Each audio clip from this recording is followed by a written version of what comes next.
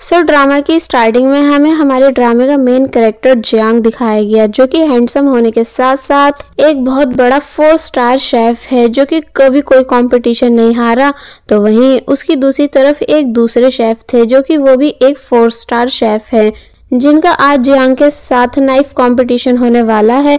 Actually ये एक ऐसा यूनिक कंपटीशन है जिसमें जब अपोजिट शेफ हार जाता है तो उसे अपना नाइफ विन शेफ को देना होता है, जिसका मतलब ये है कि अब वो शेफ अपना रेस्टोरेंट हमेशा के लिए क्लोज कर देगा। कि तभी कंपटीशन स्टार्ट किया गया, जहाँ जियांग अपनी परफेक्ट स्किल्स के साथ कुक करता है तो वहीं दूसरे वाले शेफ भी काफ़ी यूनिक वे में अपनी डिश को रेडी कर रहे थे। देखने में दोनों की ही डिश औसम लग रही होती है स्पेशली जियांग की। क्योंकि उसने डिश रेडी करने के बाद लास्ट में डिश को फायर टचअप के साथ सभी के सामने प्रेजेंट किया, इसलिए देख सभी लोग इम्प्रेस हो गए।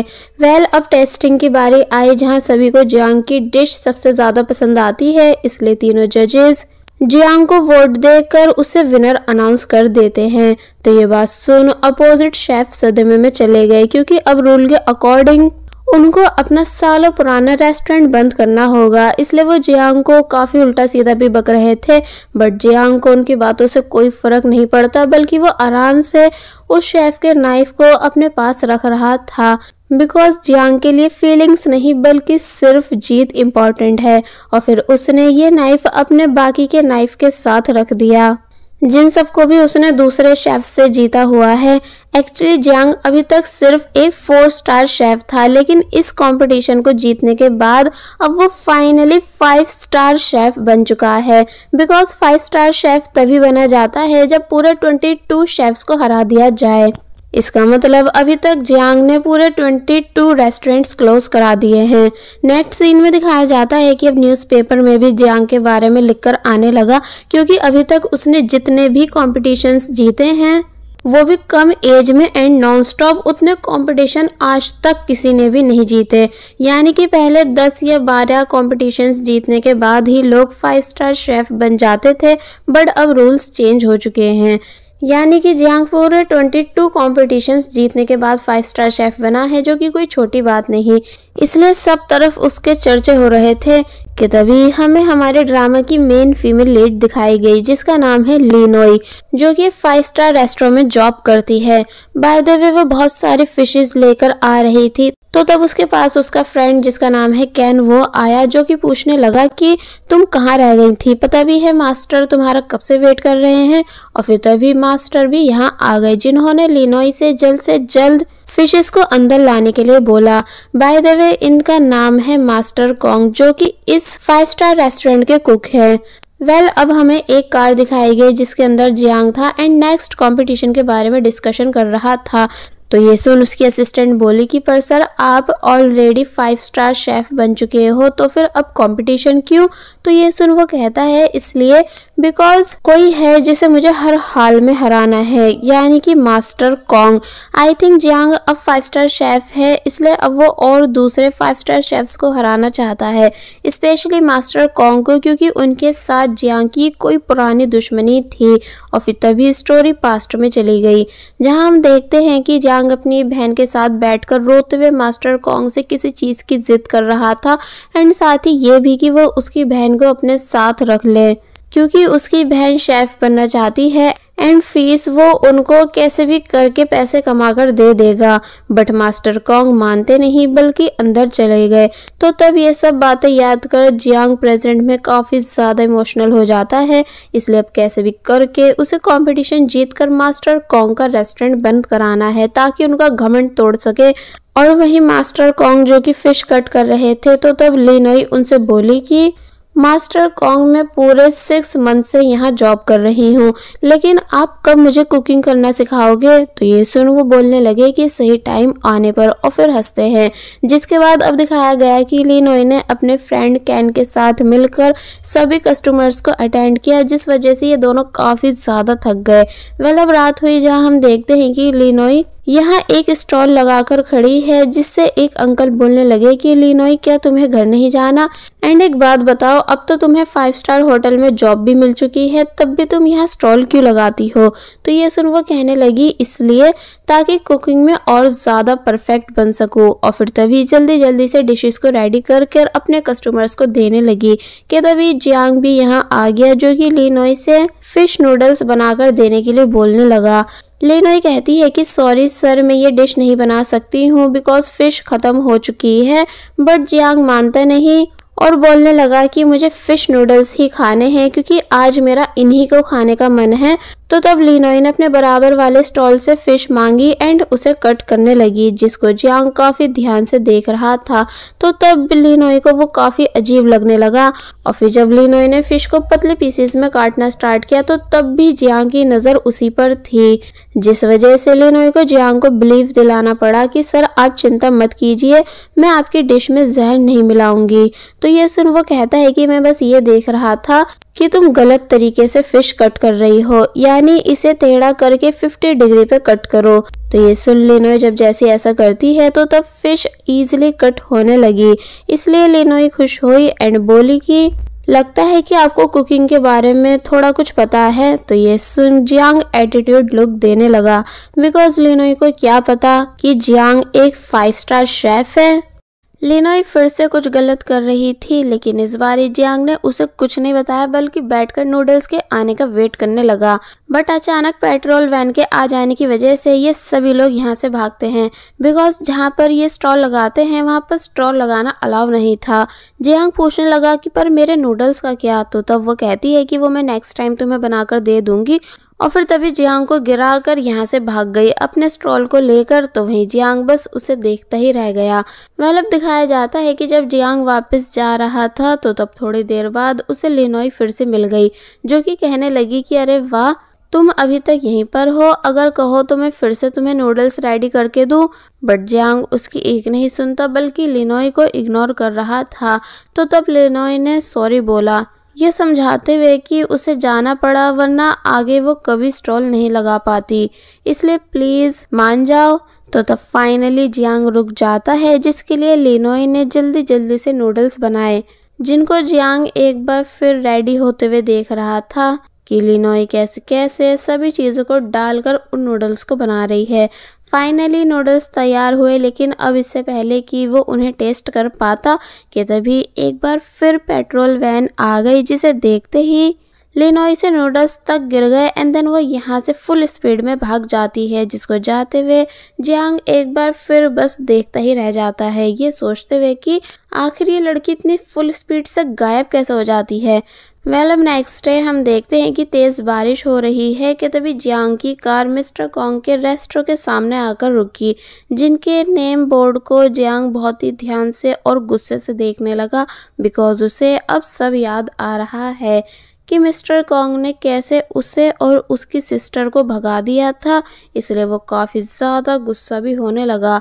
मगर तभी लिनोई भी यहाँ आई जो कि कार को ध्यान से देखने लगी, लेकिन उसे कुछ भी दिखता नहीं कि अंदर कौन है। तो वही जियांग भी आराम से बैठकर लिनोई की इन सभी हरकतों को देखता है। ये सोचते हुए कि जब इसे कुछ दिख नहीं रहा तो ये झाँक क्यों रही है?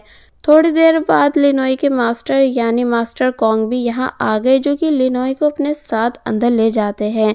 जियांग के असिस्टेंट ने पूछा कि, सर, क्या मैं भी आपके साथ अंदर चलूँ? बट वो मना कर देता है बिकॉज़ उसे खुद से मिस्टर कॉन्ग से बात करनी है। वेल अब दिखाया गया कि जियांग फाइनली अंदर आया। एक्चुअली जंग रेस्टोरेंट ओपन होने से पहले आया है, इसलिए अभी कोई भी कस्टमर नहीं था। मिस्टर कॉन्ग जियांग को देख पहचान गए कि ये तो फ़ेमस नाइफ सीज शेफ जियांग है, इसलिए उन्होंने जियांग का वेलकम किया। बट जियांग बोलता है कि मैं यहाँ आपकी डिश टेस्ट करने नहीं, बल्कि आपको चैलेंज करने आया हूँ। तो ये सुन वो थोड़े सरप्राइज़ रह गए और फिर चैलेंज एक्सेप्ट कर लेते हैं, जिसके बाद अब दिखाया गया कि जियांग कंपटीशन की प्रिपरेशन में बिज़ी हो गया। तो वहीं कैन भागता हुआ आया एंड पूछता है कि, मिस्टर जांग यहाँ क्या कर रहे हैं? लिनोय बोली कि, तुम तो इसके फ़ैन हो ना तो जाओ उसी से जाकर पूछ लो। तो तब कैन बताने लगा कि मैं जियांग का फ़ैन नहीं हूँ बस इसके बारे में जानता हूँ।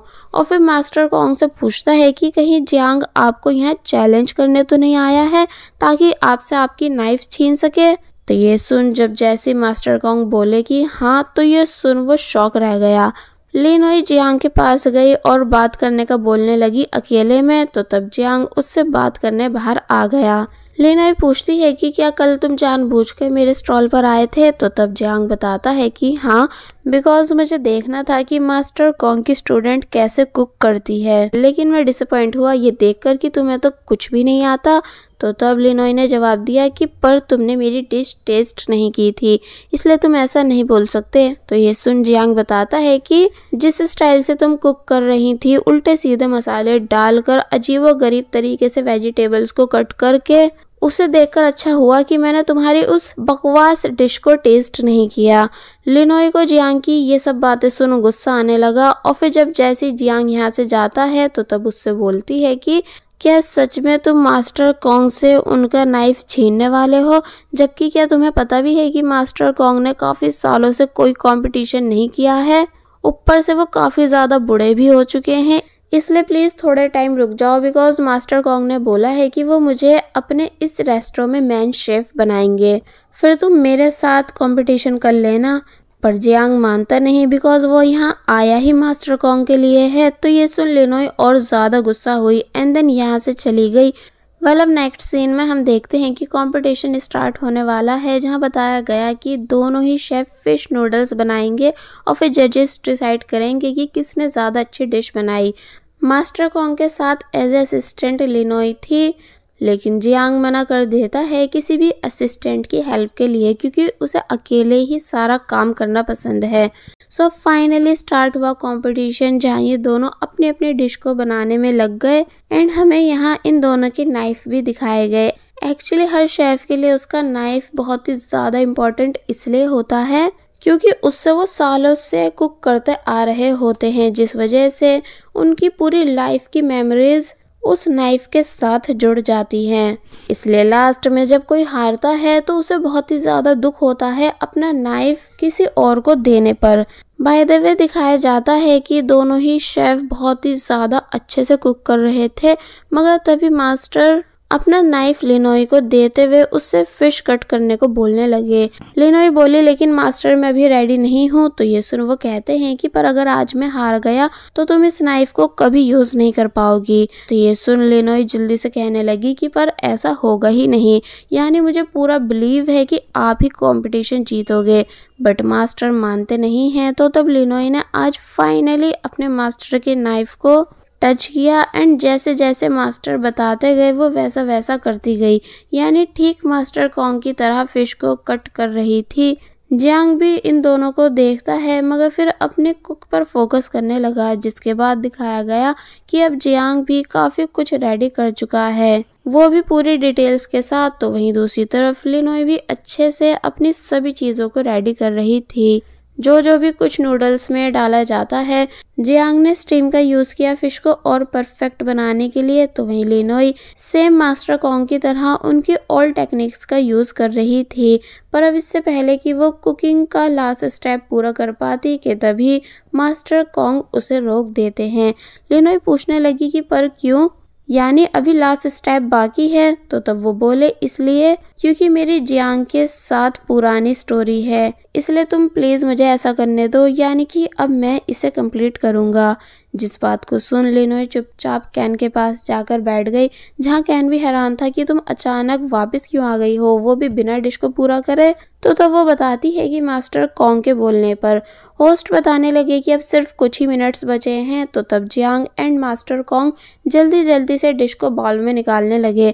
वो भी अच्छे टचअप के साथ सो फाइनली इन दोनों की डिश रेडी है, जिसको तीनों जजेस ने टेस्ट किया।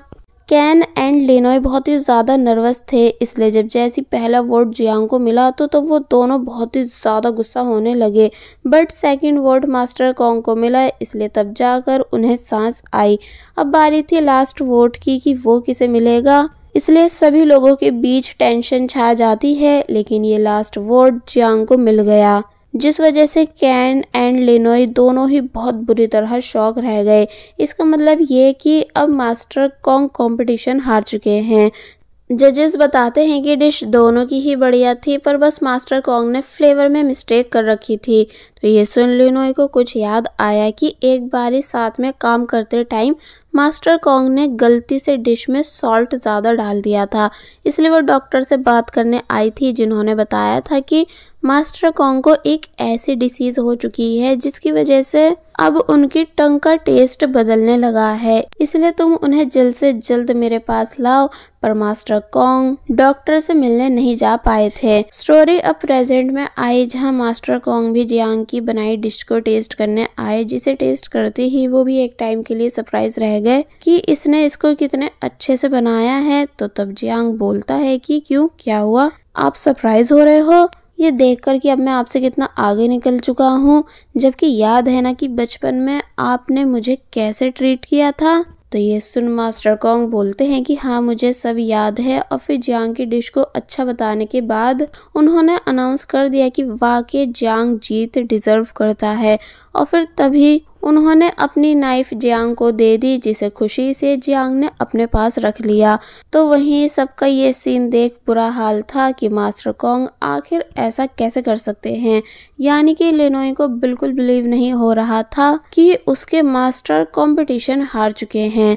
नेक्स्ट सीन में हम देखते हैं कि जियांग खुशी खुशी बाहर आया एंड अपने असिस्टेंट से कार लाने के लिए बोलने लगा। तो तब लेनोई भी जियांग के पास आई और बोली कि तुम्हें कहीं से पता चल गया था ना कि मास्टर कॉन्ग फ्लेवर्स भूल चुके हैं, तभी तुमने उनके साथ कंपटीशन किया। जियांग एक्सेप्ट करता है कि हाँ ऐसा ही है तो तब लिनोई बोली कि तुम लूजर हो, क्योंकि अगर आज मास्टर कॉन्ग बिल्कुल ठीक होते तो तब तुम्हारा एक परसेंट भी चांस नहीं था उनसे जीतने का। जियांग बोलता है कि, पर अब तो मैं कंपटीशन जीत चुका हूँ ना, इसलिए ये बातें मायने नहीं रखती। तो ये सुन लिनोई और भी ज़्यादा गुस्सा होने लगी।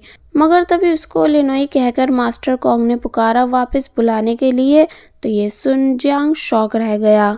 जैसे कि वो इस नाम को जानता है, इसलिए उसने लिनोई से पूछा कि क्या वाकई तुम्हारा नाम लिनोई है? बट वो जियांग को उल्टा सीधा बोलने लगी कि तुम अपने काम से मतलब रखो और फिर तभी यहाँ से चली जाती है। जिसके जाते ही जियांग के पास एक इमेज आई, जो कि और किसी का नहीं, बल्कि लिनोई का ही फ़ोटो था। इसलिए देख जियांग के और भी ज़्यादा होश उड़ गए। एक्चुअली लेनोई एंड जियांग दोनों बचपन में बेस्ट फ्रेंड्स रह चुके हैं, जिसके साथ जियांग बहुत ही ज़्यादा खेलता था एंड ये दोनों साथ में एक ऑर्फनेज में रहते थे।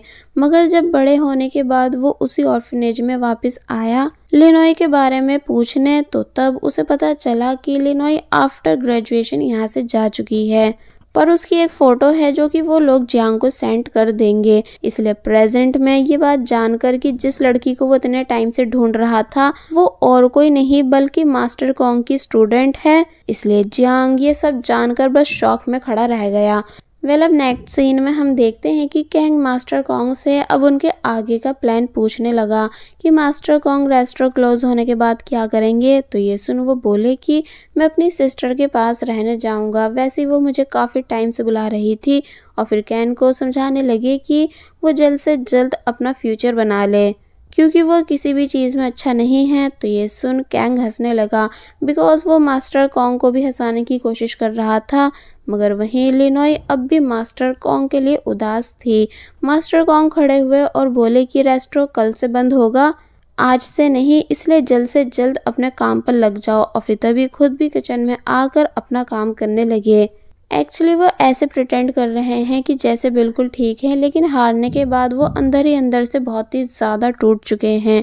लिनोई आकर बताती है कि टेबल नंबर सेवन पर कुछ कस्टमर्स आए हैं जिनको नूडल्स चाहिए। तो ये सुन मास्टर कॉन्ग ने जब जैसे अपना नाइफ उठाने के लिए हाथ बढ़ाया तो तब उन्हें याद आया कि वो तो जियांग लेकर जा चुका है, इसलिए वो एक बार फिर उदास होने लगे। जिनका ये दर्द लिनोई समझ पा रही थी। कि मास्टर कॉन्ग कितने ज़्यादा उदास हैं।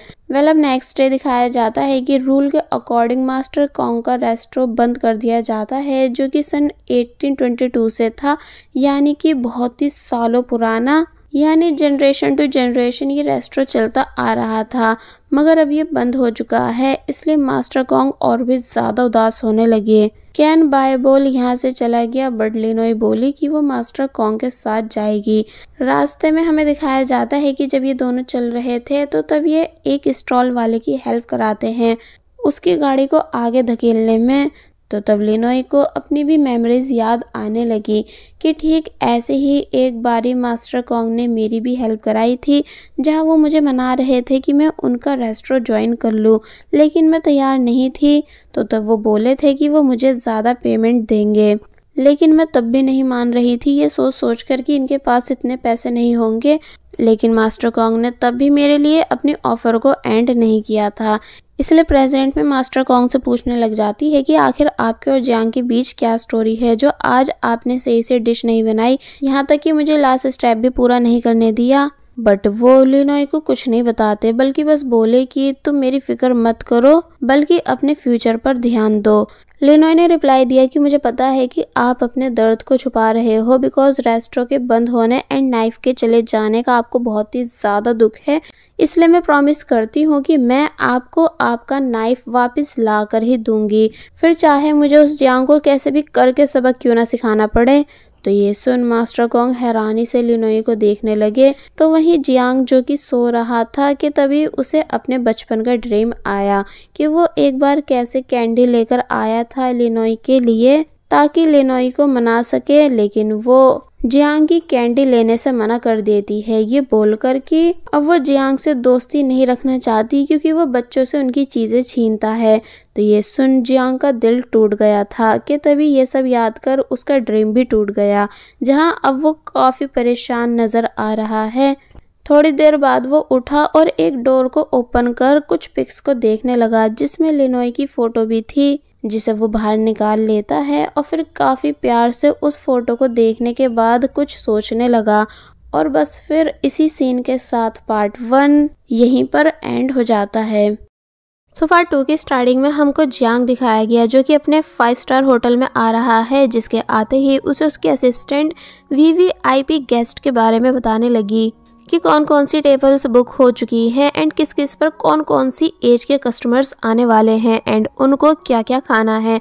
बट असिस्टेंट ने मेन्यू में कुछ गलती कर दी थी, इसलिए जियांग गुस्सा हुआ और बोला कि, क्या तुम फायर होना चाहती हो? अगर नहीं तो काम सही से किया करो। और फिर बताता है कि, मुझे न्यू एम्प्लॉयज़ की ज़रूरत है।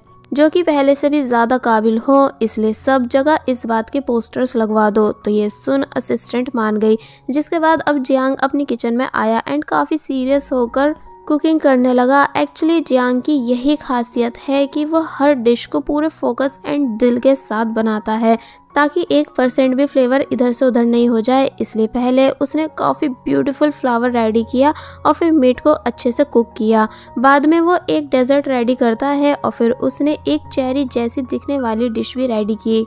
वो भी पूरी क्लीननेस के साथ, यानी परफेक्शन हम जियांग की सभी डिश में देख सकते हैं। और फिर फाइनली जियांग सभी डिश को अच्छे से रेडी करने के बाद उन्हें टेबल पर रख देता है।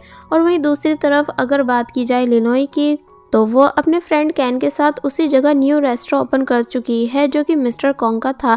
एक्चुअली ये पूरा वही रेस्टोरेंट है, बस ये दोनों नेम को थोड़ा चेंज करके फिर से इसे चलाने की कोशिश कर रहे हैं। सभी को ये बताकर कि जो भी कोई पहली बार हमारे इस न्यू रेस्टोरेंट में आएगा, उसे फ्री में मील दिया जाएगा।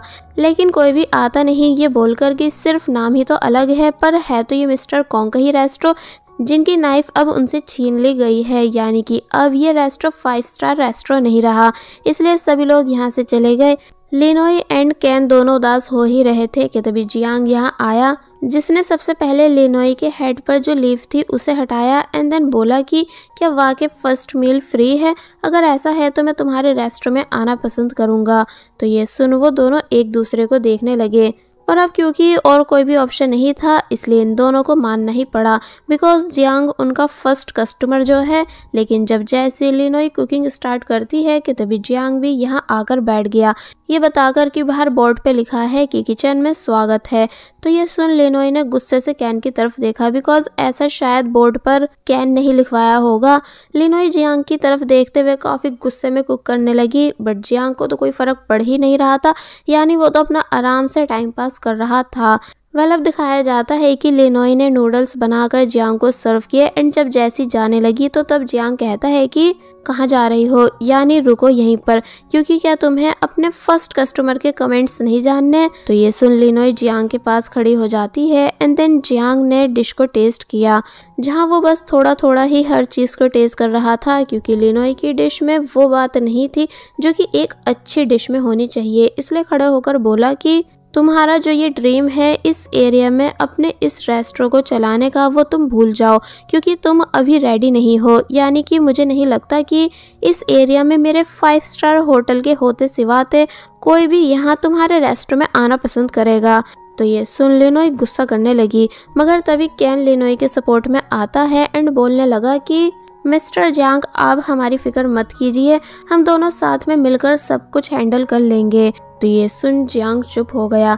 पर अब क्योंकि कैन ने लिनोई की शोल्डर पर हाथ रखा हुआ था, इसलिए ये बात जियांग को बिल्कुल पसंद नहीं आई।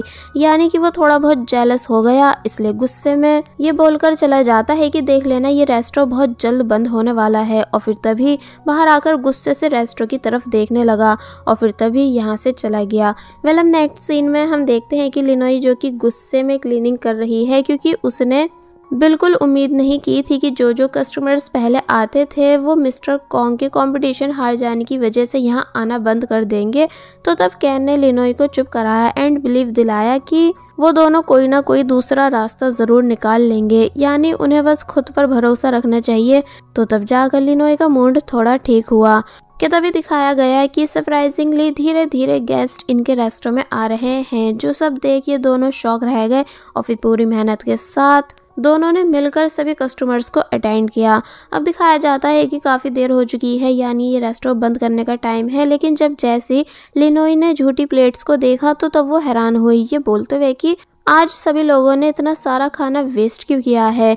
कि तभी कैंग भागता हुआ आया एंड बताने लगा कि बाहर इंस्पेक्शन वाले आए हैं तो ये सुन लिनोई भी शौक हो जाती है।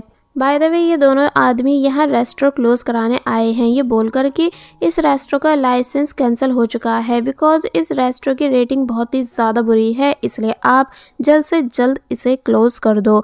तो ये सुन लिनोई शौक रह जाती है कि नहीं, ऐसा नहीं हो सकता। यानी हमने तो आज ही इसे ओपन किया है एंड लोगों ने काफ़ी प्यार से हमारी डिशेस को खाया।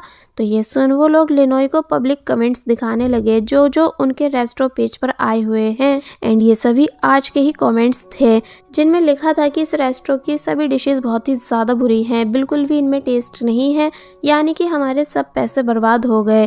तो तब लिनोई ये सब रीड कर हैरान होने लगी। वो दोनों आदमी लिनोई को रेस्टोर क्लोज करने का नोटिस देने के बाद यहाँ से चले गए तो तब लिनोई बस उदासी से खड़ी रह गई। ये बोलते हुए कि क्या सच में ये मेरी स्टोरी का एंड है? वेल अब नेक्स्ट सीन में हमें दिखाया गया कि जब शाम में लिनोई अपने अपार्टमेंट जा रही थी, कि तभी अचानक पैर फिसल जाने की वजह से वो गिर गई। एंड इस चीज़ का ब्लेम जियांग को देने लगी। ये बोलते हुए कि जियांग जब से मेरी लाइफ में आया है, तब से कुछ भी अच्छा नहीं हो रहा।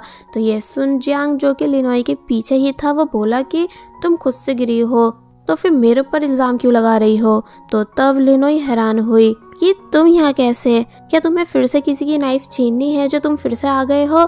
तो तब जियांग बोला कि क्या तुमको ये जगह ऐसी लगती है कि जहाँ मैं किसी को खड़े होकर चैलेंज करूँगा? यानी कि मैंने अभी रिसेंटली यहाँ एक अपार्टमेंट बाय किया है, इसलिए मैं यहाँ पर खड़ा हूँ। तो ये सुन लिनोई चुप हो गई एंड बिल्डिंग नंबर पूछने लगी। जियांग बताता है कि थर्टीन तो ये सुन लिनोई को और ज़्यादा गुस्सा आया कि ये तो मेरी भी बिल्डिंग है, यानी कि फिर तो हम दोनों नेबर्स हुए। सच में तुम मेरी लाइफ में बैड लक बढ़ाते जा रहे हो, और फिर जब जैसी जाने लगी तो तब एक बार फिर वो गिरने ही वाली होती है। लेकिन तभी जियांग ने पीछे से उसको पकड़ लिया, यानी कि गिरने से बचा लिया। लिनोई शौक हुई तो वही जियांग उसको स्टूपिड बोलते हुए यहाँ से जाने लगा कि तभी लिनोई ने नोटिस किया कि अरे, इसके पास तो फ़िश है। इसका मतलब ये ज़रूर फ़िश नूडल्स बनाने वाला है। इसलिए तभी जियांग से जिद करने लग जाती है कि क्या मैं भी तुम्हारा अपार्टमेंट देखने तुम्हारे साथ चलूँ। प्लस मुझे भूख भी लगी है, इसलिए तुम कुछ बनाकर खिला भी देना। तो ये सुन वो कहता है कि, पर तुम्हें तो मैं तुम्हारे लिए बैड लक लगता हूँ। तो ये सुन वो बोले कि, नहीं नहीं, ऐसा नहीं है। यानी अब सारा बैड लक खत्म हो चुका है तो तब जाकर जियांग लिनोई को अपने साथ ले जाने के लिए रेडी हुआ। वेल, अब नेक्स्ट सीन में हम देखते हैं कि लिनोई जियांग के घर में बैठी हुई है, जहाँ जियांग तो कुकिंग कर रहा था। इसलिए लिनोई उठकर जियांग के घर घर को देखने लगी, जहाँ उसे एक फ़ोटो भी दिखी कि तभी उसे जियांग के मोबाइल की बजने की आवाज़ आई। इसलिए उसने जियांग को बताने का ट्राई किया भी कि तुम्हारे मोबाइल पर कॉल आ रही है, पर जब वो सुनता नहीं तो तब लिनोई खुद से उस रूम में चली गई, जहाँ से मोबाइल की रिंगटोन की आवाज़ आ रही थी। बट लिनोई को मोबाइल नहीं मिलता, बल्कि उसकी नज़र कबट पर चली गई, यानी कि वही जिसके अंदर लिनोई की फ़ोटो है। पर अब इससे पहले कि वो उसे ओपन कर पाती कि तभी जियांग भी यहाँ आ गया, जो कि लिनोई से चलने के लिए बोलता है। लिनोई बताती है कि मैं तो बस तुम्हारा मोबाइल उठाने आई थी और फिर तभी वो बाहर आकर बैठ गई, जिसको जियांग ने नूडल्स ला कर दिए एंड खुद भी लिनोई के सामने बैठा। तो अब जब जैसी लिनोई ने नूडल्स टेस्ट किए तो तब उसे वो बहुत ही ज़्यादा पसंद आए। इतने ज़्यादा कि वो बस उन नूडल्स को खाती रह गई। जियांग भी लिनोई को खाते हुए देख रहा था, यानी उसकी नज़र लिनोई पर से हट ही नहीं रही थी। इसलिए जब जैसे ही लिनोई ने नूडल्स कंप्लीट किए तो तब जियांग उसे टिश्यू भी देता है। इस उम्मीद से कि शायद अभी मेरे नूडल्स की तारीफ़ करेगी, बट लिनोई ने रोना शुरू कर दिया। ये बताते हुए कि मेरा रेस्टोरेंट क्लोज हो चुका है, क्योंकि पब्लिक हमें बैड कमेंट्स दे रही थी। तो ये सुन जियांग बोला कि अच्छा। लेनोई ने बताया कि पहले मुझे लगता था कि जैसे मैं एक परफेक्ट शेफ़ हूँ, लेकिन आज तुम्हारे इन नूडल्स को टेस्ट करके मुझे अपनी जगह याद आ गई। यानी कि ये बहुत ही ज़्यादा डिलीशियस हैं। जियांग कहता है कि तुम्हें खुद को मुझसे कंपेयर करने की ज़रूरत नहीं तो तब वो कहने लगी कि मेरे मास्टर का नाइफ जो कि तुम्हारे पास है, उसको मैं तुमसे वापस लेकर ही रहूँगी। फिर चाहे मुझे दिन रात हार्ड वर्क क्यों ना करना पड़े। जियांग, ये सुन थोड़ा डिसअपॉइंट हुआ कि ये तो मुझसे कंपटीशन करना चाहती है, मगर फिर बोला कि चलो ठीक है, मैं वेट करूँगा। तो तब लेनोई जियांग को नूडल्स के लिए थैंक्स कर यहाँ से चली गई एंड देन बाहर आकर बहुत ही ज़्यादा बुरी तरह रोने लगी। अपने मास्टर से ये पूछते हुए कि आखिर जियांग इतनी अच्छी कुकिंग कर कैसे लेता है? तो ये सुन कॉल पर मास्टर कॉन्ग भी लिनोई के लिए परेशान हो जाते हैं। वेल, अब नेक्स्ट सीन में हमें दिखाया गया कि जियांग से कोई मिलने आया जो कि खुद को जियांग का बड़ा भाई बता रहा था। ये पूछते हुए कि क्या तुम्हें अपने बड़े भाई की बिल्कुल याद नहीं आती? और फिर जब जैसी उसी गिलास से पानी पीने ही वाला था जिससे लिनोई ने पिया था, मगर तभी जियांग ने उसे रोक दिया। ये कहते हुए कि इससे पानी मत पियो। तो ये सुन वो रुक गए। और नोटिस करने लगे कि, अरे, इस गिलास पर तो लिपस्टिक के निशान है, इसलिए समझ जाते हैं कि ज़रूर यहाँ मेरे आने से पहले कोई लड़की आई थी।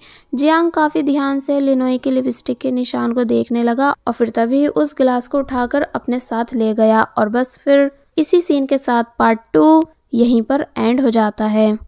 सुबह थ्री की स्टार्टिंग में हम देखते हैं कि लिनोई जब जैसी सोकर उठी तो तब उसे पता चला कि उसके फादर ने उसके बैंक अकाउंट से बहुत ही सारे पैसे खर्च कर दिए हैं। इसलिए वो परेशान होने लग जाती है एंड फादर को कुछ कहती भी नहीं। क्योंकि अभी हमें लिनोई के फादर का इंट्रोडक्शन नहीं दिया गया है।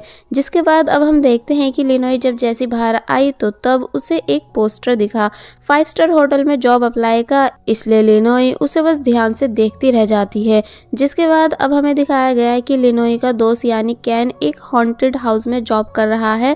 लिनोई उससे पूछती है कि तुम यहाँ जॉब क्यों कर रहे हो? तो तब उसने बताया, इसलिए क्योंकि अभी मुझे कोई आइडिया नहीं है कि मेरा रियल इंटरेस्ट किस चीज़ में है। इसलिए मैं सभी जॉब्स को करके देखना चाहता हूँ और फिर तभी लिनोई को समझाने लगा कि अगर तुम्हें नाइफ कंपटीशन में पार्टिसिपेट करना है जियांग को हराने के लिए तो तुम अभी से अपनी प्रिपरेशन स्टार्ट कर दो, यानी कि किसी बड़े फाइव स्टार होटल में जॉब करो, तभी तुम ज़्यादा चीज़ें सीख पाओगी। तो ये सुन लिनोई मान गई और फिर नेक्स्ट डे उसी होटल में इंटरव्यू देने आ गई, जिसके पोस्टर को उसने देखा था।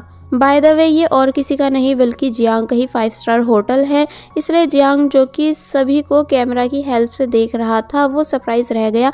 लिनोई को भी यहाँ देखकर इसलिए अपनी असिस्टेंट से पूछता है कि लिनोई ने किस चीज़ के लिए अप्लाई किया है? तो तब असिस्टेंट बताती है कि सभी जॉब्स के लिए सिर्फ़ वेयर हाउस कीपर की जॉब को छोड़कर। और वही लिनोई ने यहाँ अपना एक फ्रेंड भी बना लिया, जिसका नाम है सॉन्ग जो कि लिनोई से पूछने लगा कि, तुम्हें कुकिंग में इंटरेस्ट कैसे आया? तो तब वो बोली कि एक्चुअली एक्चुअली मेरा कुकिंग का ही बिज़नेस है। तो ये सुन सॉन्ग बोलता है कि वाह तुम कुकिंग बिज़नेस करती हो? फिर तो तुम्हारे बहुत सारे वर्कर्स भी होंगे। पर जब जैसी लिनोई बताती है कि बिज़नेस से मेरा मतलब अपने खुद के स्ट्रीट स्टॉल से है तो ये सुन सॉन्ग हंसता है। वेल अब स्टार्ट हुआ पहला टेस्ट जहाँ एज ए वेटरेस लिनोई को कस्टमर्स की लड़ाई रोकनी थी, लेकिन वो ऐसा नहीं कर पाई, इसलिए वो इस टेस्ट में हार गई। सेकंड टेस्ट किचन वेटरेस का हुआ, जहाँ पानी को बिना गिराए लेकर जाना था।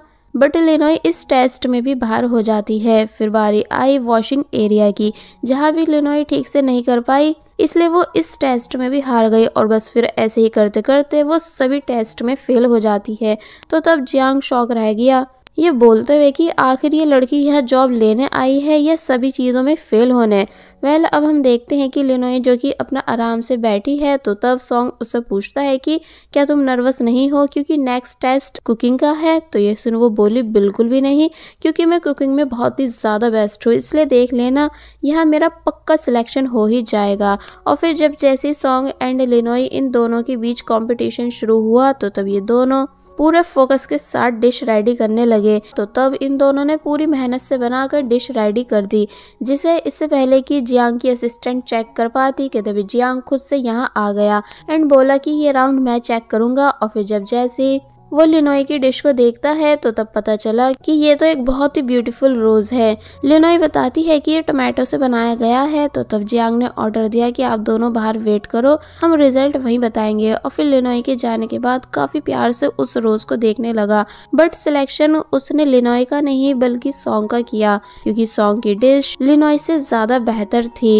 वेल अब नेक्स्ट सीन में हम देखते हैं कि लिनोई कैन के साथ थी, जहाँ कैन शौक रह गया ये बात जानकर कि तुम जियांग के फाइव स्टार होटल में इंटरव्यू देने गई थी जबकि तुम्हें पता है ना कि उसने हमारे मास्टर के साथ कितना बुरा किया है तो तब वो कहती है कि हाँ हाँ मुझे सब याद है, बल्कि मैंने जियांग का रेस्टो जॉब के लिए इसीलिए चूज़ किया है ताकि मैं जियांग के साथ रहकर उसकी स्किल्स को सीख सकूँ बिकॉज़ फिर मुझे आसानी होगी जियांग को नाइफ कॉम्पिटिशन में हराने में। और वहीं दूसरी तरफ़ हमें एक जिंग जिंग नाम की लड़की दिखाई गई, जिसे एक शेफ की तलाश है, क्योंकि उसका भी एक फाइव स्टार होटल है। इसलिए वो लिनोई को जॉब पर रखना चाहती है बिकॉज़ उसका मानना है कि मिस्टर कॉन्ग कभी किसी को ऐसे ही अपने पास नहीं रख सकते। ज़रूर उस लड़की में कोई तो खास बात होगी, इसलिए मुझे भी उसी को अपने यहाँ जॉब पर रखना है। पर उसे मैं जॉब ऑफ़र तब करूँगी जब वो जॉबलेस होगी। वेल, अब वापस से हम कैन और लिनोई को देखते हैं, जहाँ लिनोई आगे की स्टोरी बताने लगी कि जब जियांग फाइनल रिज़ल्ट अनाउंस करने आया था तो तब उसने मुझे शेफ नहीं बनाया था, बल्कि वेयर हाउस कीपर की जॉब दे दी थी। इसलिए मैं गुस्से से उसके पास गई एंड पूछने लगी कि तुमने मुझे पास क्यों नहीं किया? एंड अब वो जॉब क्यों दे रहे हो, जिसके लिए मैंने अप्लाई भी नहीं किया है? तो ये सुन जियांग पहले अपने असिस्टेंट को यहाँ से भेज देता है एंड देन बताता है कि जो काम मिल रहा है उसे चुपचाप कर लो, वरना तुम्हें ये जॉब भी नहीं मिलेगी। तो ये सुन लिनोई चुप हो जाती है और फिर काफ़ी सोचने के बाद वेयर हाउस कीपर की जॉब करने के लिए मान गई, कि तभी दिखाया गया कि सॉन्ग लिनोई के पास आया एंड उसको टीज करते हुए कहने लगा कि तुम्हारा कुकिंग बिज़नेस है ना, फिर तो अब तुम मुझे काफ़ी कुछ सिखा भी दोगी। तो ये सुन लिनोई ज़ोर ज़ोर से हंसने लग जाती है। ये बोलते हुए कि, अरे, वो तो सिर्फ़ एक स्ट्रीट स्टॉल है। तो वहीं पीछे से जियांग इन दोनों को हँसते हुए बातें करते देख कर जेलस होने लगा। Well finally Linoi warehouse आई एंड वहाँ रखा सभी सामान देखने लगी एंड लिस्ट रेट कर उसे पता चला कि ये काम इतना भी आसान नहीं है जितना कि मैं सोच रही थी। फिर वह किचन के पास जाती है एंड सभी को काम करते हुए देखने लग जाती है। ये बोलते हुए कि, काश मैं भी इन सभी के साथ कुकिंग कर पाती कि तभी उसने सुना कि जियांग को फ़िश चाहिए, इसलिए लिनोई जल्दी से भागकर वेयर हाउस से फ़िश निकाल कर जियांग के पास ले आती है एंड बोलने लगी कि, क्या इसे मैं आपके लिए कट कर दूँ? तो तब जियांग गुस्सा हुआ अपनी असिस्टेंट से ये पूछते हुए कि, लिनोई, यहाँ क्या कर रही है? क्या किसी ने इसको यहाँ के रूल्स नहीं बताए कि बिना परमिशन एक वेयर हाउस कीपर यहाँ किचन में नहीं आ सकता है? तो ये सुन लिनोई शौक रह जाती है कि जियांग इतना ज़्यादा रूट क्यों है? तो वहीं बाकी सब लोग भी लिनोई को देखने लगे, जिस वजह से लिनोई को बहुत ही ज़्यादा इंसल्टेड फील हुआ एंड देन वो वेयर हाउस में आकर बहुत ही ज़्यादा गुस्सा करने लगी। किस जियांग को एक न एक दिन में देख लूँगी। वेल, अब नेक्स्ट सीन में दिखाया जाता है कि लंच टाइम में सभी एम्प्लॉयज़ मील खाने के लिए रेडी हैं एंड सरप्राइज़ थे कि कैसे सभी एम्प्लॉयज़ को यहाँ फुल रिस्पेक्ट दी जाती है। एक साथ अच्छे से बिठाकर लंच करा के, मगर जब जैसे ही सभी लोग खाना खाने लगे तो तब सॉन्ग बोला कि लिनोई अभी तक नहीं आई, इसलिए मैं उसे बुलाने जा रहा हूँ। बट जियांग यहाँ आकर सॉन्ग को रोक देता है एंड खुद से लिनोई को बुलाने आया। जो कि कुछ सामान कर रही है, लेकिन अब इससे पहले कि वो गिर पाती, मगर तभी जियांग यहाँ आकर लिनोई को बचा लेता है। यानी जियांग ने उसे गिरने नहीं दिया, इसलिए ये सीन थोड़ा रोमांटिक बनने लग जाता है, मगर तभी लिनोई जियांग से दूर हुई। एंड उससे उसके यहाँ आने का रीज़न पूछने लगी। जियांग बताता है कि सभी लोग तुम्हें बाहर बुला रहे हैं लंच के लिए और फिर तभी सॉरी बोलने लगा। ये कहते हुए कि आज मुझे तुम पर इतना चिल्लाना नहीं चाहिए था, इसलिए एज ए सॉरी मैं एक रूल चेंज कर रहा हूँ कि अब से तुम भी किचन में आ सकती हो। शेफ्स की हेल्प कराने तो ये सुन ली शौक हुई। इतनी ज़्यादा कि मुँह से पानी तक निकालने वाली होती है, मगर तभी जियांग उसे ऐसा करने से मना कर देता है। ये कहकर कि अगर तुमने ऐसा किया तो मैं तुम्हें जॉब से निकाल दूँगा। और फिर जब जैसे यहाँ से जाने लगा तो तब लिनोई बहुत ही ज़्यादा खुश हुई। इतनी ज़्यादा कि ज़ोर ज़ोर से चिल्लाकर डांस करने लग जाती है। ये बोलते हुए कि इसका मतलब अब से मैं भी कुकिंग कर सकती हूँ। तो तब जियांग उसे देखते हुए हंसता है। ये बोलते हुए कि ये लड़की सच में पागल है। और फिर जब मुस्कुराते हुए बाहर आ ही रहा था तो तब उसे यहाँ अपना बड़ा भाई यानी यांग मिला। जो कि पहले तो जियांग से उसकी खुशी का राज पूछता है कि तुम आखिर इतने मुस्कुरा क्यों रहे हो? मगर फिर जियांग को उसके नेक्स्ट कंपटीशन के बारे में बताने लगा, जो कि उसी लड़की यानी जिंग जिंग के साथ होने वाला है, जो भी कुछ देर पहले लिनोई के बारे में डिस्कस कर रही थी। इसलिए यहाँ ये दोनों एक ही साथ बोलने लगे कि वो ये कॉम्पिटिशन जीत के ही रहेंगे। वेल अब नेक्स्ट सीन में हम देखते हैं कि कैन लिनोई से पूछ रहा था कि तुम इतनी ज़्यादा खुश क्यों हो रही हो? जबकि अब जियांग तुमसे काम दो कराएगा एंड सैलरी सिर्फ़ एक काम की देगा, यानी अब तुम warehouse keeper and chef दोनों हो। पर तब भी पैसे तुम्हें कम ही मिल रहे हैं। तो ये सुन, वो बोले कि इम्पोर्टेंट ये बात नहीं, बल्कि ये है कि अब से मैं भी जियांग के साथ काम करूँगी। जिस वजह से मैं बहुत कुछ सीख पाऊँगी ताकि कंपटीशन में जियांग को हरा सकूँ, इसलिए मैं खुश हूँ। वेल अब नेक्स्ट डे हम देखते हैं कि लिनोई ने as a chef kitchen join कर ली, जहाँ वो जियांग की काफ़ी ज़्यादा हेल्प करा रही थी बार बार उसे कुछ ना कुछ ला के देकर। जिसके बाद अब हमें लंच टाइम दिखाया गया जहाँ आज सभी के लिए खाना लिनोई ने बनाया था। इसलिए सब काफ़ी ज़्यादा खुश हुए एंड लिनोई की बनाई डिश की तारीफ़ करने लगे। तो तब लिनोई बहुत ही ज़्यादा खुश हुई। पर जब जैसे जियांग ने डिश टेस्ट की तो तब वो उसको बिल्कुल पसंद नहीं आई। इसलिए वो तभी यहाँ से चला गया, जिसका ये रिएक्शन लिनोई को भी समझ नहीं आया। इसलिए वो तभी उसके पीछे पीछे आई। एंड वजह पूछने लगी, ये बोलकर कि अगर मैंने गलती की है तो तुम मुझे मेरी मिस्टेक बताओ, ऐसे मुँह बनाकर क्यों आए हो? तो तब जियांग वापस सभी के सामने आया एंड लिनोई से डिश को स्मेल करने के लिए बोलने लगा। ये पूछते हुए कि बताओ तुम्हें किस किस चीज़ की स्मेल आ रही है? तो ये सुन लिनोई बताती है कि बीफ की एंड जो जो चीज़ें उसने यूज़ की थी उन सभी की मगर फिर बोले कि एक मिनट, इसमें से शेल की भी स्मेल आ रही है। तो तब जियांग कहता है कि, बिल्कुल। यानी कि तुमने जहाँ मीट कट किया था, उस जगह को सही से क्लीन नहीं किया था। इसलिए पूरी डिश खराब हो गई है। और फिर बोला कि, तुम ठीक अपने मास्टर की तरह हो। जिन्हें भी बिना समझाए कुछ समझ आता ही नहीं। तो ये सुन ले, नोई को अच्छा नहीं लगा कि तुम मेरे मास्टर को बीच में क्यों ला रहे हो। तो तब जियांग कहता है कि अगर तुम्हें मेरे साथ काम करना है तो अपने मास्टर की सभी चीज़ों को भूलना होगा, जिसकी इन बातों को सपोर्ट जियांग की असिस्टेंट भी करने लगी। तो तब लिनोई को और भी ज़्यादा इंसल्टेड फील हुआ। जियांग यहाँ पर यह तक कह देता है कि मैं तुम्हें सिर्फ़ दो ऑप्शन दे रहा हूँ, या तो मेरे रूल्स फॉलो करो, या फिर ये जॉब छोड़कर यहाँ से चले जाओ। और फिर तभी यहाँ से चला गया। लिनोई बहुत ही ज़्यादा हर्ट हुई जियांग की इन सभी बातों से। साथ ही बाकी सब लोग भी यहाँ से उठकर चले जाते हैं। बिना लिनोई की डिश को पूरा खाए, सिर्फ़ सॉन्ग को छोड़कर जो कि लिनोई की तारीफ़ करने लगा, यानी कि एक तरह से वो लिनोई का दिल रख रहा था। बट लिनोई अब बहुत ही ज़्यादा उदास है और बस फिर इसी सीन के साथ पार्ट थ्री यहीं पर एंड हो जाता है।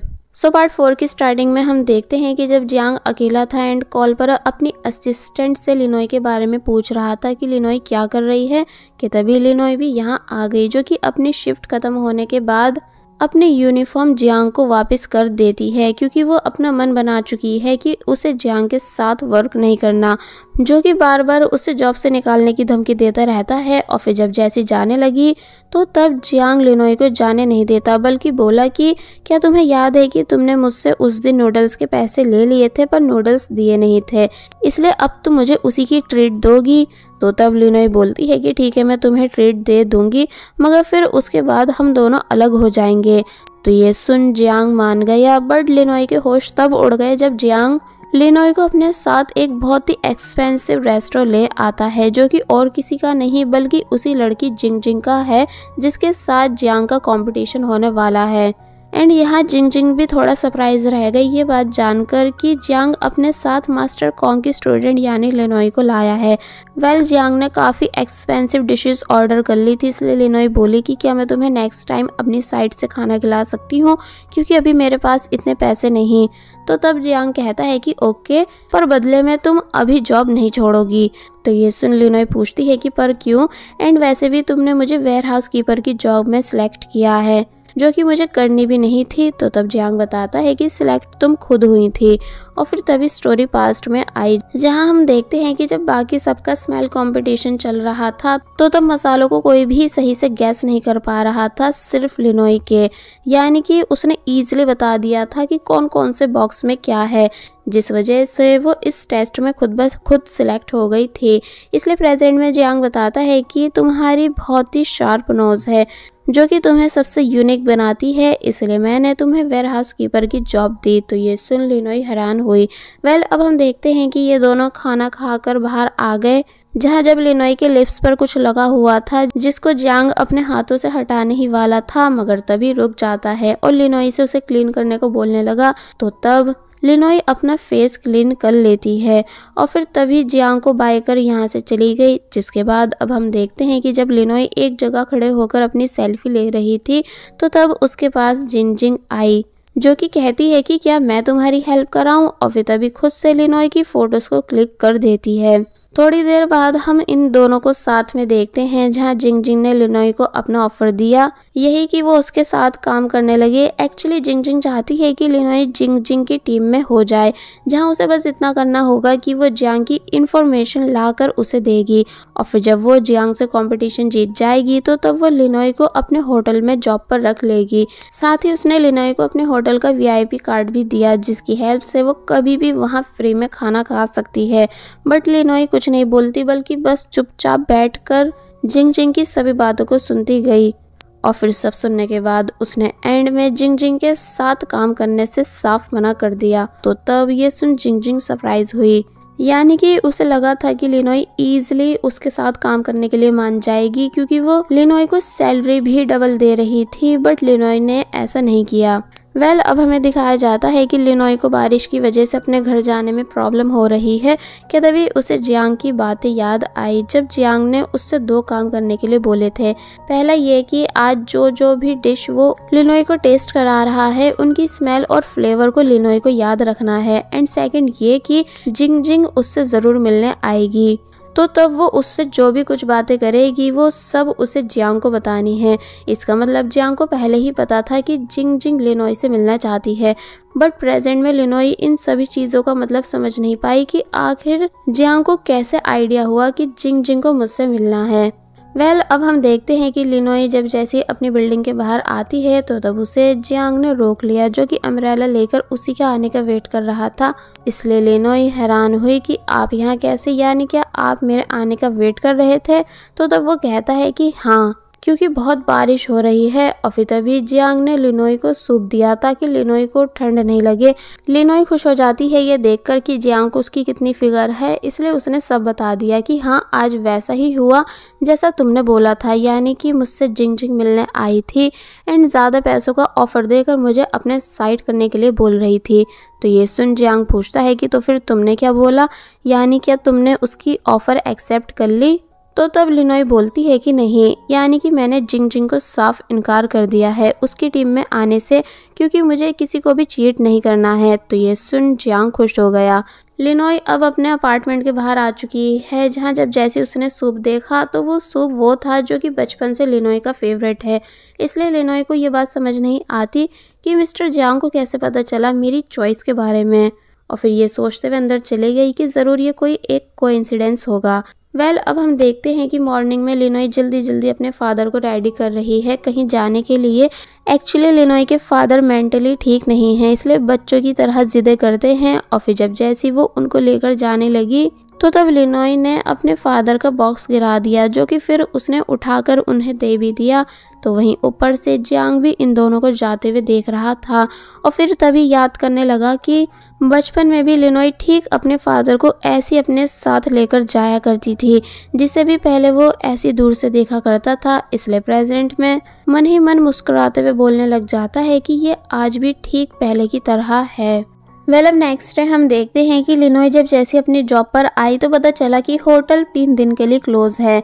यानी कि अब ये तभी ओपन होगा जब जिनजिंग एंड जियांग के बीच का कंपटीशन खत्म हो जाएगा। लिनोई यहाँ से जाने लगी कि तभी उसकी नज़र किसी पर गई, इसलिए दोनों एक साथ एक दूसरे को देखते हुए बोले कि तुम कौन?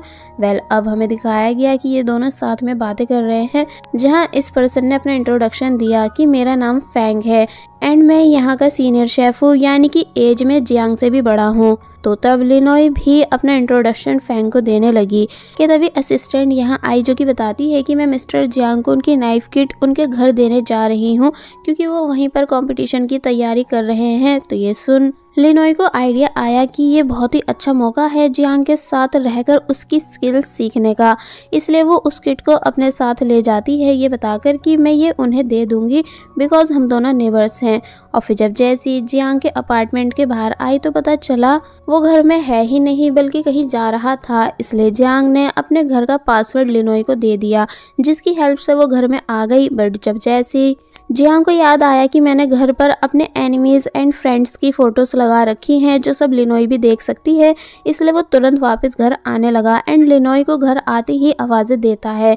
लिनोई सामने खड़ी होती है और गुस्से से जियांग को देख रही होती है, इसलिए जियांग को लगने लगा कि शायद लिनोई को सब पता चल चुका है बट ऐसा नहीं होता। बल्कि लेनोई इस बात से गुस्सा थी कि अच्छा तुम हो वो पर्सन जिसने मुझे नेगेटिव कमेंट्स कराए थे एंड मेरा रेस्टोरेंट क्लोज कराया था तो ये सुन जियांग सरप्राइज़ रह गया और फिर एक्सेप्ट करता है कि हाँ ये सब मैंने ही कराया था। क्योंकि मैं चाहता था कि तुम कहीं और काम नहीं करो, बल्कि मेरे रेस्टो में करो। तभी मैंने हमारी बिल्डिंग के बाहर अपने रेस्टो के पोस्टर्स भी लगवाए थे, जिन्हें देखने के बाद ही तुम इंटरव्यू देने आई थी। तो ये सुन लिनोई और ज़्यादा गुस्सा करने लगी। तो तब जियांग बताता है कि वैसे मेरे पास तुम्हारे लिए एक अच्छा ऑफ़र है। यानी कि मैं चाहता हूँ कि तुम मुझे रात होने से पहले सी फ़ूड ला कर दो। क्योंकि जब मैं सी फ़ूड लेने गया था तो वो मुझे दिया नहीं गया था। क्योंकि इस एरिया में सभी सी फ़ूड शॉप्स मेरी ओपोनेंट जिंग जिंग की हैं, इसलिए कोई भी मुझे सी फ़ूड बेच नहीं रहा है। जिस वजह से मैं चाहता हूँ कि तुम मुझे वो ला कर दो। वो भी अपनी शार्प नोज़ का यूज़ करके, यानी सभी फ्रेश फ्रेश अगर तुम आज ही, आज में ऐसा कर देती हो तो बदले में मैं तुमको अपने रेस्टोरेंट की ऑफिशियल शेफ बना दूँगा। यानी कि अभी तक लिनोई सिर्फ़ शेफ के नाम पर किचन में लोगों की हेल्प कराती थी बट अब वो कस्टमर्स के लिए डिशेस भी बना पाएगी। तो ये सुन लिनोई कहती है कि सिर्फ़ इतना ही नहीं, बल्कि मैं चाहती हूँ कि कल कॉम्पिटिशन में तुम मुझे अपने साथ एज ए असिस्टेंट रखो। तो ये सुन जियांग मान गया कि चलो तो फिर डील रही, पर पहले तुम आज ही, आज में सीट फ़ूड लाकर तो दिखाओ तो ये सुन लेनोई मान जाती है, और फिर तभी कैन के साथ उसकी कार से सी फ़ूड लेने जाने लगी, जिसके बाद फिर जब जैसे ये दोनों मार्केट आए तो तब लिनोय ने यहाँ अपनी स्मेल पावर का यूज़ करके सभी फ्रेश सी फ़ूड को कलेक्ट कर लिया, जो करते हुए उसे यहाँ पर काफ़ी ज़्यादा देर भी हो गई, साथ ही तेज़ बारिश भी स्टार्ट हो जाती है। और वहीं जियांग जो कि अपने घर पर कुकिंग कर रहा होता है न्यूज़ सुनते हुए तो तब वो ये बात सुनकर शौक रह गया कि बाहर का मौसम बिगड़ चुका है। इसलिए ये सुन उसकी फिंगर तक कट हो गई, क्योंकि उसने ऐसे खराब मौसम में लिनोई को बाहर जो भेज रखा है कि तभी जियांग को सॉन्ग की कॉल आई जो कि पूछता है कि, मास्टर, क्या मैं आपको कल कंपटीशन के लिए एंड प्रैक्टिस के लिए सी फ़ूड लाकर दूँ? बट जियांग मना कर देता है और फिर तभी उसने कॉल भी कट कर दी। तो ये सुन सॉन्ग उदास हुआ। बिकॉज़ वो ऑलरेडी जियांग के लिए सीड फ़ूड लेकर आ चुका था। वेल well, अब हम देखते हैं कि लिनोई फाइनली सी फ़ूड लेकर आ चुकी है पर वो काफ़ी ज़्यादा भीग चुकी थी इसलिए जियांग हैरान रह जाता है एंड लिनोई से अंदर आने का बोलने लगा। और फिर जब जैसी सी फ़ूड चेक करता है तो वो सभी एकदम परफेक्ट एंड फ्रेश थे। लिनोई शौक रह गई जियांग की फिंगर पे चोट देखकर, इसलिए तभी उसने उसकी फिंगर पे बैंडेज लगाई। तो तब जियांग मन ही मन खुश हुआ। ये देख कर कि लिनोई को उसकी फ़िक्र है। सो फाइनली स्टार्ट करते हैं ये दोनों कुकिंग प्रैक्टिस जहाँ भी लिनोई हर एक चीज़ स्मेल कर, करके जियांग को यूज़ करने के लिए दे रही होती है, ताकि डिश एकदम परफेक्ट बन सके। एक्चुअली इनको ठीक जिन जिन की तरह परफेक्ट सी फ़ूड बनाना है, जिसका टेस्ट अभी तक लिनोई को याद है, क्योंकि जियांग उसे वो जिंग जिंग के रेस्टोरेंट में खिलाकर जो लाया था।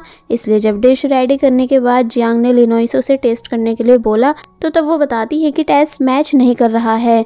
तो ये सुन जियांग ने उसे फेंक कर फिर से डिश को बनाना शुरू किया, जहाँ इस बीच हमें कुछ स्वीट मोमेंट्स भी दिखाए गए कि कैसे कैसे ये दोनों एक दूसरे से डिस्कशन कर रहे हैं।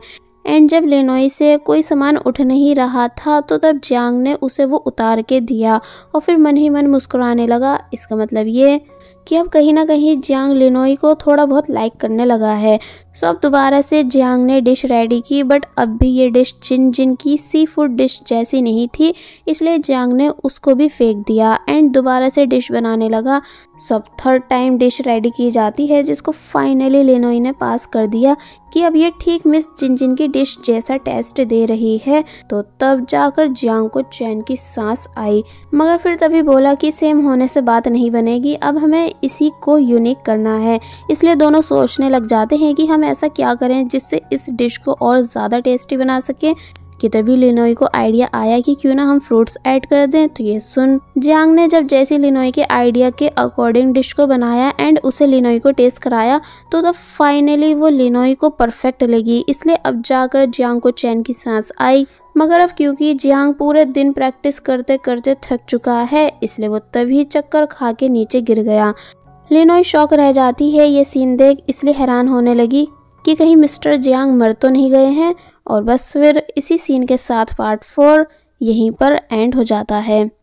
सो अभी तक हमने देखा कि जियांग थक हाकर बेहोश हो गया था, जिसे लिनोई चेक करने लगी कि कहीं मिस्टर जियांग की सांस से बंद तो नहीं हो गई है, बट वो ज़िंदा था, इसलिए तब जाकर लिनोई को सांस आई और वहीं दूसरी तरफ़ लिनोई के फादर परेशान होने लग जाते हैं कि लिनोई अभी तक घर क्यों नहीं आई है? तो तब कैन कहता है कि एक्चुअली आज वो अपनी फ्रेंड के घर रुकने वाली है तो ये सुन वो चुप हो गए, मगर फिर बाद में फ्रूट्स के ऊपर कैन से लड़ने लग जाते हैं।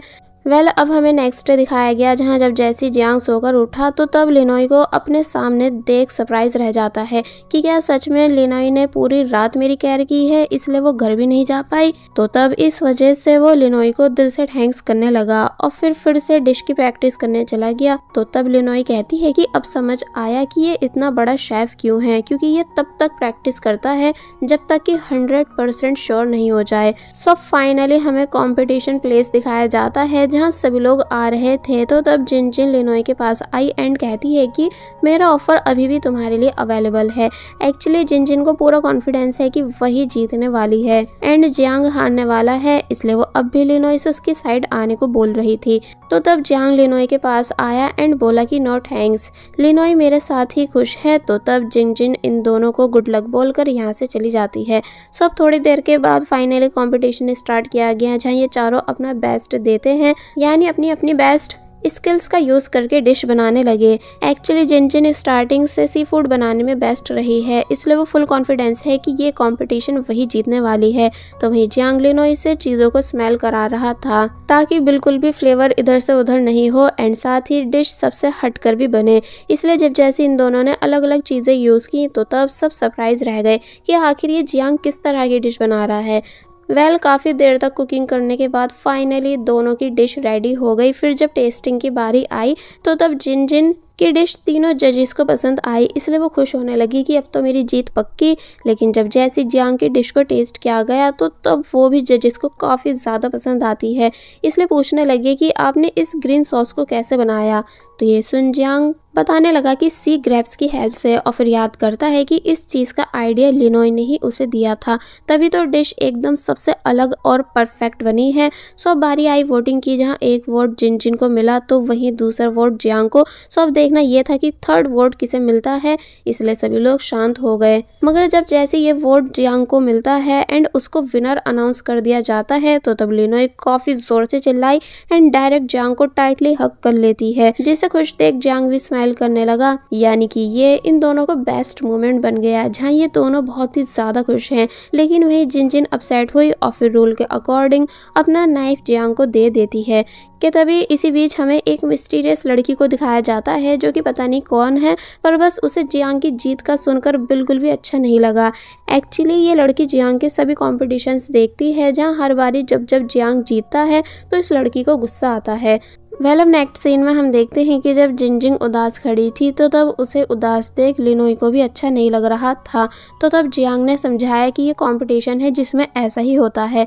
जहाँ कुछ लोगों को तो हम खुद से चैलेंज कर देते हैं, वरना हमें वो करना होता है जैसा नेशनल कंपनी हमसे कहती है।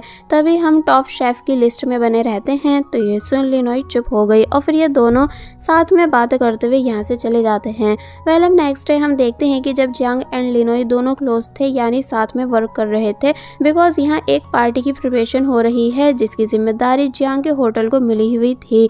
तो तब सॉन्ग इन दोनों को देख फैंग से डिस्कस करता है कि क्या इन दोनों के बीच कुछ चल रहा है। तो तब फैंग कहता है कि हाँ शायद मुझे भी कुछ ऐसी लग रहा है तो ये सुन सॉन्ग को बिल्कुल अच्छा नहीं लगा। कि तभी पार्टी के मेन गेस्ट यहाँ आए जो कि जियांग की ग्रैंड हैं तो तब उन्हें देख जियांग खुश नहीं हुआ, इसलिए जाने लगा, जिससे लिनोई पूछती है कि क्या हुआ? यानी क्या आपको स्पीच नहीं सुननी? तो तब वो कहता है कि नहीं एंड तुम भी इनकी बकवास नहीं सुनोगी। और फिर तभी लिनोई को ज़बरदस्ती अपने साथ यहाँ से ले गया। वेल ग्रैंड इस स्पीच के दौरान पहले एक फ़ेमस शेफ़ को सभी से इंट्रोड्यूस कराते हैं और फिर बताने लगे कि मैं अपने होटल का हेड शेफ़ अपनी ग्रैंड डॉटर सूजी को बना रहा हूँ, जो कि आज ही अब्रॉड से वापस आई है। तो ये सुन सभी लोग क्लैपिंग करने लग जाते हैं और फिर अब हमें सूजी दिखाई गई। जो कि वही मिस्टीरियस लड़की है, जो कि जियांग के कंपटीशन को ऑनलाइन देखती है। दूसरी तरफ़ जियांग जो कि जा रहा था तो तब उसका बड़ा भाई जो कि जियांग का कज़न है, जिसका नाम है यांग, वो जियांग को रोक पूछने लगा कि कहाँ जा रहे हो? और फिर जब जैसे बताता है कि सूजी एब्रॉड से वापस आ चुकी है तो ये सुन जियांग के होश उड़ गए। इसलिए वो जब जैसे टर्न हुआ तो तब सूजी उसे ही देख रही थी एंड हाई करती है। लिनोय को कुछ समझ नहीं आया कि आखिर ये लड़की है कौन, कि तभी उसे एक कॉल आई, जिसे अटेंड कर उसे पता चला कि उसके फादर मिसिंग हैं। तो ये सुन वो बहुत ही ज़्यादा परेशान हो जाती है, इसलिए जियांग से छुट्टी लेकर तुरंत यहाँ से चली गई। जियांग भी लिनोय के पीछे जाने लगता है बट यांग उसे रोक पूछने लगा कि क्या तुमको सूजी से नहीं मिलना? एटलीस्ट उसे कॉन्ग्रेट्स तो करो क्योंकि अब वो हेड शेफ है बट जियांग रुकता नहीं, बल्कि लिनोई के पीछे पीछे चला गया। तो तब सूजी काफ़ी ज़्यादा उदास हुई। पहले नेक्स्ट सीन में हम देखते हैं कि लिनोई जब सब जगह अपने फादर को ढूंढ रही होती है, पर उसे कहीं भी अपने फादर नहीं दिखते, इसलिए वो और ज़्यादा परेशान हो जाती है कि तभी जियांग ने लिनोई को आवाज़ दी एंड अपनी कार में बैठने के लिए बोला। लिनोई बैठ गई, फिर ये दोनों साथ में उस जगह जाने लगे जहाँ लिनोई पहले रहा करती थी, लेकिन अब भी उसे समझ नहीं आ रहा था कि उस जगह पर वो अपने फादर को कहाँ ढूंढे। तो तब लिनोई की ऐसी हालत देख जियांग कार रोकता है एंड देन खाने का कुछ सामान ला कर लिनोई को अपने हाथों से खिलाने लगा। ये बोलते हुए कि, पहले तुम थोड़ा रिलैक्स सो जाओ और फिर तब सोचकर बताओ कि तुम्हारे फादर कहाँ जा सकते हैं। लिनोई सोचना शुरू करती है और फिर बोलती है कि आज फ्राइडे है तो फिर ज़रूर father child health care centre गए होंगे। इसलिए नेक्स्ट सीन में ये दोनों तुरंत वहाँ आ गए। एंड सिक्योरिटी गार्ड से लिनोई ने अपने फादर के बारे में पूछा। तो तब वो बोलते हैं कि हाँ ये आदमी सुबह यहाँ आया था जिसने एंट्री भी कराई थी। यानी कि ये यहीं पर है। तो तब जाकर लिनोई को थोड़ी सांस आई और फिर ये दोनों भी रजिस्ट्रेशन करने के बाद अंदर चले गए और अलग अलग होकर फादर को सब जगह ढूँढने लग जाते हैं। फाइनली लिनोई अपने फादर को ढूंढ लेती है, लेकिन वो ट्री पर चढ़े हुए थे बैलून पकड़ने के लिए एंड बिल्कुल भी नीचे नहीं उतर रहे थे। तो तब जियांग भी यहाँ आ गया, जो कि लिनोई से कहता है कि तुम फ़िक्र मत करो, मैं अभी उन्हें नीचे लाता हूँ। और फिर तभी खुद भी ट्री पर चढ़ गया एंड फादर से अपना हाथ पकड़ने के लिए बोलने लगा, लेकिन वो उसकी सुनते नहीं। और फिर जब जैसे गिरने ही वाले थे तो तब जियांग उन्हें पकड़ लेता है, जिस वजह से उन्हें तो कोई चोट नहीं आई, बल्कि जियांग के शोल्डर पर काफ़ी ज़ोर से चोट लग गई। लिनोई अपने फादर से पूछती है कि क्या आप ठीक हो, लेकिन वो लिनोई को पहचान ही नहीं रहे थे, क्योंकि उन्हें सब भूल जाने की बीमारी है और फिर बताते हैं कि ये बैलून मैंने अपनी बेटी के लिए लिया है, जो कि बहुत छोटी है। और फिर जब जैसी जाने लगे तो तब लिनोई उनको पकड़ लेती है। एंड काफ़ी बुरी तरह रोने लगी ये बोलते हुए कि, डैड, मैं ही आपकी बेटी लिनोई हूँ। तो वहीं जियांग खुश होता है फाइनली लिनोई के फादर को ढूंढकर एंड इन दोनों को साथ में खुश देखकर, जिसके बाद अब घर का सीन दिखाया जाता है, जहाँ कैन भी अंकल की कंडीशन सुन हैरान हुआ और फिर पूछता है कि, वैसे क्या सच में मिस्टर जियांग ने तुम्हारी हेल्प कराई, जबकि तुम तो बता रही थी कि वो बहुत ही ज़्यादा रूड हैं? तो तब लिनोई बोलती है कि हाँ वो रूड तो हैं, पर अब शायद थोड़े चेंज हो रहे हैं। तो ये सुन कैन ने लिनोई को तीन टिकट्स जू की दी। ये बताकर कि अब मैं जू में काम कर रहा हूँ।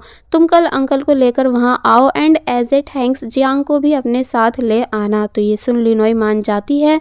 एंड डायरेक्ट जियांग के डोर पर आ गई, जहाँ जियांग जस्ट अभी बात लेकर आया था। इसलिए लिनोई पहले जियांग को थैंक्स करती है आज के लिए और फिर कहने लगी कि क्या मैं तुम्हारे हेयर ड्राई करा दूँ? और फिर तभी खुद से अंदर आकर जियांग के हेयर ड्राई करने लगी। ये बोलकर कि, अरे वाह, तुम्हारे हेयर तो बहुत ही ज़्यादा सॉफ्ट हैं। मैंने सुना है कि जिनके हेयर सॉफ्ट होते हैं, उनका दिल भी सॉफ्ट होता है। तो ये सुन जियांग कहने लगा कि मैंने कभी ऐसी बकवास नहीं सुनी। तो तब लिनोई बातों को काफ़ी घुमाने के बाद फाइनली बता देती है कि वो जियांग को एज ए थैंक्स अपने साथ जू लेकर जाना चाहती है। इसलिए कल के लिए उसे ऑफ़ भी चाहिए। तो तब जियांग कहता है कि ओ अच्छा तो इसलिए तुम मेरे साथ इतने अच्छे से बिहेव कर रही थी? और फिर तभी जाने से मना कर देता है।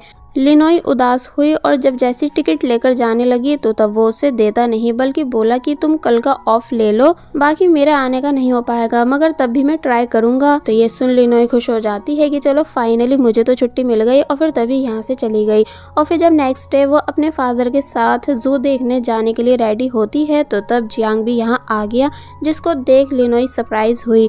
लिनोई के फादर बोलते हैं कि, अरे चियांग बेटा तुम तो ये सुन जियांग सरप्राइज़ रह गया कि क्या अंकल कल मैं आपको याद हूँ तो तब वो कहते हैं कि हाँ तुम कितने बड़े हो चुके हो तो ये सुन जियांग खुश हुआ। मगर लिनोई अपने फादर को चुप कराती है, ये बताकर कि, डैड, ये मेरे बॉस हैं, मेरे बचपन का दोस्त जियांग नहीं। और फिर जियांग से सॉरी करने लगी। ये बताकर कि, मेरे डैड तुम है, मेरे बचपन का दोस्त समझ रहे हैं। और वही दूसरी तरफ़ होटल में जब जैसी अनाउंस हुआ कि, मिस्टर जियांग एंड लिनोई दोनों ही आज छुट्टी पर हैं तो ये सुन सॉन्ग को अच्छा फील नहीं होता।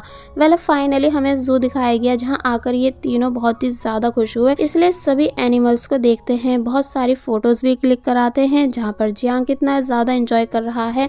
ये तो हम सभी देख ही पा रहे हैं। जिराफ को खाना खिलाते टाइम जब लिनोई डरने लगी तो तब जियांग ने उसे आगे किया और फिर बाद में ज़ोर ज़ोर से लिनोई पर हंसने लगा। एंड देन लिनोई से अपनी कुछ फ़ोटोज़ भी क्लिक कराता है। बबल्स को देख लिनोई झूमने लग जाती है तो तब जियांग ने लिनोई को काफ़ी सारे बैलून्स भी ला कर दिए। और बस फिर ऐसे ही ये तीनों बहुत ही ज़्यादा इंजॉय करते जाते हैं। जिसके बाद अब दिखाया जाता है कि फादर स्वयं को देख जिद करने लगे कि मुझे इसे ब्रेड खिलानी है। तो तब लिनोई जल्दी से अपने बैग से फ़ूड निकालने लगी, पर अब क्योंकि वो जियांग के काफ़ी ज़्यादा क्लोज हो चुकी थी, इसलिए जियांग शाय फील करने लगा, यानी उसकी हार्ट बीट्स फास्ट हो जाती हैं। जियांग देखता है कि लिनोई कितनी ज़्यादा क्यूट है, इसलिए उसने छुपके से लिनोई की फ़ोटो क्लिक कर ली और जब खुश होकर उस फ़ोटो को देख ही रहा था कि तभी फादर आए और बोले कि तुमने फ़ोटो क्यों ली है? इसलिए गुस्सा करने लगे कि तुम हो कौन जिसने मेरी बेटी की फ़ोटो क्लिक की है? जियांग डर जाता है कि तभी लिनोई भी यहाँ आ गई और अब इससे पहले कि फादर लिनोई को कुछ बता पाते कि तभी उनके माइंड से बात निकल गई। सो फाइनली कैन भी यहाँ आ गया, जिसने जब जैसे लिनोई को आवाज़ दी तो तब लिनोई काफ़ी ज़्यादा खुश होने लगी। लगी लेकिन जियांग नहीं बल्कि वो मुँह बनाता है। क्योंकि वो लिनोई को कैन के साथ देखकर हमेशा जेलस होता है। और फिर ऐसा हुआ भी, यानी कि जब लिनोई कैन से बातें कर रही थी तो तब जियांग का ध्यान सिर्फ़ इन दोनों पर ही था। यानी वो बस बार बार इन दोनों को ही देख रहा था। फादर बताते हैं कि मुझे वॉशरूम जाना है तो ये सुन जियांग जब जैसे फादर को वॉशरूम ले जाने के लिए उठा, कि तभी फादर ने यहीं पर अपना कंट्रोल खो दिया, जो देख सब शौक रह गए। बच्चे शोर करने लगे कि देखो, वो अंकल इतने बड़े हैं, फिर भी उन्होंने क्या कर दिया है? तो तब लिनोई भी यहाँ आ गई। एंड जियांग जल्दी से अपनी जैकेट से फादर को कवर करने लगा। सब लोग इस मोमेंट के फ़ोटो क्लिक कर रहे थे तो तब जियांग चिल्लाकर उन सभी को यहाँ से भगाता है। एंड देन कैन से बोला कि, तुम अंकल को वॉशरूम लेकर जाओ। तो तब कैन उन्हें अपने साथ लेकर जाने लगा, जहाँ साथ में लिनोई भी गई। जियांग जल्दी से बेंच पर पानी डालता है एंड उसे क्लीन करता है तो तब लिनोई जियांग को ऐसा करते हुए देखती ही रह जाती है। मन में ये सोचते हुए कि जियांग कैसे उसके फादर के लिए इतना सब कर रहा है, जबकि स्टार्टिंग से लिनोई ने जियांग को सिर्फ़ एक विलन ही समझा है, और बस फिर इसी सीन के साथ पार्ट फाइव यहीं पर एंड हो जाता है। सो पार्ट सिक्स की स्टार्टिंग में हम देखते हैं कि जियांग को काफ़ी तेज़ फीवर हो चुका है, एंड वो अपने दोस्त फैंग को अपने आज के दिन के बारे में बता रहा था कि कैसे कैसे उसने लिनोई एंड उसके फादर के साथ इंजॉय किया। पर उसे ये बात समझ नहीं आ रही थी कि जब लिनोई के फादर ने मुझे पहचान लिया है तो फिर लिनोई मुझे पहचान क्यों नहीं पा रही है? तो तब ये सब सुनने के बाद फैंक कहने लगा कि मैं जब से आया हूँ, तुम लिनोई के ही बारे में बातें कर रहे हो, कहीं ऐसा तो नहीं कि तुम उसे पसंद करने लगे हो? तो ये सुन जियांग साफ़ मना कर देता है कि नहीं, ऐसा नहीं है। और फिर जब फैंग चला गया तो इस बारे में सोचने लगा। वेल, अब नेक्स्ट सीन में हम देखते हैं कि यांग के फादर अब्रॉड से आ चुके हैं। एंड सूजी का सुनकर गुस्सा थे कि तुम्हारे ग्रैंडपा ने सूजी को क्यों अपने होटल का हेड शेफ बना दिया है? जबकि तुम इस घर के बेटे हो, इसलिए तुम्हें हेड शेफ बनना चाहिए था। कि तभी सूजी जो कि ये सब बातें सुन चुकी थी, वो यांग के फादर को टीस करने लग जाती है। देखने में ऐसा लग रहा था कि जैसे इनके बीच रिलेशन बिल्कुल भी ठीक नहीं, क्योंकि ये यांग के फादर की बायोलॉजिकल बेटी नहीं है, बल्कि सिर्फ़ यांग अपने फादर का सगा बेटा है। और वहीं हम देखते हैं कि जियांग जो कि बार बार लिनोई के बारे में सोच सोच कर परेशान हो रहा था, यानी कि अब वो लिनोई को पसंद करने लगा है, इसलिए बार बार उसे लिनोई की ही बातें याद आ रही थी। ऊपर से जियांग को फीवर भी था, इसलिए वो हॉस्पिटल जाने लगा बट जब उसे लिनोई मिली तो तब तो वो लिनोई को अपने साथ हॉस्पिटल ले आया हेल्प के लिए। और फिर बार बार लिनोई को परेशान करता है, उससे कभी कुछ मंगवा कर तो कभी कुछ मंगवा कर क्योंकि जांग को मज़ा आ रहा था लिनोई को टीस करके। कि तभी अचानक लिनोई एक एग लाई एंड उसे जियांग के हेड पर मार देती है। जियांग गुस्सा हुआ, ये पूछते हुए कि तुम ये क्या कर रही हो? तो तब उसने बताया कि एक्चुअली मेरे फादर कहते हैं कि ऐसा करने से फीवर कम हो जाता है।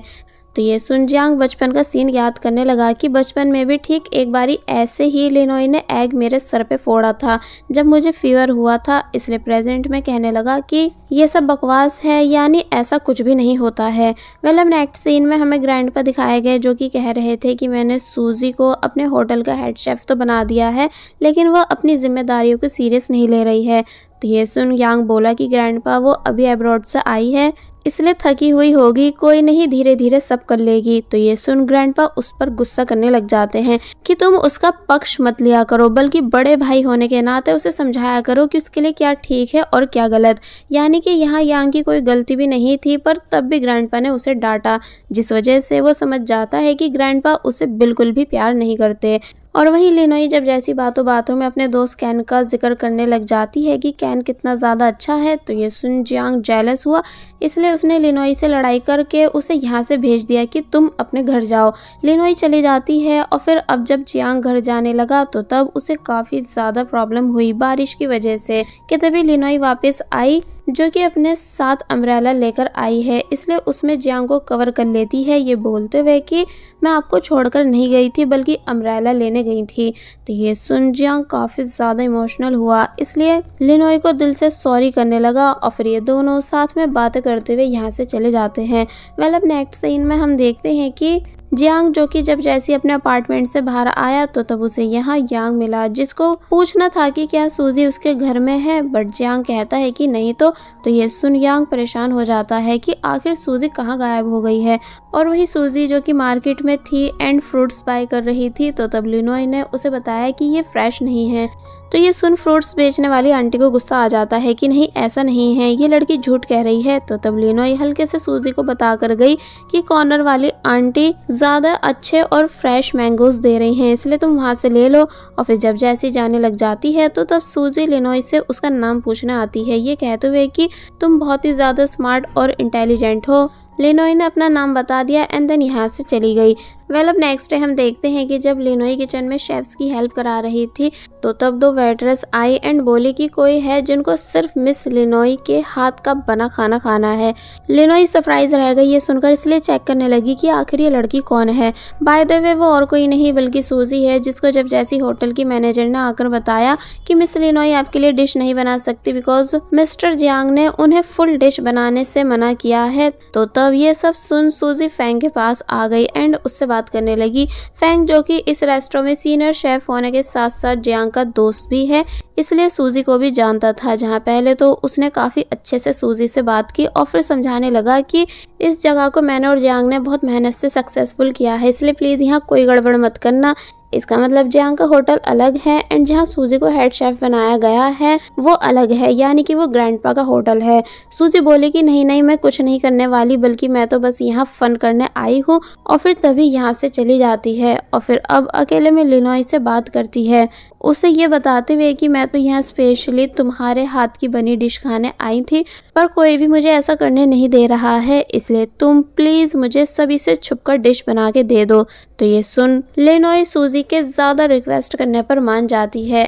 एंड देन उसने काफ़ी सारी चीज़ें बनाकर सूजी को दी, जो कि दिखने में काफ़ी ज़्यादा डिलीशियस थी। सूजी उनको खाने लग जाती है स्पेशली चॉकलेट केक और फिर जब जैसे लिनोई ने पूछा कि आपको टेस्ट कैसा लगा? अगर अच्छा लगा है तो प्लीज़ हमारे होटल को अच्छा रिव्यू देना। तो ये सुन वो कहती है कि बिल्कुल, और फिर तभी बेहोश हो गई। लिनोई डर जाती है कि आखिर इन्हें क्या हुआ कि तभी जियांग भी यहाँ आ गया जिसके होश उड़ गए। सूजी को बेहोश देखकर, क्योंकि वो समझ चुका है कि सूजी ने नट्स केक खाया है, इसलिए पहले उसने लिनोई को साइड किया एंड तुरंत सूजी को उठाकर अपने साथ ले गया, जिसे लिनोई बस देखती ही रह जाती है। वेल अब हम हॉस्पिटल सीन देखते हैं जहाँ जियांग सूजी की केयर कर रहा है, और फिर जब जैसी जाने लगा तो तब सूजी उसे जाने नहीं देती। जांग पूछता है कि जब तुम्हें नट्स से एलर्जी है तो तुमने नट्स केक क्यों खाया? यानी तुमने ये सब जानबूझ के किया है है ना? तो तब सूजी कहती है कि हाँ क्योंकि अब सिर्फ़ यही एक रास्ता बचा था तुम्हारी अटेंशन पाने का। बिकॉज़ जब से मैं अब्रॉड से आई हूँ, तुम मुझे टाइम नहीं दे रहे हो। तो ये सुन जियांग सूजी से थोड़ी बहुत बातें करने लग जाता है। एंड यहाँ इनकी बातों से हमें पता चलता है कि सूजी वही लड़की है जिसको जियांग बचपन में लिनोई के मास्टर यानी मास्टर कॉन्ग के पास लेकर गया था, जो कि अब अपने ग्रैंडपा के रेस्टो में नहीं, बल्कि जियांग के रेस्टो में काम करना चाहती है। बट इस बात पर जियांग कुछ नहीं बोला, बल्कि चुपचाप यहाँ से चला गया। वेल अब नेक्स्ट सीन में हमें लिनोई दिखाई गई, जिससे जियांग बहुत ही ज़्यादा डांटता है कि तुम्हें क्या ज़रूरत थी सूजी के लिए छुप कर कुकिंग करने की, मगर फिर बाद में वो प्यार से भी लिनोई को समझाता है। एंड जब जैसे लिनोई को पता चला कि सूजी ने जानबूझकर नट्स केक ऑर्डर किया था एलर्जी होने के बावजूद भी तो ये सुन वो हैरान रह गई। जिसके बाद अब दिखाया जाता है कि जब लिनोई वापस घर जा रही थी सूजी के ही बारे में सोचते हुए कि वो आखिर मेरे साथ ऐसा क्यों कर रही है? और फिर जब जैसी नीचे झुकी एक बोतल को उठाने के लिए तो तब सूजी यहाँ आ जाती है, जिसने लिनोई को हलो किया। लिनोई ने डायरेक्ट पूछा कि, तुम आखिर क्यों मुझे टारगेट कर रही हो? तो तब वो बताती है, इसलिए क्योंकि तुम्हारी वजह से उस दिन मुझे मेरे भाई ने इग्नोर किया था, जब वो तुम्हारे पीछे पीछे कहीं चला गया था। पता भी है उस दिन मैं कितना ज़्यादा हर्ट हुई थी, क्योंकि मैं बिल्कुल भी अपने भाई को किसी और दूसरी लड़की के साथ शेयर नहीं कर सकती। इसलिए तुम दूर रहो मेरे भाई जियांग से। और फिर तभी कहती है कि वैसे मैंने सुना है कि तुम्हारी स्मेल पावर काफ़ी अच्छी है, इसलिए क्यों ना एक कंपटीशन हो जाए? तो ये सुन लिनोई मान गई बिकॉज़ उसे अपनी स्मेल पावर पर पूरा बिलीव है। सॉन्ग एंड फेंग ये दोनों भी यहाँ आ चुके थे, इसलिए इन दोनों को जजेस बनाकर सूजी और लिनोई ने अपना कंपटीशन स्टार्ट कर दिया। जहाँ ये दोनों आँखों पर पट्टी बांधती हैं और फिर बिना देखे उन सभी चीज़ों को ऑर्डर करने लग जाती हैं, जिनमें से एग की स्मेल आ रही हो। फिर जब रिज़ल्ट की बारी आई तो पता चला कि लिनोई हार चुकी है, जिस चीज़ का उसे बहुत ही बड़ा झटका लगा। बिकॉज़ आज तक लिनोई को स्मेल पावर में किसी ने भी नहीं हराया था। इसलिए जब सूजी लिनोई का मज़ाक बनाते हुए यहाँ से चली गई तो तब फैंग बताता है कि सूजी को बचपन से ही बहुत टफ ट्रेनिंग मिली है। इसलिए कुकिंग से रिलेटेड किसी भी चीज़ में सूजी को कोई भी नहीं हरा सकता। और वहीं जियांग को भी फैंग के बताने पर इन दोनों के कॉम्पिटिशन के बारे में पता चल जाता है। वेल अब हम देखते हैं कि लिनोई घर आने के बाद भी सदमे में थी कि मैं हार कैसे गई तो तब कैन कहता है कि तुम्हें कॉम्पिटिशन करने से पहले सूजी के बारे में एंड उसकी फैमिली के बारे में अच्छे से जान लेना चाहिए था। और फिर अब वो हमें जियांग की फैमिली की पूरी हिस्ट्री बताता है कि जियांग के ग्रैंडपा के दो बेटे थे, जिसमें से एक के दो बच्चे थे, जियांग एंड सूजी। तो वही दूसरे बेटे का सिर्फ़ एक बेटा था, जो कि है यांग। लेकिन जब जियांग के फादर नाइफ कंपटीशन में किसी से हार गए तो तब ग्रैंडपा ने उनको, उनकी फैमिली के साथ घर से बाहर कर दिया था। लिनोई हैरान हुई कि क्या सिर्फ़ कंपटीशन हारने की वजह से? तो तब कैन बताता है कि हाँ क्योंकि जियांग के ग्रैंडपा के लिए उनकी रेपुटेशन सबसे ज़्यादा इम्पोर्टेंट है। मगर कुछ साल बाद एक हादसा हुआ जिसमें जियांग के पेरेंट्स की डेथ हो गई एंड जियांग और सूजी दुनिया में अकेले रह गए, जिस वजह से उनको चाइल्ड केयर सेंटर में भी रहना पड़ा था। ग्रैंडपा को जब इस बारे में पता चला तो उन्होंने सिर्फ़ सूजी को अपने पास बुला लिया। बिकॉज़ यांग उस टाइम कुकिंग में अच्छा नहीं था, यानी कि उसमें कुकिंग का टैलेंट था ही नहीं, सिर्फ़ सूजी में था और बस तभी से सूजी यांग की सिस्टर बन गई थी। एंड जियांग बेचारा चाइल्ड केयर सेंटर में रह गया था। ये सब सुनने के बाद लिनोई बोली कि, ओ अच्छा तो ये वजह है कि जियांग नाइफ कंपटीशन को इतनी अहमियत देता है क्योंकि वो साबित करना चाहता है कि वो भी काबिल है। कैन कहता है कि हाँ यही बात है कि तभी उसे लिनोई के फादर के सामान में से एक बहुत ही पुरानी नाइफ मिलती है, जिसे वो काफ़ी ध्यान से देखने लगा और फिर तभी उस नाइफ को लेकर यहाँ से चला गया। तो वहीं लिनोई जियांग के लिए सॉरी फील करने लग जाती है कि उसके साथ कितना सब हो चुका है और बस फिर इसी सीन के साथ पार्ट सिक्स यहीं पर एंड हो जाता है। सो so, इस पार्ट की स्टार्टिंग में हम देखते हैं कि लिनोई सुबह जल्दी रेस्ट हो आई एंड अपनी स्मेल पावर को इम्प्रूव करने की कोशिश करने लगी। तो तब जियांग भी यहाँ आ गया एंड देन लिनोई की हेल्प कराने लगा। उसको कुछ टिप्स बताकर और फिर बाद में कहता है कि तुम्हें सूजी के साथ कंपटीशन नहीं करना चाहिए था, क्योंकि उसकी ट्रेनिंग बहुत ही ज़्यादा टफ हुई है, जिसका सामना तुम कभी नहीं कर पाओगी। तो ये सुन लेनोई उदास हो जाती है तो तब जियांग ने उसे मोटिवेट किया। ये बोलकर कि अगर तुम सीरियस हो जाओ कुकिंग को लेकर एंड पूरा फोकस देने लगो तो तब तुम भी एक अच्छी शेफ बन सकती हो। तो ये सुन लेनोई नेक्स्ट डे से ही अपना पूरा फोकस कुकिंग पर देने लगी। वेल अब दिखाया जाता है कि सूजी रेस्टों में बैठकर जियांग के रेस्टों को बहुत ही ज़्यादा बुरे रिव्यूज़ दे रही होती है उनमें लिनोई का नाम लिखकर ताकि लिनोई को रेस्टोरेंट से बाहर कर दिया जाए। तो तब यांग यहाँ आया एंड सूजी से ऐसा करने से मना करने लगा। मगर वो मानती नहीं। वेल, अब हम देखते हैं कि जब जियांग सभी के साथ था कि तभी कुछ अजीब हुआ। यानी जो मीट वाला काफ़ी टाइम से जियांग के साथ वर्क कर रहा था वो मैसेज कर बताता है कि अब उसे जियांग के साथ काम नहीं करना है। तो ये सुन बाकी सब हैरान रह गए। जियांग ने लिनोई को एक लोकेशन सेंड की ताकि लिनोई वहाँ जाकर मीट बाय करके ले आए, जिस शॉप का नाम है टाओ। लिनोई उस शॉप पर आ जाती है और जब सब खरीदने के बाद बताती है कि मैं मिस्टर जियांग के रेस्टोरेंट से आई हूँ तो ये सुन उस लेडी ने तुरंत लिनोई को अपनी शॉप से भगा दिया। लिनोई को खुद समझ नहीं आया और फिर जब जैसी वो मार्केट में मीट लेने आई तो तब वहाँ भी उसको कोई भी मीट नहीं दे रहा था। इसलिए लिनोई परेशान हो जाती है कि आखिर सभी लोग ऐसा क्यों कर रहे हैं? कि तभी उसे एक आइडिया आया एंड ये सीन यहीं पर कट हो गया। वेल, अब हम देखते हैं कि लिनोई फाइनली मीट ले आई है, जिसको जब जैसी जियांग ने चेक किया तो तब वो उसे एकदम परफेक्ट क्वालिटी का लगा। इसलिए वो अनाउंस कर देता है कि इसका यूज़ करके बच्चों के लिए खाना बनाया जाए। एक्चुअली आज जियांग खाना लेकर चाइल्ड केयर सेंटर जाने वाला है बच्चों से मिलने के लिए। और फिर अब हम देखते हैं कि लिनोई जब जैसी बाहर आई तो तब उसे सॉन्ग ने रोका एंड पूछने लगा कि, सच सच बताओ कि तुम ये मीट कहाँ से लाई हो? लिनोई झूठ कहती है कि, टाओ की शॉप से ही तो तो तब सॉन्ग बताता है कि टाओ शॉप के मीट पर हर बारी एक कोड होता है, जो कि इस बारी नहीं था, इसलिए मैं श्योर हूँ कि ये मीट वहाँ का नहीं है। तो तब लिनोई एक्सेप्ट कर लेती है कि हाँ ये मैंने कहीं और से बाई किया किया है, क्योंकि मेरे पास और कोई ऑप्शन नहीं बचा था कि तभी स्टोरी पास्ट में आई, जहाँ हम देखते हैं कि ये मीट लिनोई ने अपनी जान पहचान वाले किसी और आदमी से खरीदा है। बट जब प्रेजेंट में लिनोई ये सभी बातें सॉन्ग को बता रही थी तो तब हमें दिखाया गया कि जैसे कि कोई इन दोनों को मोबाइल में रिकॉर्ड कर रहा हो। वेल अब हमें नेक्स्ट सीन दिखाया जाता है जहाँ जियांग बहुत ही ज़्यादा खुश हुआ। चाइल्ड केयर के सेंटर आकर तो तब लिनोई भी खुश हुई, क्योंकि यहाँ इन दोनों की बचपन की बहुत सारी यादें जो हैं, फिर जब लिनोई बाहर आई तो तब वो अपनी फ़ोटो पहचान जाती है कि, अरे, ये तो मैं हूँ, पर ये मेरे साथ लड़का कौन है? क्या ये वही मेरा बेस्ट फ्रेंड है जिसके साथ मैं रहती थी? लेकिन ये दिखने में ऐसा क्यों लग रहा है? जैसे कि मैंने इसे पहले भी कहीं देखा हो, यानी जाना पहचाना सा, और वहीं जियांग जो कि बाहर था। वो याद करने लगा कि जब एक बारी पूरी क्लास मेरे ऊपर चोरी का इल्ज़ाम लगा रही थी, जो कि मैंने की भी नहीं थी तो तब सिर्फ़ लिनोई ने ही मेरा स्टैंड लिया था। ये प्रूफ करके कि मैं इनोसेंट हूँ और बस तभी से हम दोनों बेस्ट फ्रेंड बन गए थे एंड पूरा पूरा दिन साथ में खेलते थे। बाय द वे, लिनोई बचपन में इस प्लेस पर जियांग की तरह रहती नहीं थी, बल्कि जब जब लिनोई के फादर जॉब पर जाते थे तो तब तब वो यहाँ सुबह से शाम के लिए आती थी। वेल, जियांग प्रेजेंट में काफ़ी ज़्यादा रोया ये सब याद करके। इसलिए कहने लगा कि, लिनोई, तुम आखिर क्यों मुझे पहचान नहीं पा रही हो? जबकि बचपन में तो हम दोनों साथ में कितना ज़्यादा खेलते थे। वेल, अब हम देखते हैं कि सभी वापस जा रहे हैं। तो तब जियांग को कार के पास देख लिनोई को ऐसा लगने लगा कि जैसे जियांग ही उसके बचपन का दोस्त हो, मगर फिर बोले कि नहीं नहीं, ऐसा नहीं हो सकता। और वही वैन जो कि फुल हो चुकी थी, इसलिए फैंग ने लिनोई से जियांग के साथ बैठने के लिए बोला। तो तब लिनोई जियांग की कार में बैठ जाती है। जहाँ वो बार बार सोच रही थी कि मैं मिस्टर जियांग से पूछूँ कि नहीं, और फिर फाइनली लिनोई ने पूछा कि आप इस ऑर्फनेज से इतने अटैच क्यों हो?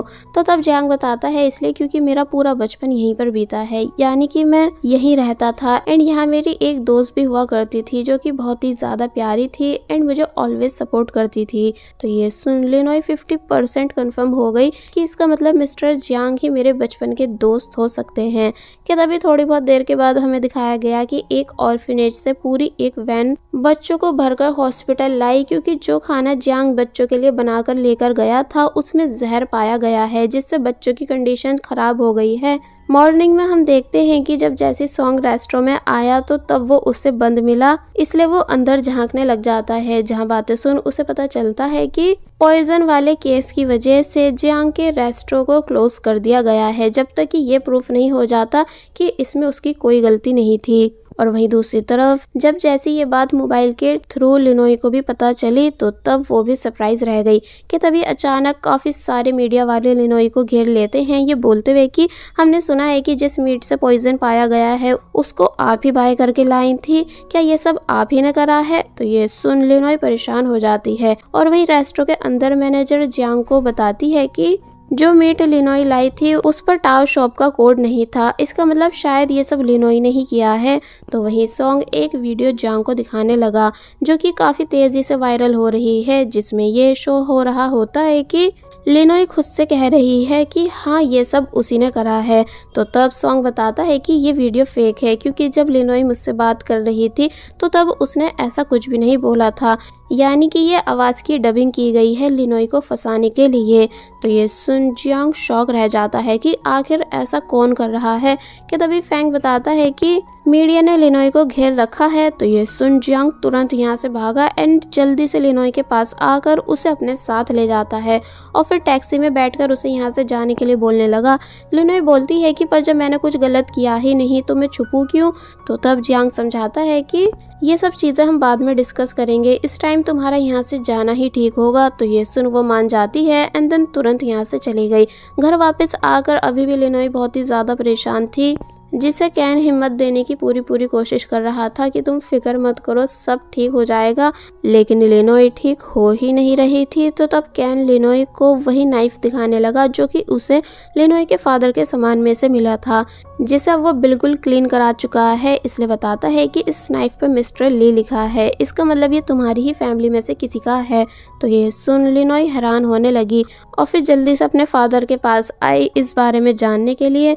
मगर अब क्योंकि जैसा हमें पता है कि लिनोई के फादर की कंडीशन बिल्कुल भी ठीक नहीं है, यानी उन्हें तो कुछ याद रहता ही नहीं, इसलिए वो इन दोनों को कुछ भी नहीं बता पाए। वेल अब नेक्स्ट डे इंस्पेक्टर वाले फिर से जियांग के पास पूछताछ के लिए आते हैं। एंड जब चले गए तो तब यहाँ सूजी आई, जो कि बोलने लगी कि, देखा भाई, मैंने पहले कहा था कि ये लिनोई ठीक लड़की नहीं है, पर आपने मेरी बात को नहीं माना था। तो तब जियांग बोलता है कि, मैंने भी तो तुमसे ग्रैंडपा के होटल की हेड शेफ बनने से मना किया था, पर क्या तुमने मेरी बात मानी थी?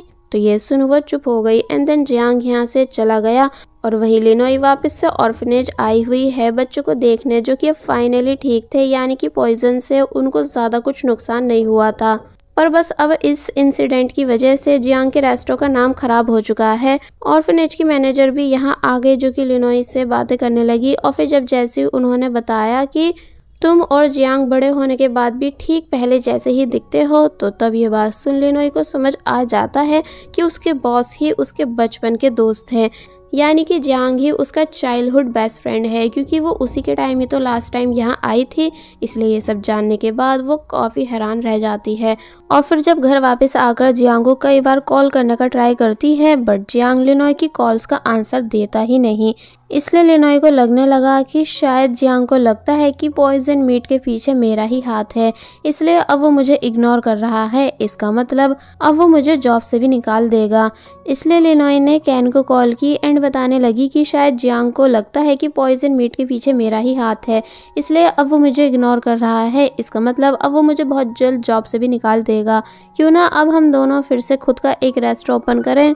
तो ये सुन कैन माना नहीं कि नहीं, पहले भी हमने साथ में रेस्टोरेंट खोला था, लेकिन वो चला नहीं था। बट लेनोई उसकी एक नहीं सुनती एंड बोली कि वो रेस्टोरेंट ओपन करके ही रहेगी। इसलिए नेक्स्ट सीन में कैन के साथ जगह देखने आ जाती है, मगर रेंट ज़्यादा होने की वजह से ये दोनों कुछ भी फाइनल नहीं कर पा रहे थे। और फिर अब जब लिनोई उदास खड़ी हुई थी तो तब कैन लिनोई के लिए पानी लेने चला गया, जिसके जाते ही लिनोई को फैंग दिखा, जो कि और किसी के नहीं, बल्कि उसी शेफ के साथ है, जिसको एपिसोड वन में जियांग ने नाइफ कंपटीशन में हराया था।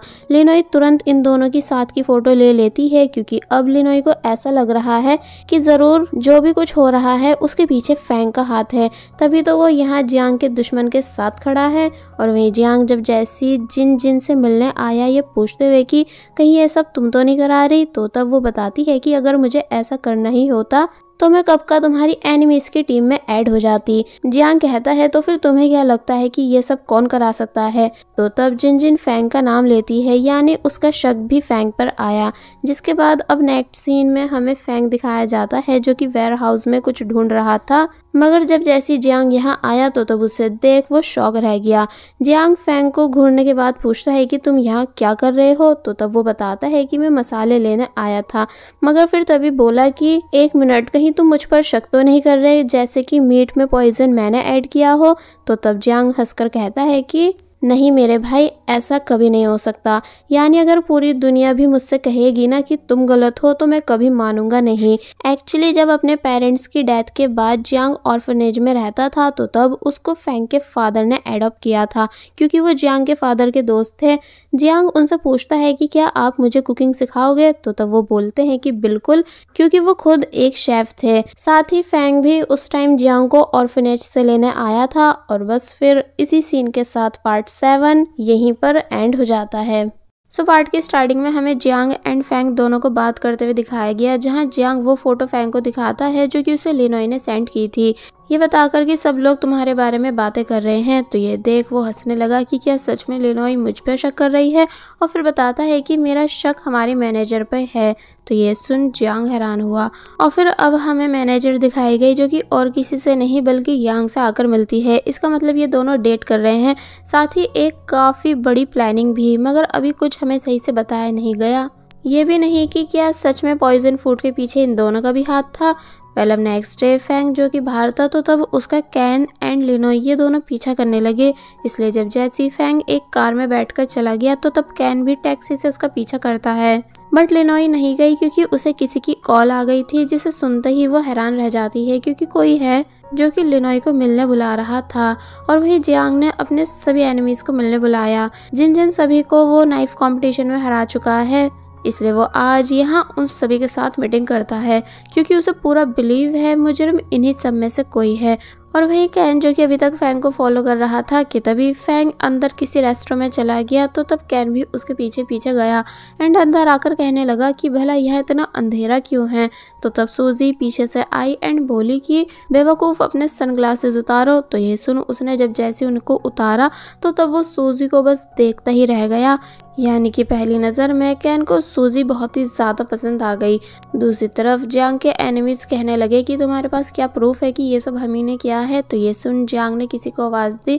जिनको आता देख वहाँ बैठे लोग सभी हैरान हो गए।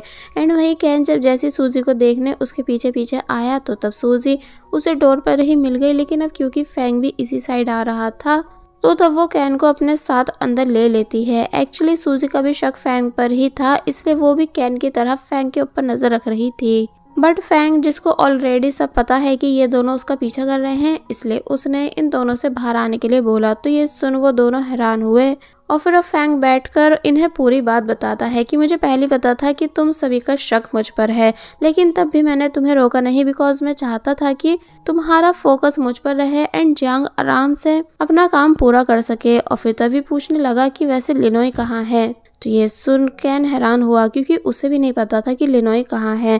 और वहीं दूसरी तरफ़ जियांग ने जिस पर्सन को बुलाया है, वो और कोई नहीं, बल्कि वही पर्सन थे जिनसे लिनोई ने मीट बाई किया था। वो कुछ प्रूफ दिखाते हैं कि जो मीट मैंने दिया था, वो एकदम बेस्ट क्वालिटी का था। एंड मुझे पता है कि तुम सभी ने मिलकर मीटिंग की सप्लाई रुकवा रखी थी। तभी तो कोई भी शॉप जियांग के रेस्टोरों को मीट नहीं दे रही थी। तो ये सुन, पहले तो ये सब बहुत बहस करते हैं कि नहीं नहीं, ये हमने नहीं किया। मगर फिर लास्ट में एक लेडी ने एक्सेप्ट किया कि हाँ ये सब हम ही सब मिलकर करा रहे थे। एंड कोई पर्सन है जियांग के रेस्टो का ही, जो कि उनका साथ दे रहा था। जियांग इन सभी की बातों को सुनने के बाद बोला कि, माना मुझसे आप सभी हर्ट हो बिकॉज़ मैंने आपकी नाइफ को सीज किया है। इसलिए इस वजह से मैं इस चीज़ को आप सभी की लास्ट मिस्टेक समझकर माफ़ कर रहा हूँ। तो ये सुन जब वो लेडी भड़क गई कि तुम होते कौन हो, हमें रोकने वाले तो तब जियांग ने कैमरा दिखाया जिसमें सब कुछ रिकॉर्ड हो चुका था। ये बोलते हुए कि अगर किसी ने भी फिर दोबारा कुछ किया तो मैं पुलिस में रिपोर्ट करा दूँगा। तो ये सुन वो सब शांत हो गए। जियांग बाहर आ जाता है, जिससे वही अंकल पूछने लगे कि वैसे तुम लिनोई की इतनी हेल्प क्यों करा रहे हो? यानी असली मुजरिम का नाम तुम्हें ऑलरेडी पता चल चुका था, पर तुमने तब भी ये सब पूरी मीटिंग करवाई और प्रूफ भी रिकॉर्ड किया। कहीं तुम उसे पसंद तो नहीं करते? तो ये सुन जियांग स्माइल करने लग जाता है। मगर जब जैसे ही उसे फैंग की कॉल आई जो कि बताने लगा कि लिनोई गायब है तो ये सुन जियांग के होश उड़ गए और वहीं लिनोई सॉन्ग से मिलने जियांग के रेस्टोरेंट में आई। जहाँ सॉन्ग काफ़ी अजीब तरह से लिनोई को देख स्माइल कर रहा था तो तो पहले तो लिनोई को कुछ समझ नहीं आता, मगर जब बाद में उसको सॉन्ग की बातों से रियलाइज़ हुआ कि मीट में पॉइजन उसी ने ऐड किया था, ताकि जियांग के रेस्टोरेंट की बदनामी कर सके एंड लिनोई को जॉब से निकाल सके तो तब वो शौक रह गई। एंड सॉन्ग से पूछने लगी कि आखिर तुम ऐसा कर कैसे सकते हो? तो तब वो बताता है, इसलिए क्योंकि जो पोजीशन अच्छे शेफ़ होने के नाते मुझे मिलनी चाहिए थी, वो तुम्हें मिल रही थी। यानी कि एज ए शेफ़ असिस्टेंट मैं मिस्टर जियांग के साथ नाइफ कंपटीशन में वर्क करता, लेकिन वहाँ भी तुम गई। तुम स्टार्टिंग से मुझसे मेरे सारे प्लेस को छीन रही हो। तो ये सुन लिनोई ने काफ़ी समझाया कि नहीं, ऐसा नहीं है बट सॉन्ग वहाँ पेट्रोल डाल देता है, ताकि लिनोई को जला सके, और अब इससे पहले कि वो लिनोई को जला पाता। कि तभी लिनोई उसकी आँख में मसाला फेंक देती है, जिस वजह से लाइटर नीचे गिर गया और फिर तभी जियांग भी यहाँ आ गया, जो कि लिनोई से पूछता है कि क्या तुम ठीक हो? सोंग कहने लगा कि चलो ठीक है, अब तुम भी इसके साथ मरोगे। मगर अब इससे पहले कि वो सोंग को कुछ कर पाता, के तभी लिनोई फिर से सॉन्ग को चकमा देकर एंड जियांग का हाथ पकड़ के उसे अपने साथ यहाँ से भगा कर ले गई।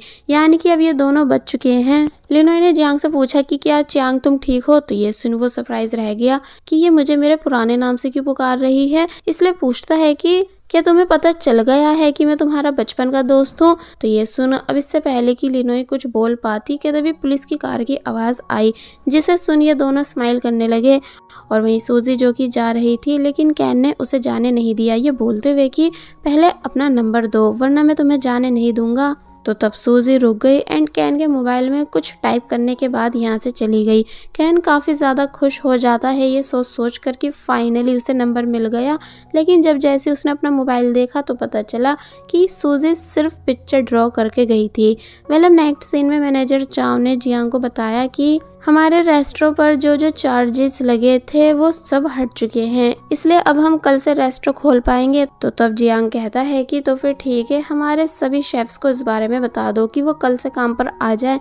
मगर वही जियांग के ग्रैंडपा बहुत ही ज़्यादा गुस्से में हैं। इस बात को जानकर कि जियांग के रेस्टोरेंट को फिर से ओपन किया जा रहा है, क्योंकि पॉइजन मीट वाले केस में इनका भी हाथ था। एक्चुअली इन सब की प्रॉब्लम ये है कि ये लोग अपना नाम ऊँचा रखना चाहते हैं, बट जिस तरह से जियांग आगे बढ़ता जा रहा है, उसे देख ये सब डर रहे हैं कि कहीं जियांग इनको नाइफ कंपटीशन में ना हरा दे और इनसे इनका खानदानी नाइफ ना ले ले। वेल जियांग का एनिमी जो कि जब जैसी ग्रैंडपा से बात करने के बाद यांग के साथ बाहर आया तो तब सूजी भी यहाँ आ गई, जो कि उन्हें काफ़ी बुरी तरह डरा देती है, जिससे ऐसा करने से यांग ने मना किया भी, लेकिन वो मानती नहीं, बल्कि उस आदमी को अपने साथ कार में ले गई। तो तब ये नज़ारा देख यांग को पास्ट का सीन याद आने लगा, कि पहले कैसे ठीक ऐसे ही जियांग की फैमिली घर छोड़कर जा रही थी तो तब उसे बहुत ही ज़्यादा बुरा फील हुआ था, इसलिए वो अपने डैड से इस बारे में पूछने लगा। कि ये सब क्यों जा रहे हैं तो तब वो बताते हैं इसलिए क्योंकि ये सभी लूजर्स हैं। एंड अब तुम्हारे पास बहुत ही अच्छा चांस रहेगा ग्रैंडपा के दिल में जगह बनाने का एंड इस पूरे घर एंड होटल को सिर्फ़ अपना करने का। जिन सभी बातों को सोचते हुए यंग प्रेजेंट में खुश होने लगा। और वही सूजी जिसने तेज ड्राइव करके उस आदमी की बुरी हालत कर दी थी, जिस वजह से उन्हें वॉमिटिंग तक आ गई। इसलिए वो उन्हें यहाँ वॉर्न करने लगी कि फिर दोबारा मेरे भाई जियांग के रेस्टोरेंट के साथ कुछ बुरा मत करना, वरना मैं तुम्हें छोड़ूँगी नहीं, और फिर तभी यहाँ से चली जाती है। वेल अब नेक्स्ट सीन में दिखाया जाता है कि लिनोई ने फाइनली एक जगह को फाइनल कर लिया है, खुद का रेस्टोर खोलने के लिए। इसलिए बोलने लगी कि मैं यहाँ की हेड शेफ होंगी एंड तुम सेकंड शेफ तो तब कैन कहता है कि पर मुझे यहाँ काम नहीं करना, बल्कि सूजी के रेस्टोरेंट में करना है, जिसके लिए मैं अप्लाई भी कर चुका हूँ, क्योंकि अब वो मुझे पसंद आने लगी है। तो ये सुन लिनोई हैरान रह गई, इसलिए कैन को मारने लग जाती है कि तुम धोखा कैसे दे सकते हो? यानी मुझे नहीं पता, तुम मेरे ही साथ काम करोगे कि तभी लिनोई को जियांग की कॉल आई जो कि उसे मिलने बुला रहा था तो तब लिनोई जियांग से मिलने आ गई। और फिर अब ये दोनों बैठकर बात करते हैं, जहाँ जियांग का यही सवाल था कि जब तुम्हें पता चल गया था कि मैं तुम्हारे बचपन का दोस्त जियांग हूँ तो तुमने मुझसे कुछ पूछा क्यों नहीं? क्या तुम क्यूरियस नहीं थी? तो तब वो बोलती है कि नहीं, यानी कुछ ऐसा था ही नहीं जो मैं पूछूँ। एक्चुअली जब जंग ऑर्फनेज से जा रहा था फैंक के फादर के साथ लिनोई की फ़ोटो लेकर तो तब उससे बोला गया था कि तुम अपने दोस्तों को बाय बोल आओ। बट जियांग किसी को भी बाय बोलने नहीं गया था। ये कहकर कि मेरी जो दोस्त है, वो मुझे जाने नहीं देगी। इसलिए मैं उसे अपने जाने के बारे में नहीं बता सकता हूँ। इसलिए अब शायद प्रेजेंट में यही वजह है, जो लिनोई जियांग से मिलकर ज़्यादा कुछ खास खुश नहीं है, क्योंकि वो कहीं ना कहीं उससे नाराज़ है। जियांग ने बताया कि कल से रेस्टोरेंट आ जाना तो तब वो बोली कि लेकिन मैं जॉब छोड़ रही हूँ क्योंकि मुझे खुद का रेस्टोरेंट ओपन करना है। तो ये सुन जियांग को गुस्सा आया कि तुम ऐसा कैसे कर सकती हो? क्या तुम भूल रही हो कि तुमने मेरे साथ कॉन्ट्रैक्ट साइन किया हुआ है, जिसका मतलब ये कि तुम्हें मुझे वन मंथ पहले जॉब छोड़ने का बताना था, इसलिए तुम अभी जॉब छोड़कर नहीं जा सकती। एंड अगर तुमने ऐसा किया तो मैं तुम्हारी सैलरी काट लूँगा। और क्या बता तुम्हें कुछ दू ही नहीं और फिर तभी यहाँ से चला जाता है, जिसे लिनोई बस देखती ही रह गई। नेक्स्ट सीन में हमें दिखाया जाता है कि लिनोई जॉब पर आ तो गई थी, पर अब वो यहाँ कोई भी काम सही से नहीं कर रही थी। तो तब ये सब देख जियांग परेशान हुआ एंड पूछता है कि तुम ऐसा क्यों कर रही हो? तो तब वो फ्लैशबैक याद करने लगी कि ये आइडिया कैंग ने लिनोई को दिया था। ये बोलते हुए कि अगर तुम्हें जॉब छोड़नी है तो वहाँ के सभी कामों को बिगाड़ो। यानी किसी भी काम को ठीक से मत करना तो तब जियांग तुम्हें खुद से बाहर कर देगा। इसलिए प्रेजेंट में लिनोई बिल्कुल वैसा ही कर रही है, यानी किसी भी काम को फोकस से नहीं कर रही है। और वहीं दूसरी तरफ़ सूजी जो एक कन्वीनियंस स्टोर में आई तो तब पता चला कि कैन भी यहीं पर था। एक्चुअली जैसा कि हम सभी को पता है कि वो जॉब्स चेंज करता रहता है, इसलिए अब उसकी न्यू जॉब ये है, जहाँ वो सूजी से पूछता है कि क्या तुमने मेरा रिज्यूम चेक किया? क्योंकि मैंने तुम्हारे होटल में जॉब के लिए अप्लाई किया है तो ये सुन सूजी बोली कि मैं इंटरेस्टेड नहीं हूँ तुम्हें अपने होटल में रखने के लिए। और फिर तभी यहाँ से चली जाती है तो तब भी कैन उसे जाते हुए काफ़ी प्यार से देखने लगा। और वही लेनोई जब जैसी आफ्टर वर्क घर जा रही होती है तो तब जियांग उसे जाने नहीं देता, बल्कि मीटिंग में बिठाता है। एक्चुअली ये सब कहीं जाने वाले हैं बट लेनोई इस काम में बिल्कुल भी इंटरेस्टेड नज़र नहीं आई। कि तभी सूजी भी यहाँ आ गई जो कि बोलने लगी कि मुझे भी तुम सभी के साथ चलना है, लेकिन जियांग ने सूजी को साथ ले जाने से साफ़ मना कर दिया और फिर तभी यहाँ से उठकर चला गया। तो तब लिनोई, सूजी पर हँसी। जो सब देख सूजी को बिल्कुल भी अच्छा नहीं लगा। रात में दिखाया जाता है कि कैन सूजी के ख्यालों में खोया हुआ था, यानी नॉन स्टॉप सिर्फ़ सूजी की ही बातें कर रहा था। तो वही लिनोई गुस्सा थी कि जब मुझे घूमने नहीं जाना है तो ये जियांग मुझे फोर्स क्यों कर रहा है? इसलिए नेक्स्ट डे लिनोई ने जियांग को कॉल कर झूठ कहा कि मैं आज नहीं आ पाऊँगी क्योंकि मेरी तबीयत ख़राब है। बट पता चलता है कि जियांग ऑलरेडी लिनोई को लेने आ चुका था तो तब लिनोई को मजबूरन जाना ही पड़ा। सूजी ने भी पीछे से ये सब देख लिया था, इसलिए वो उदास हुई कि उसका भाई कैसे उससे ज़्यादा इम्पोर्टेंट इस लड़की को दे रहा है। इसलिए वो डिसाइड करने लगी कि अब लिनोई को सबक सिखाना ही होगा और फिर कहती है कि ज़रूर लिनोई के दोस्त कैन को पता होगा कि ये सब किस लोकेशन पर गए हैं। इसलिए वो उसी प्लेस पर आ गई जहाँ कैन जॉब करता है। बट वहाँ एक पर्सन ने बताया कि कैन तो यहाँ है ही नहीं, यानी कि वो डेंटिस्ट के पास गया हुआ है तो ये सुन सूज भी वहाँ जाने लगी। एंड वही कैन जो कि डेंटिस्ट से कह रहा होता है कि प्लीज़ आराम से दांत निकालना तो तब वो बोले कि तुम ये बोतल पकड़ लो, अगर दर्द हुआ तो इसे भींच लेना। और फिर जब जैसे उन्होंने दांत निकालना शुरू किया तो तब यहाँ सूजी भी आ गई, जहाँ कैन के हाथ से बोतल गिर जाती है, इसलिए वो सूजी का हाथ पकड़ लेता है और उसे काफ़ी ज़ोर से भींचने लगा, जिससे सूजी को बहुत ही ज़्यादा तकलीफ़ हुई, यानी कि वो बहुत ही ज़्यादा ज़ोर ज़ोर से चिल्लाई। अब दिखाया जाता है कि कैन खाने का कुछ सामान सूजी को देकर उसे सॉरी कर रहा था तो तब वो बोलती है कि इट्स ओके। एंड जो बात पूछने आई थी, वो पूछने लगी कि मुझे बताओ, लिनोई जियांग और उसकी पूरी टीम किस लोकेशन पर गई है? तो ये सुन, पहले तो कैन कुछ बता नहीं रहा था, लेकिन जब सूजी ने उससे काफ़ी प्यार से पूछा तो तब वो उसे सब बता देता है। साथ ही वो सूजी के सामने काफ़ी ज़्यादा शाय फील भी कर रहा था, और बस फिर इसी सीन के साथ ये पार्ट यहीं पर एंड हो जाता है। सो इस पार्ट की स्टार्टिंग में हमें दिखाया गया है कि जियांग सभी एम्प्लॉयज़ के साथ लोकेशन पर पहुँचा बट यहाँ आकर उसे पता चला कि सूजी भी यहाँ आ चुकी थी जिसके साथ कैन भी है। वेल well, अब हम इन सभी को साथ में देखते हैं जहाँ बताया जाता है कि इन सभी को यहाँ एक गेम खेलनी होगी और वो ये कि इन्हें ड्रामा की एक्टिंग करनी है। तो ये सुन सूजी खुश होने लग जाती है तो वहीं कैन जो कि पीछे से लिनोई से बातें कर रहा था तो तब ये सब जियांग को बिल्कुल अच्छा नहीं लगा। यानी कि वो जेलस होता है। वेल अब हम देखते हैं कि लिनोई, जो कि अच्छे से ड्रामा का ड्रेसअप कर अपने पार्टनर को ढूंढ रही थी, जो कि और कोई नहीं, बल्कि जियांग है। तो तब यहाँ लिनोई उसे बस देखती ही रह गई, क्योंकि वो वाकई काफ़ी अच्छा दिख रहा था। एंड वही दूसरी तरफ़, यहाँ के फादर अपने होटल के सभी शेफ्स का खाना टेस्ट करते हैं। लेकिन उनको किसी की भी डिश ज़्यादा कुछ खास पसंद नहीं आई और फिर जब वो अलग में आए तो तब अपने बेटे यांग से कहने लगे कि तुम्हारे ग्रैंडपा आजकल जियांग की ही बातें करते रहते हैं। कहीं ऐसा ना हो कि वो सूजी की तरह जियांग को भी घर में वापस ले आए। इसलिए हमें कुछ ना कुछ जल्द करना होगा तो ये सुन यांग मान गया। एंड वही लेनोई जो कि अभी भी जियांग के साथ थी तो तब सूजी यहाँ आकर बोलने लग जाती है कि भाई, आप कितने ज़्यादा हैंडसम दिख रहे हो। लेकिन आपका लिनोई जैसी बेवकूफ़ लड़की का पार्टनर बनना शोभा नहीं दे रहा। देख लेना, ये पक्का आपको हरवा देगी। तो ये सुन लिनोई भी सूजी को जवाब देने लग जाती है और फिर जब जैसी यहाँ से चली गई तो तब सूजी ने जियांग से पूछा कि वैसे भाई, क्या आप सच में इस अजीब लड़की को पसंद करने लगे हो? अगर आपको किसी को डेट करना ही था तो आप मुझे बताते। मैं आपके लिए एकदम परफेक्ट आपके लेवल की लड़की ढूंढती। तो ये सुन जियांग कुछ नहीं कहता, बल्कि यहाँ से चला जाता है। और फिर लेनोई के पास आकर उसे रोककर एक इयरिंग देने लगा। ये बताकर कि ये मैंने तुम्हारे लिए बाय की थी। लिनो ये सुन शौक होने लग जाती है कि क्या मेरे लिए? तो तब जियांग बोलता है कि हाँ मगर फिर बात घुमाने लगा कि तुम मेरी पार्टनर हो ना सिर्फ़ इस वजह से, वरना और कुछ समझने की ज़रूरत नहीं। और फिर तभी लिनोई से बोला कि इसे पहनकर दिखाओ। तो ये सुन लिनोई जब जैसे ही उसे पहनने लगी तो तब वो उसे सही से नहीं पहन पा रही थी। इसलिए इस वजह से जियांग ने लिनोई की हेल्प कराई। मोमेंट एकदम रोमांटिक बन चुका था, यानी दोनों ही एक दूसरे के लिए कुछ फील कर रहे थे, मगर बाद में जियांग पीछे हुआ एंड लिनोई ने उसे थैंक्स किया। वेल, अब नेक्स्ट डे हम देखते हैं कि ये सब लोग एक्ट के लिए रेडी हैं कि तभी एक आदमी भागता हुआ आया एंड बताने लगा कि किसी का मर्डर हो चुका है। तो ये सुन, ये सभी लोग उस फेक बॉडी को देखने आए। एक्चुअली इन सभी का टास्क ये है कि इनको पता लगाना है कि आखिर मर्डर किसने किया है।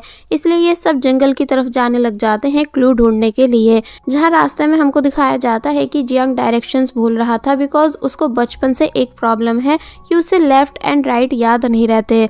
तो तब लिनोई हँसी एंड बोली कि तुम बचपन में भी ठीक ऐसे ही करते थे, यानी भूल जाते थे कि लेफ़्ट क्या होता है एंड राइट क्या होता है। तो तब मैं तुम्हारा हाथ पकड़कर तुम्हारी हेल्प कराती थी। तो ये सुन जियांग कहने लगा कि लेकिन अब तो मैं बड़ा हो चुका हूँ ना। साथ ही काफ़ी ज़्यादा हैंडसम एंड फ़ेमस शेफ भी हूँ। इसलिए अगर मुझमें एक कमी है तो वो मायने नहीं रखती। तो तब लिनोई कहने लगी कि लेकिन गेम तो हमें अभी जीतना है ना। और फिर ठीक बचपन की तरह जियांग का हाथ पकड़ उसे अपने साथ सही लोकेशन पर ले जाने लगी। और वहीं दूसरी तरफ़ कैन एंड सूजी जो कि दोनों साथ थे तो तब यहाँ सूजी का बुरा हाल हो चुका था। चल चल के कि तभी कैन झुका एंड सूजी से अपनी बैग पर आने के लिए बोलने लगा।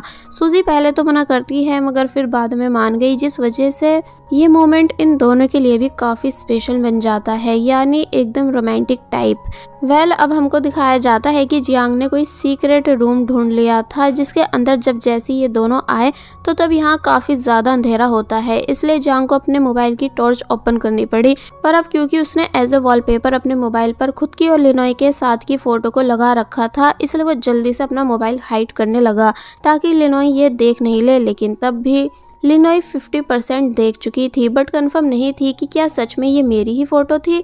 बाय द वे इन दोनों को यहाँ काफ़ी सारे क्लू मिले जिन्हें ये देख ही रहे थे कि तभी अचानक कोई पर्सन इन दोनों को अंदर ही लॉक कर देता है, जो कि और कोई नहीं, बल्कि यांग के फादर है, यानी कि जियांग के चाचा। लेनोई एंड जियांग दोनों बहुत ही ज़्यादा परेशान हुए कि आखिर ऐसा कौन कर सकता है। ऊपर से जियांग का मोबाइल भी स्विच ऑफ़ हो गया क्योंकि बैटरी ख़त्म हो चुकी थी तो तब लेनोई और ज़्यादा परेशान होने लगी क्योंकि वो अपने साथ अपना मोबाइल नहीं लेकर आई थी। एंड वही यांग के फादर जो कि भाग रहे होते हैं ये सब करने के बाद तो तब उनको भागते हुए सूजी ने देख लिया एंड समझ गई कि कुछ तो गड़बड़ है, इसलिए वो कैन से बोलकर इनको पकड़वा लेती है। और वही लिनोई, जिसको अब ऑक्सीजन की कमी की वजह से सांस आनी बंद होने लगी थी तो तब जियांग और भी ज़्यादा परेशान हुआ एंड लिनोई से हिम्मत रखने का बोलने लगा, पर वो तब भी बेहोश हो जाती है। जिसे उठाने की जियांग ने पूरी पूरी कोशिश की और फिर तभी एक फ्लैशबैक याद करने लगा कि कैसे उसके फादर उसे कबर्ड में छुपा रहे थे और फिर तभी कुछ लोग आए जिन्होंने जियांग के फादर को बहुत ही ज़्यादा मारा, जिस वजह से उनकी डेथ हो गई थी। इसलिए उस टाइम जियांग बहुत ही ज़्यादा रोया था अपने डैड के लिए एंड प्रेजेंट में उसको ऐसा ही सीन लिनोई के साथ लगने लगा कि जैसे वो भी उसे छोड़कर जाने वाली हो। और वहीं सूजी, जिसने यांग के फादर यानी मिस्टर शान को पकड़ लिया था, वो उन्हें टॉर्चर करने लग जाती है कि, बताओ आप यहाँ क्यों आए हो? एंड मेरा भाई कहाँ है? कहीं आपने उसके साथ हमेशा की तरह फिर कुछ तो नहीं कर दिया? लेकिन वो कुछ भी नहीं बता रहे होते हैं, इसलिए सूजी एक डंडा उठा लेती है, जिससे वो मिस्टर शान को मारने ही वाली थी। लेकिन तभी मिस्टर शान ने सब बता दिया कि, मैंने बैम्बू प्लेस पर जियांग को लॉक किया है। तो तब सूजी ये सब सुन शौक रह जाती है और तुरंत अपने भाई को बचाने भागी। तो तब कैन कहने लगा कि, वाव, ये कितनी ज़्यादा कूल है। और फिर तभी खुद भी उसके पीछे पीछे चला गया। और वहीं दूसरी तरफ़ हम देखते हैं कि लिनोई, जो कि अभी तक बेहोश थी, एंड अब जियांग की भी तबीयत बिगड़ने लगी थी, लेकिन तब भी उसने लिनोई को बचाने के खातिर उसे ऑक्सीजन देने का डिसाइड किया, जिस वजह से यहाँ वो लिनोई को किस कर लेता है, साथ ही उसकी ये सब करने की वजह से हार्ट बीट्स भी फास्ट हो चुकी थी और बस फिर ये सीन यहीं पर कट हो जाता है। वेल, अब हमें हॉस्पिटल सीन दिखाया गया जहाँ लिनोई एंड जांग दोनों एडमिट हैं। इसका मतलब सूजी ने ज़रूर इन दोनों को बचा लिया होगा।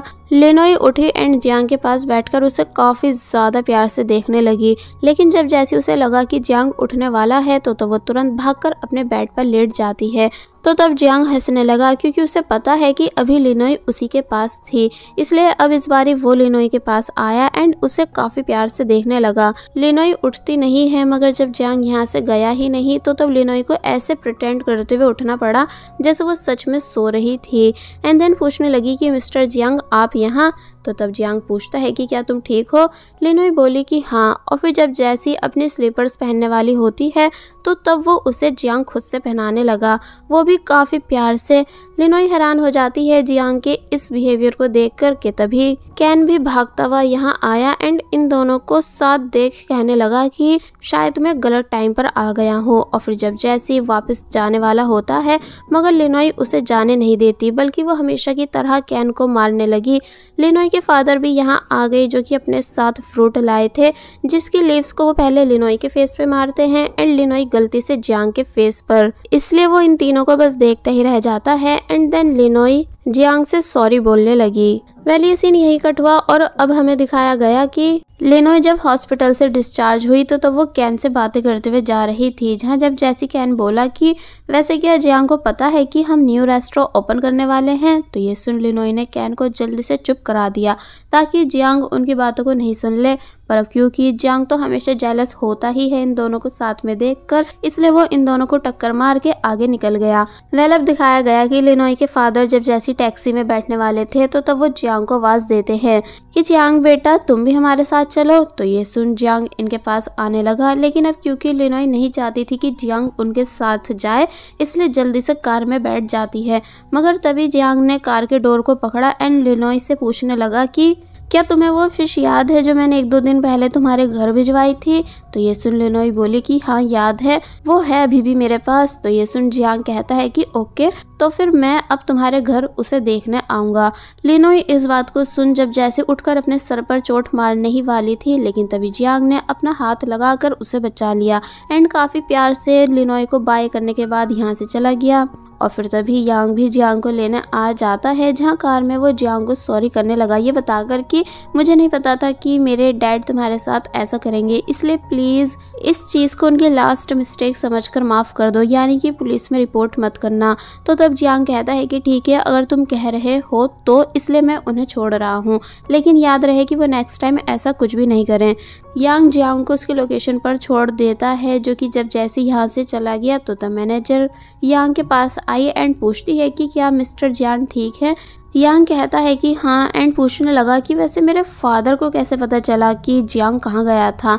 तो तब मैनेजर बताने लगी कि वो एक्चुअली आपके फादर ने मुझसे मिस्टर जियांग की लोकेशन पूछी थी, जो कि मैंने उन्हें बता दी थी। तो ये सुन, पहले तो यांग काफ़ी ज़्यादा भड़का, मगर फिर प्यार से समझाने लगा कि, देखो प्लीज़ नेक्स्ट टाइम मेरे फादर को बिना मुझसे पूछे कुछ मत बताना।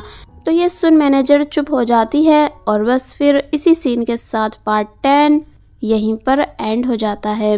सो इस पार्ट की स्टार्टिंग में हमें दिखाया गया है कि ग्रैंड पा लंच टाइम में सूजी को डांट रहे थे कि तुम रेस्टोरेंट पर ध्यान क्यों नहीं दे रही हो। अगर ऐसे ही चलता रहा तो हमारे होटल की रेटिंग डाउन पड़ जाएगी। तो तब मिस्टर शान भी ग्रैंड पा की बातों को सपोर्ट करने लग जाते हैं। यानी कि एक तरह से सूजी को सुना रहे थे। तो ये सुन सूजी जब जैसी खड़े होकर कहने लग जाती है कि क्या मैं बता दूँ, कल आपने क्या किया था? यानी कि यहाँ सूजी का मतलब जियांग को लॉक करने वाले केस से होता है। तो ये सुन मिस्टर शान चुप हो गए। एंड यांग ने जैसे तैसे बात को टाला ताकि ग्रैंडपा को कुछ पता नहीं चल सके।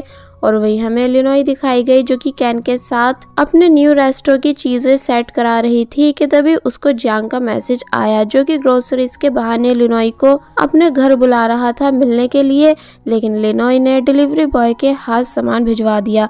यानी कि खुद नहीं गई तो तब जियांग को काफ़ी ज़्यादा गुस्सा आया।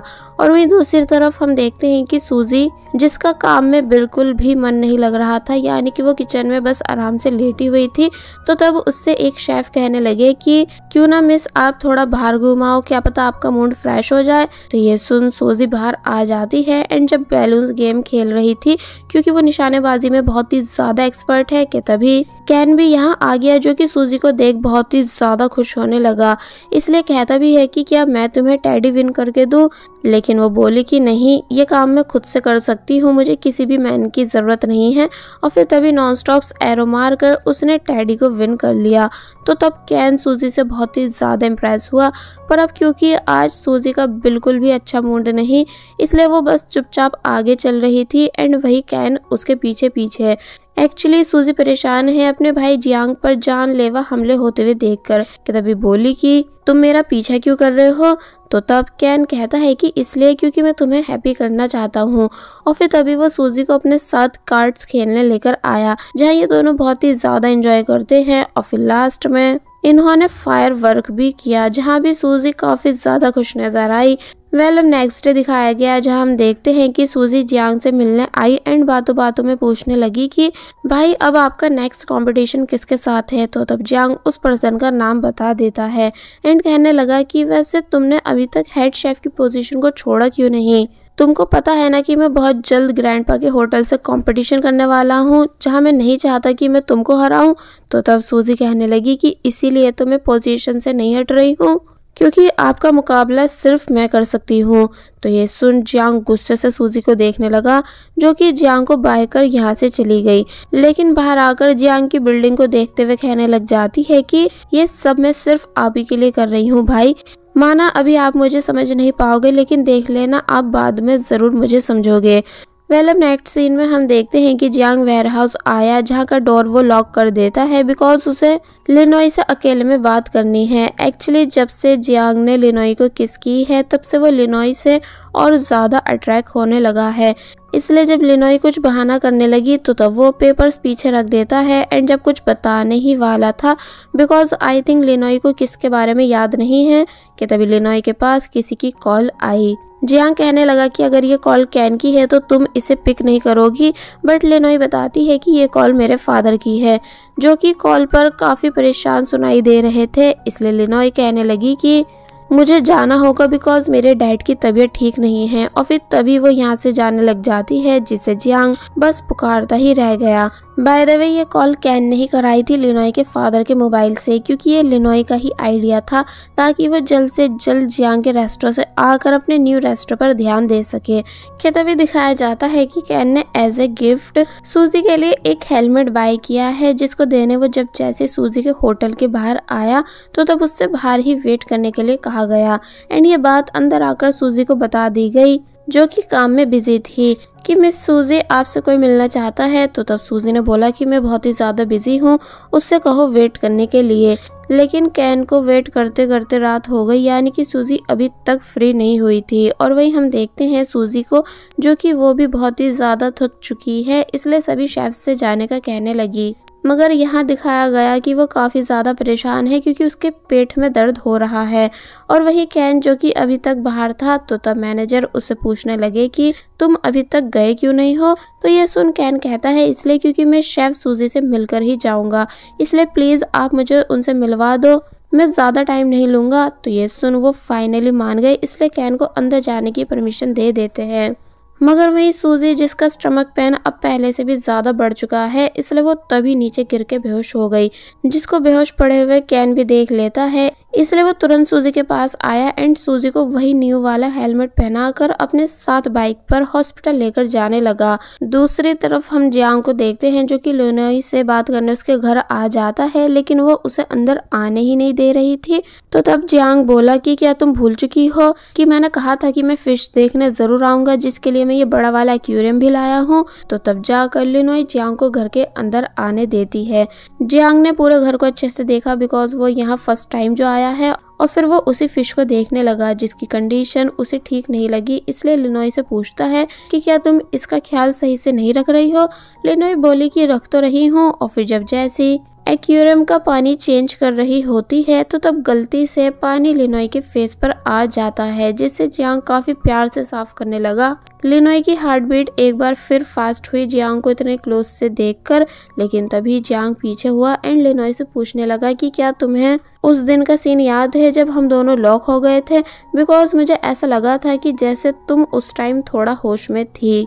जब मैंने तुम्हें किस की थी तो ये सुन लिनोई हैरानी से जियांग को देखने लग जाती है।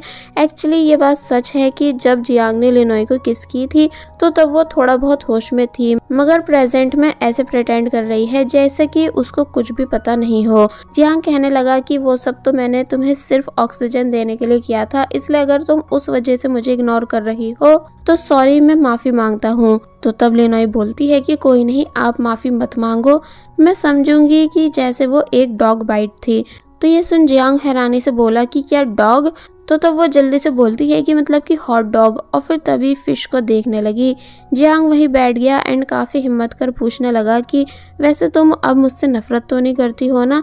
बिकॉज़ ये चीज़ मेरे लिए बहुत मैटर करती है। इसलिए मैं नहीं चाहूँगा कि तुम मुझे इग्नोर करो या फिर मुझसे नफरत करो। तो तब लिनोई ने बताया कि नहीं, नफरत तो नहीं करती हूँ, बल्कि बस आजकल थोड़ा बिज़ी चल रही हूँ, इसलिए तुमसे बात नहीं कर पाती हूँ। तो तब जाकर जियांग को सुकून आया। इसलिए वो लिनोई को काफ़ी प्यार से बाय कर यहाँ से चला जाता है। लिनोई भी जियांग को जाते हुए बस देखती ही गई, जैसे आज फ़र्स्ट टाइम वो भी जियांग से बातें करके खुश हुई हो। वेल अब नेक्स्ट डे हम देखते हैं कि लिनोई जियांग के होटल की किचन में आई, जहाँ उसकी नज़रें सिर्फ़ जियांग को ही ढूंढ रही थी। और फिर जब जैसी जियांग आया तो वो लिनोई से ध्यान से वेजिटेबल्स कट करने का कहने लगा और फिर तभी खुद भी अपना कुछ काम करने लग जाता है। मगर लिनोई जियांग को घूरना बंद करती ही नहीं। एक्चुअली अब फाइनली लिनोई भी जियांग को धीरे धीरे लाइक करने लगी है। इसलिए वो चाहकर भी जियांग को देखने से खुद को रोक नहीं पा रही थी। जियांग ने जब जैसी लिनोई को देखा तो तब उसने अपना फेस दूसरी साइड कर लिया। जियांग लिनोई से कुछ मंगवाता है जो कि वो जल्दी से जाकर खुशी खुशी जियांग को ला देती है। एंड वही सेम हाल हमें दूसरी तरफ़ सूजी का भी दिखाया गया, जो कि चैटिंग करते टाइम बहुत ही ज़्यादा मुस्कुरा रही थी और फिर वो टाइम याद करने लगी जब हॉस्पिटल से डिस्चार्ज होकर वो घर जा रही थी। तो तब उसने कैन के गिफ्ट को अच्छे से देखा था, जिस पर लिखा था आई लाइक यू तो तब ये देख वो मन ही मन बहुत ही ज़्यादा खुश हुई थी और फिर प्रेजेंट में भी बहुत ही ज़्यादा स्माइल करने लगी। इसका मतलब अब आई थिंक सूजी भी कैन को लाइक करने लगी है। वेल अब नेक्स्ट सीन में हम देखते हैं कि लिनोई ने फाइनली अपना न्यू रेस्टो ओपन कर लिया है, जहाँ कैन बहुत ही ज़्यादा नर्वस था कि पता नहीं ये चलेगा भी कि नहीं। और फिर तभी बाहर आकर वो लोगों को अपने रेस्टों में बुलाने लगा, लेकिन कोई भी आता ही नहीं है, यानी कि पूरा दिन ख़त्म हो गया बट कोई भी इनके रेस्टों में नहीं आया। कैन उदास होने लग जाता है तो तब लिनोई समझाती है कि हमें हार नहीं माननी चाहिए, और फिर दोबारा से नेक्स्ट डे ये दोनों बहुत कोशिश करते हैं कस्टमर्स को बुलाने की। लेकिन ऐसे ही करते करते एक दो दिन बीत गए बट अभी तक कोई भी कस्टमर इनके रेस्टो नहीं आया होता है। वेल अब दिखाया जाता है कि जब लिनोई जियांग के रेस्टो के बाहर खड़े होकर उसकी नेम प्लेट को देख रही थी, जिस पर पूरे फाइव स्टार हैं ये कहते हुए कि जियांग के पास पूरे फाइव स्टार हैं एंड मेरे पास एक भी नहीं, कि तभी जियांग भी यहाँ आ गया एंड पूछने लगा कि तुम क्या सोच रही हो। तो तब लिनोई बताती है कि मुझे जानना है कि तुमने फाइव स्टार कैसे हासिल किए। वो भी इतने कम टाइम में। तो तब जियांग ने बताया कि सिंपल है। मैंने बड़े बड़े शेफ्स को नाइफ कॉम्पिटिशन में हराया है एंड फाइव स्टार शेफ बन गया। तो ये सुन लिनोई पूछने लगी कि क्या तुम प्लीज़ मुझे भी कुकिंग करना सिखा सकते हो? तो तब जियांग कहता है कि मैं फ्री थोड़ी हूँ जो ये काम करूँ।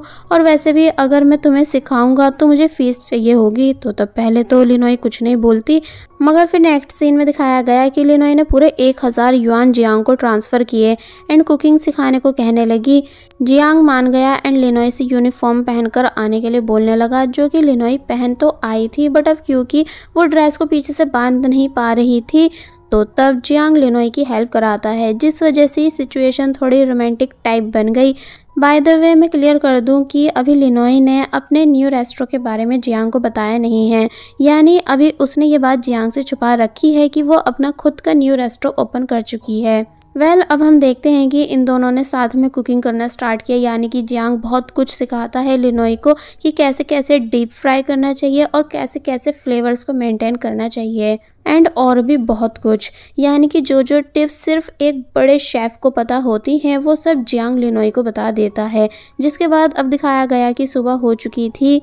जहाँ हम देखते हैं कि लिनोई वहीं पर सो चुकी थी तो तब जियांग उसे क्लोज से स्माइल करते हुए देखने लगा और फिर काफ़ी प्यार से लिनोई को उठाता है। ये बोलकर कि अभी टास्क पूरा नहीं हुआ है, यानी एक जगह है जहाँ तुम्हें मेरे साथ चलना है। तो ये सुन लिनोई मान जाती है। जिसके बाद अब दिखाया गया कि ये दोनों कार में थे जहाँ लिनोई को कुछ भी समझ नहीं आ रहा था कि आखिर वो दोनों जा कहाँ रहे हैं। तो तब जियांग बताता है कैंपिंग करने, इसलिए तुम अपने फ्रेंड से बोल दो कि आज तुम घर नहीं आ पाओगी। तो ये सुन लिनोई हैरान हुई, मगर फिर बाद में मैसेज कर कैन को इस बारे में बता देती है। एंड ये भी कि आज तुम्हें अकेले ही रेस्टो को हैंडल करना होगा। तो ये सुन कैन मान गया कि तभी सूजी भी यहाँ आ गई। पर अब क्योंकि उसके पास वो हेलमेट नहीं था जो कि कैन ने गिफ्ट किया था, इसलिए कैन इस बारे में पूछता है कि तुमने मेरा दिया हुआ हेलमेट क्यों नहीं पहना? तो तब सूजी यहाँ ऐसे प्रिटेंड करने लग जाती है जैसे कि वो कैन में बिल्कुल भी इंटरेस्टेड नहीं हो, जबकि हम सबको तो पता ही है कि अब वो कैन को कितना ज़्यादा लाइक करने लगी है, पर बस ये बात अभी वो कैन से नहीं बताती। और फिर बोले कि क्या हम दोनों आज कहीं बाहर घूमने चले? तो ये सुन कैन काफ़ी ज़्यादा खुश हुआ, इसलिए जल्दी से बाइक पर बैठ गया। मगर जब जैसी उसे याद आता है कि, अरे नहीं, आज तो मुझे अकेले पूरे रेस्टोरेंट को संभालना है, इसलिए वो तुरंत उतर गया एंड सूजी से मना करने लगा कि सॉरी आज मैं तुम्हारे साथ नहीं जा पाऊँगा क्योंकि मैं काफ़ी ज़्यादा बिज़ी हूँ। तो ये सुन सूजी गुस्सा हुई, इसलिए वो तुरंत यहाँ से चली जाती है। तो तब कैन लिनोई को वॉइस मैसेज करते हुए बोलने लगा कि लिनोई तुमको नहीं पता कि आज मेरा तुम्हारी वजह से कितना बड़ा नुकसान हुआ है। और फिर बाद में सूजी को जाते हुए देखते हुए और भी ज़्यादा सैड होने लगा क्योंकि वो वाकई में सूजी के साथ टाइम स्पेंड करना चाहता था और बस फिर इसी सीन के साथ पार्ट 11 यहीं पर एंड हो जाता है। सो इस पार्ट की स्टार्टिंग में दिखाया जाता है कि फाइनली जियांग लिनोई के साथ कैंप लोकेशन पर आ चुका है एंड जब खड़े होकर नज़ारा देख ही रहा था तो तब लिनोई पूछने लगी कि क्या मैं जान सकती हूँ? कि आप मुझे को अपने साथ यहाँ क्यों लाए? यानी आप अकेले भी तो आ सकते थे? तो तब जियांग कहता है, इसलिए ताकि तुम मेरे काम कर सको, जिसके लिए मैं तुम्हें एक्स्ट्रा सैलरी भी दूँगा। तो ये सुन लिनोई मान गई, इसलिए कैंपिंग का सामान निकालने चली गई। और वहीं कैन जो कि अभी भी उदास था कि, काश आज मैं भी सूजी के साथ टाइम स्पेंड कर पाता कि तभी पता चला कि कोई आया है। यानी इनके रेस्टोरेंट का फ़र्स्ट कस्टमर जो कि और कोई नहीं, बल्कि सूजी ही होती है। इसलिए उसे देख कैन के होश उड़ गए कि तुमको कैसे पता चला कि ये मेरा रेस्टो है? तो तब सूजी ने बताया कि ऐसा नहीं है, बल्कि मैं तो यहाँ से गुजर रही थी, इसलिए सोचा बियर पी लूँ। तो ये सुन कैन कहने लगा कि हाँ हाँ बिल्कुल तुम बैठो, मैं अभी तुम्हारे लिए बियर लाता हूँ। और वहीं लिनोई, जिसका बुरा हाल हो चुका होता है, जियांग के सभी कामों को कर, करके, साथ ही इस बात से भी कि जियांग कैंपेन की पूरी चीज़ों को नहीं लाया था तो तब इसलिए लिनोई गुस्से में यहाँ से जाने का बोलने लगी। बट जियांग कहता है कि नहीं, तुम ऐसा नहीं कर सकती हो। यानी अगर तुमने जाने का सोचा तो मैं तुम्हारी सैलरी काट दूँगा। तो ये सुन लिनोई मजबूरन रुक गई। थोड़ी देर बाद दिखाया गया कि ये दोनों फ़िश पकड़ रहे हैं बट फ़िश बिल्कुल भी पकड़ी जा ही नहीं रही थी। तो तब लिनोई एक बार फिर घर जाने का कहने लगी। तो ये सुन, जियांग चोट लगने का बहाना करने लग जाता है। लिनोई जल्दी से भागकर जियांग के पास आई एंड पूछती है कि क्या तुम ठीक हो? और फिर तभी जियांग को मारना भी शुरू कर देती है। बिकॉज़ वो समझ चुकी थी कि जियांग एक्टिंग कर रहा है। नेक्स्ट सीन में दिखाया जाता है कि फाइनली ये दोनों फ़िश को पकड़ चुके हैं। जिसे जियांग फ्राई कर रहा था तो तब लिनोई अपने टेंट को देखते हुए कहने लगी कि ये कुछ कमज़ोर नहीं लग रहा। यानी कि तुम्हारा वाला टेंट ज़्यादा अच्छा है, लेकिन मेरा नहीं। तो ये सुन जियांग कहता है कि ये सब तुम्हारी गलत फहमी है। एंड चुप हो जाओ, मुझे फोकस के साथ फ़िश रेडी करने दो। तो तब लिनोई चुप हो गई, और फिर जब जैसी जियांग ने फ़िश को रेडी किया तो तब लिनोई को उसका टेस्ट बहुत ही ज़्यादा पसंद आता है। जिसके बाद अब नेक्स्ट सीन में हमें सूजी एंड कैन ये दोनों दिखाए गए, जो कि बातें कर ही रहे थे कि तभी काफ़ी तेज़ आवाज़ें आने लगी कंस्ट्रक्शन की, जिस वजह से सूजी को बहुत ही ज़्यादा परेशानी होती है। इसलिए कैन बोला कि, तुम यहीं रुको, मैं वर्कर्स से बात करके आता हूँ। और फिर जब जैसी थोड़ी देर बाद वापस आया तो तब सूजी के फेस को पकड़ बताने लगा कि वर्कर्स कह रहे हैं कि उनका टाइम ख़त्म होने ही वाला है, इसलिए तुम बस थोड़ा सा वेट और कर लो। तो ये सुन सूजी मान गई, मगर अब क्योंकि कैन सूजी के कुछ ज़्यादा ही क्लोज था, इसलिए वो उसे बस देखती ही रह जाती है एंड कैन सूजी को और वहीं दूसरी तरफ़ जियांग एंड लिनोई जो कि अब आफ्टर डिनर टी पी रहे थे, कि तभी अचानक बारिश स्टार्ट हो जाती है, जिस वजह से लिनोई का टेंट खराब हो गया एंड वो परेशान होने लगी। तो तब जियांग कहता है, कोई नहीं, तुम कार में सो जाना। तो ये सुन लिनोई कार की कंडीशन देखने चली गई। तो तब उसके जाने के बाद जियांग ने एक फ्लैशबैक याद किया। एक्चुअली जियांग को पहले ही पता था कि आज बारिश होगी, इसलिए वो लिनोई के साथ कैंपिंग पर आया। ताकि ज़्यादा से ज़्यादा टाइम लिनोई के साथ स्पेंड कर सके। साथ ही उसी ने लिनोई के टेंट को सही से नहीं बांधा था। जिस वजह से वो टूटा लिनोई जल्दी से वापस आई जिसको ठंड लग रही थी तो तब जियांग उसे जल्दी से ब्लैंकेट में कवर करता है। एंड देन लिनोई ने बताया कि कार में सोने का स्पेस नहीं है, ऊपर से सफोकेशन भी हो रही है। तो तब जियांग बोला कि कोई नहीं, तुम मेरे टेंट में सो जाओ, मैं कार में एडजस्ट कर लूँगा।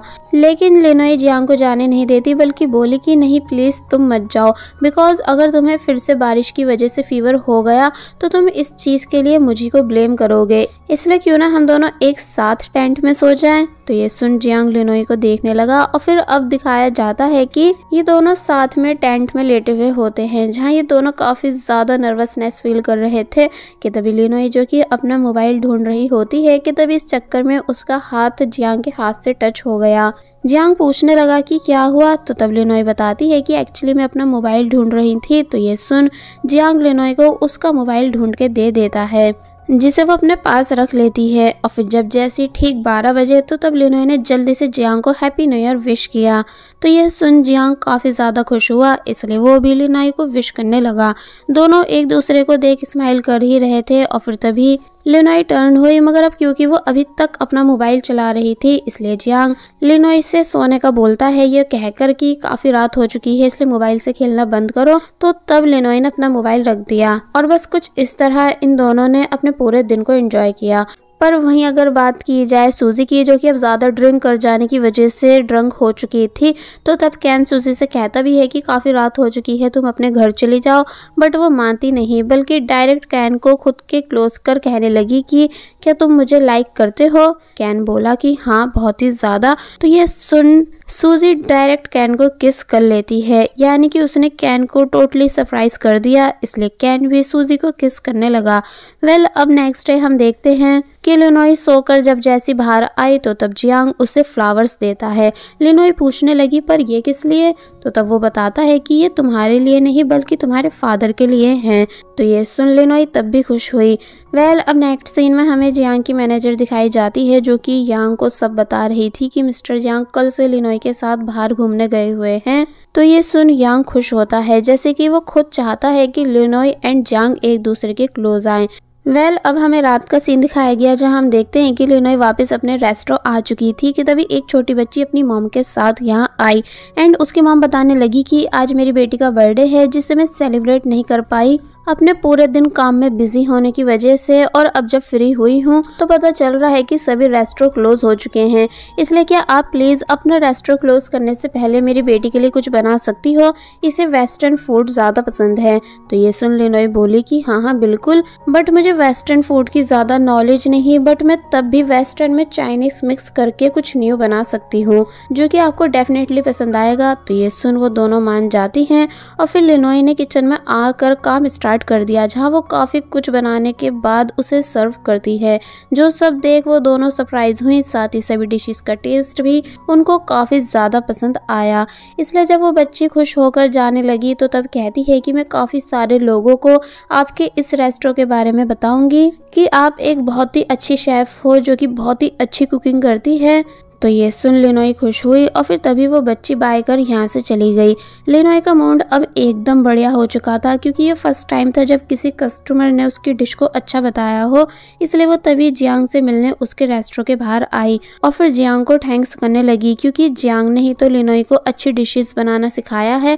जियांग पूछता है कि अगर तुम इस टाइम फ्री हो तो क्यों ना हम साथ में डिनर करें? बिकॉज़ मैंने दो न्यू डिशेज इन्वेंट की हैं। और फिर तभी वो लिनोई को अपने घर ले आया, जहाँ इन्होंने साथ में डिनर किया, बहुत सारी बातें की। लेकिन जब जैसी लिनोई के फेस पर कुछ लगा तो तब जियांग लिनोई के क्लोज होकर काफ़ी प्यार से उसे क्लीन करता है। लिनोई जियांग को बस देखती रह गई एंड जियांग लिनोई को, मगर तभी जियांग पीछे हुआ और पानी लेने चला गया। लिनोई बताती है कि, पर मुझे तो वाइन चाहिए। तो तब जियान कहता है कि, वाइन मेरे रूम में रखी है, तुम वहाँ से ले आओ तो ये सुन। लिनोई जब जैसी जियांग के रूम में आई तो तब आज फाइनली यहाँ उसने उन सभी फ़ोटोज़ को देख लिया। जो जो जियांग की एनिमीज की हैं, इसलिए वो शौक रह जाती है। जियांग भी जल्दी से यहाँ आया और एक्सप्लेन करने लगा कि ऐसा नहीं है जैसा कि तुम सोच रही हो, बट लिनोय अब उसकी एक भी बात सुनने के लिए रेडी नहीं थी तो तब जियांग लिनोय को अपने साथ उसी प्लेस ले आया, जहाँ वो बचपन में अपनी सिस्टर के साथ आता था, यानी कि मिस्टर कॉन्ग के रेस्टोरेंट के बाहर। और फिर लिनोय को सब बता देता है कि कैसे कैसे जब वो अपनी सिस्टर के साथ ऑर्फनेज में रहता था एंड अपनी सिस्टर को कुकिंग सिखाना चाहता था, जिस चीज़ की उसने मिस्टर कॉन्ग से बहुत ही ज़्यादा रिक्वेस्ट की थी, लेकिन मिस्टर कॉन्ग ने तब भी उसे मना कर दिया था। बिकॉज़ वो ऐसा ग्रैंड पा के बोलने पर कर रहे थे तो ये सुन लिनोई चुप हो गई। जियांग पूछता है कि बताओ क्या मिस्टर कॉन्ग ने गलत नहीं किया कि उन्होंने ग्रैंडपा की बात को माना। इसलिए बस तभी से मैंने डिसाइड कर लिया था कि मैं एक ना एक दिन मिस्टर कॉन्ग की नाइफ को ज़रूर सीज करूँगा। जिन सभी बातों को सुनने के बाद लिनोई कुछ नहीं बोलती बिकॉज़ अब आई थिंक उसे भी जियांग की बातें सही लगने लगी हैं। मतलब नेक्स्ट सीन में हम देखते हैं कि कैन जो कि लिनोई को परेशान कर रहा है कि तभी दो लेडीज़ इनके रेस्टों में आई जिनको देख लिनोई को लगने लगा कि कहीं जियांग नहीं तो इनको यहाँ नहीं भेजा भेजा। मेरे रेस्टोरेंट को क्लोज कराने के लिए बिकॉज़ उसने मेरी फ़ोटो को भी अपनी एनिमीज़ की फ़ोटोज़ के साथ लगा रखा था मगर ऐसा नहीं होता है। यानी कि इन दोनों लेडीज़ को उसी छोटी बच्ची ने भेजा था। तो ये सुन लिनोई काफ़ी ज़्यादा खुश हुई इसलिए जल्दी से कुकिंग करने लगी। वेल well, अब रिव्यूज़ भी अच्छे आ रहे थे लिनोई के रेस्टोरेंट पेज पर इसलिए और भी कई सारे कस्टमर्स यहाँ आ जाते हैं जिन सभी का कैन ने वेलकम किया और बस फिर ऐसे ही करते करते फाइनली लिनोई का रेस्टोरेंट भी फ़ेमस हो ही गया। जिसके बाद अब नेक्स्ट सीन में हम जियांग को देख देखते हैं, जो कि फैंग से डिस्कस कर रहा था कि क्या तुम्हें नहीं लगता कि लिनोय आजकल कुछ ज़्यादा ही ऑफ़ ले रही है? पर आखिर वो ऐसा कर क्यों रही है? साथ ही जब भी आती है तो तब घर भी जल्दी चली जाती है। क्या वो और कहीं भी जॉब कर रही है? तो ये सुन फैंग बोला, पता नहीं, शायद हो सकता है। और फिर जब जैसी जियांग ने लिनोय को कॉल कर, सब पूछा कि तुम आखिर कहाँ हो तो तब लिनोई ने झूठ कह दिया कि मैं अपने फादर को लेकर हॉस्पिटल आई हुई हूँ। तो ये सुन जियांग लिनोई की बात पर बिलीव कर लेता है बट ऐसा होता नहीं है। यानी कि लिनोई हॉस्पिटल में नहीं, बल्कि जिंजिंग से मिलने उसकी शॉप पर आई हुई थी। जिंजिंग ने पूछा कि क्या मैं तुम्हारे यहाँ आने का रीज़न जान सकती हूँ? तो तब लिनोई बताती है कि एक्चुअली मेरे रेस्टोरेंट पर बहुत सारे कस्टमर्स आ रहे हैं, जिस वजह से मुझे इंग्रेडिएंट्स की काफ़ी कमी पड़ रही है। इसलिए क्या तुम प्लीज़ मुझे बता सकती हो कि मैं चीप प्राइस पर इंग्रेडिएंट्स कहाँ से बाय करूँ? क्या मुझे वो तुम्हारे डैड की शॉप से लेने चाहिए? तो तब जिन जिन कहती है कि नहीं नहीं, ये आइडिया सही नहीं है बिकॉज़ मेरे डैड के इंग्रेडिएंट्स काफ़ी ज़्यादा एक्सपेंसिव होते हैं। और फिर तभी बोली कि मैं एक पर्सन को जानती हूँ जो कि चीप प्राइस पर तुम्हें इंग्रेडिएंट्स दिला देगा। तो ये सुन लेना ही खुश हुई। और फिर जब जैसी रेस्टोरेंट में खड़े होकर उसी पर्सन के आने का वेट कर रही होती है जिन जिन की बातों को याद करते हुए तो तब यहाँ और कोई नहीं, बल्कि जियांग का कज़न यांग आता है, जिसको देख लिनोई के होश उड़ गए, क्योंकि वो जानती है कि ये जियांग का कज़न है। वेल अब नेक्स्ट सीन में लिनोई ने यांग को डिशेस टेस्ट कराई, जिन्हें खाकर वो बोला कि तुम वाकई में कुकिंग में अच्छी हो, इसलिए मैं तुम्हें अपने होटल के इंग्रेडिएंट्स सेल करने के लिए तैयार हूँ। पर क्या पहले तुम उनको सही से देखने के लिए मेरे होटल चलना पसंद करोगी? तो ये सुन लिनोई मान गई। और फिर जब जैसे ये दोनों कार में थे कि तभी यांग एक जगह रुका और लिनोई से वेट करने का कहकर कहीं चला जाता है। एक्चुअली वो जियांग से मिलकर बात कर रहा होता है तो तब जियांग को देख लिनोई के होश उड़ गए। इसलिए वो छुपने लग जाती है कि कहीं जियांग मुझे देख नहीं ले। इसलिए वो तभी कार से भी निकल गई और एक जगह जब छुप ही रही थी कि तभी जियांग ने उसे देख ही लिया। इसलिए पूछता है कि, लिनोई, तुम वहाँ क्या कर रही हो? तो ये सुन लिनोई सरप्राइज़ हुई और फिर बोलती है कि, कुछ भी तो नहीं। पर अचानक उसके पैर पर चोट आई, जिस वजह से उससे चला नहीं गया। तो तब जियांग ने अपने अर्जेंट काम को छोड़कर लिनोई के साथ जाने लग जाता है। पैर के ट्रीटमेंट के लिए जिन दोनों को जाते हुए दूर से यांग भी देख रहा था एक्चुअली यांग जानबूझकर लिनोई को अपने साथ यहाँ लाया था ताकि कंफर्म कर सके कि जियांग वाकई में लिनोई को पसंद करता भी है कि नहीं। और वही जियांग जब जैसे लिनोई की लेग को पकड़कर उस पर मेडिसिन लगाने लग जाता है, साथ ही लिनोई के लिए काफ़ी ज़्यादा परेशान भी हो रहा था।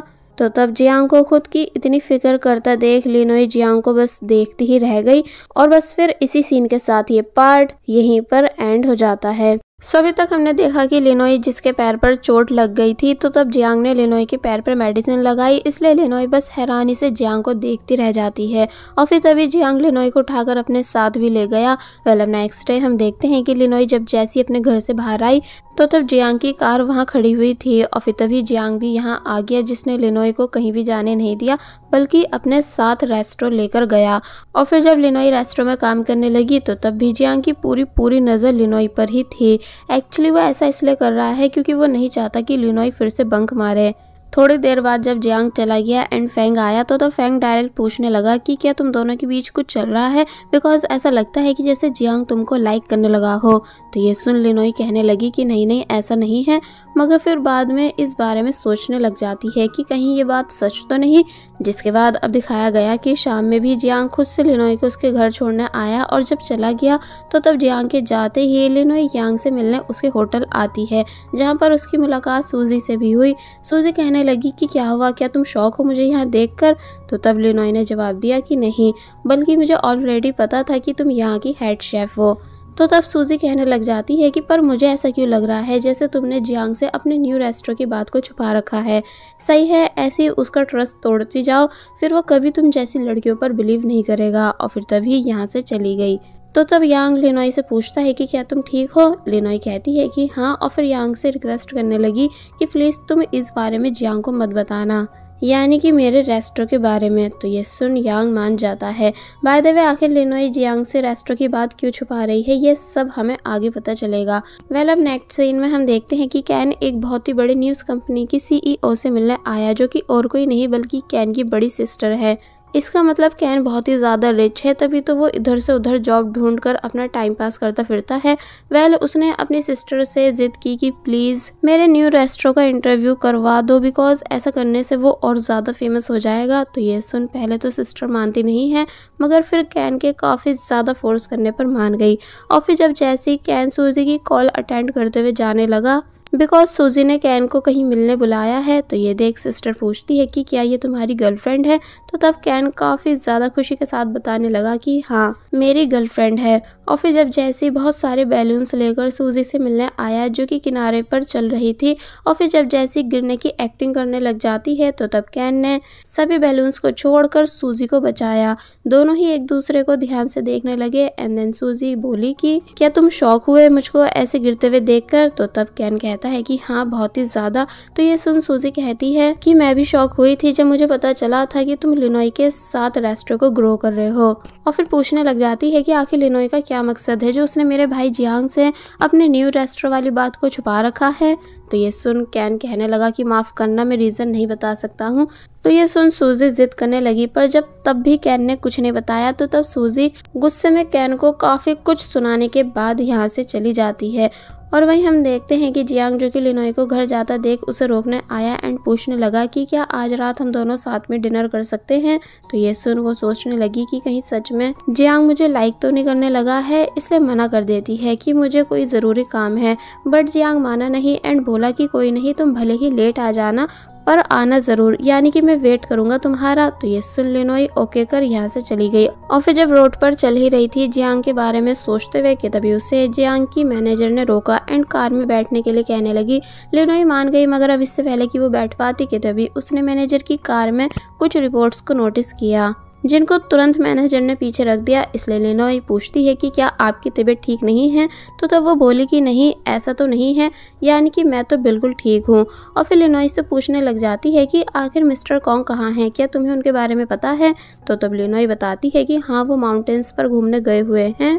तो ये सुन मैनेजर ने बताया कि नहीं, ऐसा नहीं है, यानी कि मुझे पता चला है कि वो हॉस्पिटल में एडमिट हैं। तो ये सुन लिनोई के होश उड़ गए, इसलिए वो एड्रेस का पता कर डायरेक्ट मिस्टर कॉन्ग से मिलने हॉस्पिटल आ गई। एंड बहुत ही ज़्यादा बुरी तरह रोने लगी ये बोलते हुए कि आखिर आपने मुझसे ये सब क्यों छुपाया? क्या तभी कैन भी यहाँ आ गया जो कि वो भी मिस्टर कॉन्ग को ऐसी हालत में देख काफ़ी बुरी तरह रोने लग जाता है। एक्चुअली जब से मिस्टर कॉन्ग का रेस्टोर बंद हुआ है, तभी से उनकी तबीयत ठीक नहीं थी। जिस वजह से रिज़ल्ट ये आया कि अब वो हॉस्पिटल में एडमिट है एंड सोच सोच कर अपनी कंडीशन को और ज़्यादा ख़राब कर चुके हैं। ऊपर से उन्हें और भी कई हेल्थ इश्यूज़ पहले से ही थे, इसलिए अब वो ठीक तभी होंगे जब उनका ऑपरेशन होगा। मगर फ़िलहाल उन्होंने इस बारे में इन दोनों को नहीं बताया, बल्कि बस कहने लगे कि मैं ठीक हूँ एंड डिस्चार्ज हो जाऊँगा। तो तब जाकर लिनोय एंड कैन थोड़ा नॉर्मल हुए और फिर बताते हैं कि मास्टर, क्या आपको पता है कि हमने अपना खुद का रेस्टोरेंट ओपन किया है, जो कि आपको ज़रूर देखना चाहिए? तो ये सुन मिस्टर कॉन्ग मान गए। तो तब ये दोनों फुल एक्साइटमेंट के साथ इनको अपने साथ हॉस्पिटल से लेकर जाने लग जाते हैं एंड रेस्टो लाकर डिशेस टेस्ट कराने लगे। तो तब मिस्टर कॉन्ग ने बहुत ज़्यादा तारीफ़ की लिनोई के खाने की कि फाइनली तुम्हें कुकिंग करनी आ ही गई और फिर बाद में कैन की भी तारीफ़ करते हैं कि उसने कितने अच्छे से रेस्टो को मैनेज किया हुआ है। तो ये सुन, वो दोनों बहुत ही ज़्यादा खुश हुए और फिर यहाँ ये तीनों काफ़ी सारी बातें करने लग जाते हैं। मगर जब जैसी अचानक मिस्टर कॉन्ग की तबीयत बिगड़ी, यानी कि उन्हें सांस तक आनी बंद होने लगी थी, इसलिए कैन जल्दी से एंबुलेंस को कॉल करता है और मिस्टर कॉन्ग को अपने साथ लेकर जाने लगा तो तब लिनोई ये सब देख बस शौक में खड़ी रह जाती है कि मिस्टर कॉन्ग कैसे बिल्कुल भी सही कंडीशन में नहीं है, इसलिए वो बहुत ही ज़्यादा उदास हुई।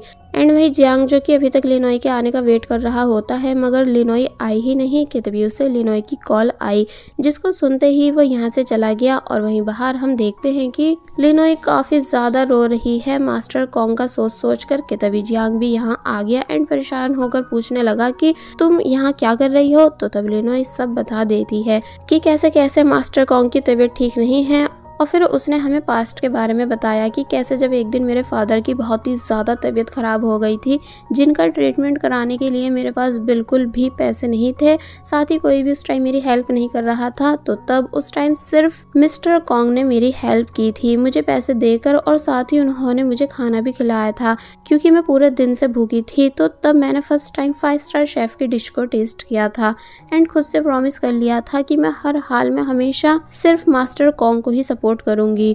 तो ये बात प्रेजेंट में सुन जियांग बस खड़ा रह गया और फिर लिनोई से सॉरी करने लगा। लिनोई पूछने लगी कि अगर तुम्हें फिर से चांस मिला मिस्टर कॉन्ग को कॉम्पिटिशन में हराने का तो क्या तुम तब भी उनके साथ कॉम्पिटिशन करोगे एंड दोबारा उनके रेस्टोरों को बंद कराने का ट्राई करोगे? तो ये सुन जियांग कुछ नहीं कहता, यानी कि बस चुपचाप खड़ा रहता है तो इस वजह से लिनोई जियांग पर बहुत ही ज़्यादा गुस्सा हुई और फिर गुस्से में यहाँ से चली गई। वो भी काफ़ी ज़्यादा बुरी तरह रोते हुए तो वहीं जियांग भी बस उदास खड़ा हुआ था। वेल, अब नेक्स्ट हम देखते हैं कि जियांग जब जैसे अपने रेस्टोर आया तो तब उसे अपने रेस्टोर के बाहर अपने नेक्स्ट चैलेंजर का नोटिस मिला, जिसे वो देखने लगा, और फिर जब उसने ये बात फैंग को बताई कि मुझे ली फैमिली की साइड से चैलेंज मिला है तो ये सुन फैंग कहने लगा कि कहीं ये लिनोई की फैमिली तो नहीं? तो तब जियांग बोलता है कि नहीं, ऐसा होना पॉसिबल नहीं। बिकॉज़ लिनोई के पास कोई ऐसा खानदानी नाइफ नहीं है जिस पर फाइव स्टार हो।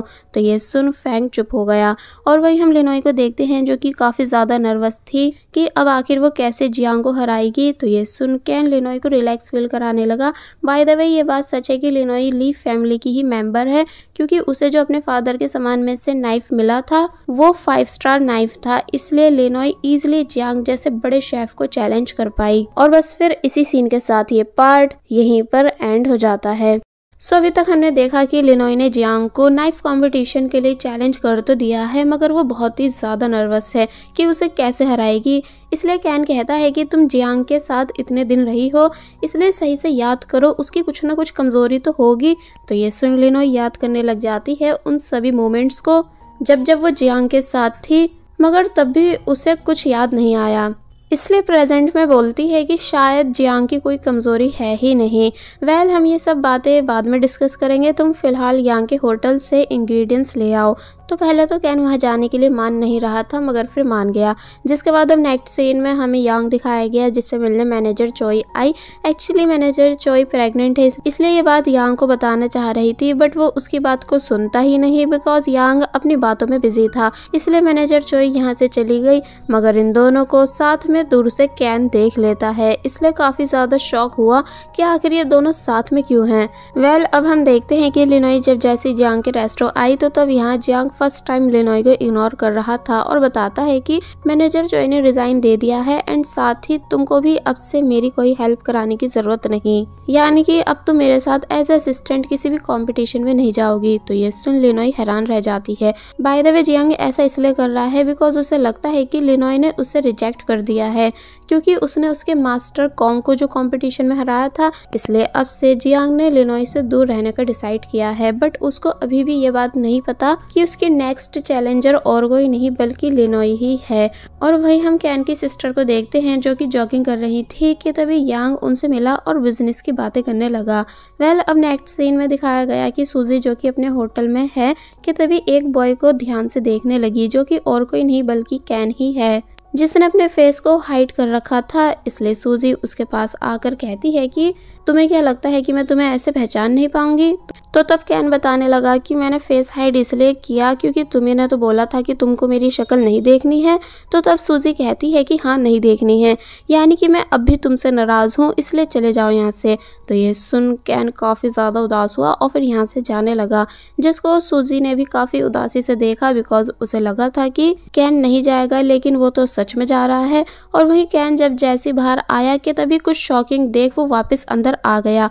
एंड सूजी का मुँह भीजते हुए उसे साइड में ले जाता है, क्योंकि वो शोर कर रही थी। और फिर ये दोनों देखते हैं कि यांग कैंग की सिस्टर के साथ यहाँ आया है। इसलिए ये देख सूजी ने कैन के हाथ पर काट लिया। ये पूछते हुए कि आखिर ये लड़की है कौन जिससे तुम जानते हो?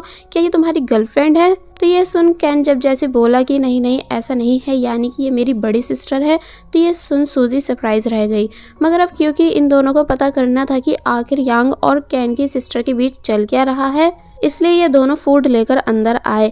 यानी सूजी ने डिशेस सर्व की एंड अजीब अजीब बातें बोलने लगी। तो तब यांग हंस के कहता है कि, लगता है कि मेरी छोटी बहन को मिसअंडरस्टैंडिंग हो रही है। हम दोनों को लेकर तो तब सिस्टर भी कहती है कि हाँ ऐसा ही है, तभी तो मेरा भाई यहाँ अपना फेस हाइड करके आया है। तो ये सुन कैन ने डायरेक्ट अपने फेस से मास्क हटाया और बताने लगा कि सिस्टर इस आदमी को डेट मत करना बिकॉज़ ये फ्रॉड है, यानी कि चीटर है। तो तब पहले तो कैन की सिस्टर हंसती है और फिर कैन को मारते हुए बताती है कि ऐसा नहीं है, हम दोनों यहाँ सिर्फ़ बिज़नेस कन्वर्सेशन के लिए आए थे। तो तब जाकर कैन शांत हुआ। कैन की सिस्टर सूजी को देख पूछने लगी कि क्या ये वही लड़की है जिसके बारे में तुम मुझे बता रहे थे कि तुम उसे पसंद करते हो, यानी कि तुम्हारी गर्लफ्रेंड तो ये सुन सूजी कैन की तरफ़ देखते हुए हैरान होने लग जाती है। तो वहीं यांग ने भी इन सब बातों में काफ़ी ज़्यादा इंटरेस्ट लिया। ये बोलते हुए कि, क्या सच में तुम दोनों एक दूसरे को डेट कर रहे हो? क्या इस बारे में ग्रैंड को पता है? तो तब सूजी जल्दी से कहने लगी कि, नहीं नहीं, ऐसा कुछ भी नहीं है। यानी कि मैं कैन की गर्लफ्रेंड नहीं हूँ, बल्कि हम दोनों सिर्फ़ एक दूसरे को जानते हैं। और फिर तभी यहाँ से चली गई। तो तब कैन काफ़ी ज़्यादा शौक रह गया कि सूजी ऐसा कैसे बोल सकती है। एक्चुअली सूजी ने एक तरह से कैन की उसकी सिस्टर के सामने इंसल्ट कर दी थी। इसलिए कैन बाहर आया और पूछने लगा कि तुम मेरी सिस्टर के सामने क्या बोल रही थी? यानी अगर हम दोनों एक दूसरे के कुछ नहीं लगते तो तुमने मुझे किस क्यों की थी? तो तब सूजी बताती है इसलिए क्योंकि उस दिन मैं बहुत ही ज़्यादा ड्रंक थी। जिस वजह से मैंने गलती से तुम्हें किस कर दी थी एंड रही बात गर्लफ्रेंड बनने की तो वो तुम भूल ही जाओ। यानी कि मैं कभी तुम्हारी गर्लफ्रेंड नहीं बन सकती हूँ। हम दोनों सिर्फ़ दोस्त हैं। तो ये सुन कैन इतना ज़्यादा हार्ट ब्रोकन हुआ कि वो उदासी के साथ यहाँ से चला गया। वेल अब नेक्स्ट सीन में हम देखते हैं कि ग्रैंड जो कि यांग से जियांग के नेक्स्ट चैलेंजर के बारे में पूछ रहे थे तो तब यांग बताता है कि उसे किसी ली फैमिली के मेंबर ने चैलेंज किया है। तो ये सुन ग्रैंडपा थोड़ा शौक रह गए कि क्या ली फैमिली ने, और फिर बताते हैं कि ली फैमिली इस शहर में पहले बहुत ही ज़्यादा फ़ेमस हुआ करती थी, लेकिन अचानक इस फैमिली का नाम कुकिंग लाइन में से गायब हो गया था। लेकिन अचानक इस फैमिली का नाम कुकिंग लाइन में से गायब हो गया था बट अब मैं खुश हूँ कि ये फैमिली वापस आ चुकी है। जिसको अगर जियांग ने हरा दिया तो ये बहुत ही बड़ी बात होगी। यानी फिर मैं उसे अपने घर पर डिनर के लिए इनवाइट भी करूँगा। एंड क्या पता मैं उसे अपने होटल का हेड शेफ़ भी बना दूँ, क्योंकि आखिर है तो वो इसी फैमिली का सन और इस तरह से फिर वो हमारे होटल की नाइफ को भी सीज नहीं कर पाएगा। तो ये सुन यांग के होश उड़ गए। इसलिए बोलने लगा कि, पर ग्रैंडपा पहले तो आप जियांग से नफरत करते थे तो इस पर वो जवाब देते हैं कि, पर अब नहीं करता। बिकॉज़ अब जियांग इस शहर का सबसे बड़ा और फ़ेमस शेफ़ है। इसलिए मुझे गर्व होना चाहिए कि वो मेरा ग्रैंड चाइल्ड है। पता नहीं मैंने स्टार्टिंग में जियांग को पहचानने में गलती कैसे कर दी। तो तब इन सभी बातों को सुन यांग को और भी ज़्यादा गुस्सा आने लगा। इसलिए वो तुरंत यहाँ से चला गया। और कार में बैठकर डायरेक्ट कैन की सिस्टर को कॉल करता है। ये बोलते हुए कि तुम इस नाइफ कंपटीशन की जज बनोगी क्योंकि मुझे कैसे भी करके जियांग को हरवाना है। वेल अब नेक्स्ट सीन में हम देखते हैं कि लिनोई एंड कैन जो कि कंपटीशन की तैयारी कर रहे थे न्यू न्यू डिशेस को बना करके तभी इन्हें जियांग इसी तरफ़ आता दिखा। इसलिए उसको देख लिनोई शौक रह गई, इसलिए तभी छुप जाती है।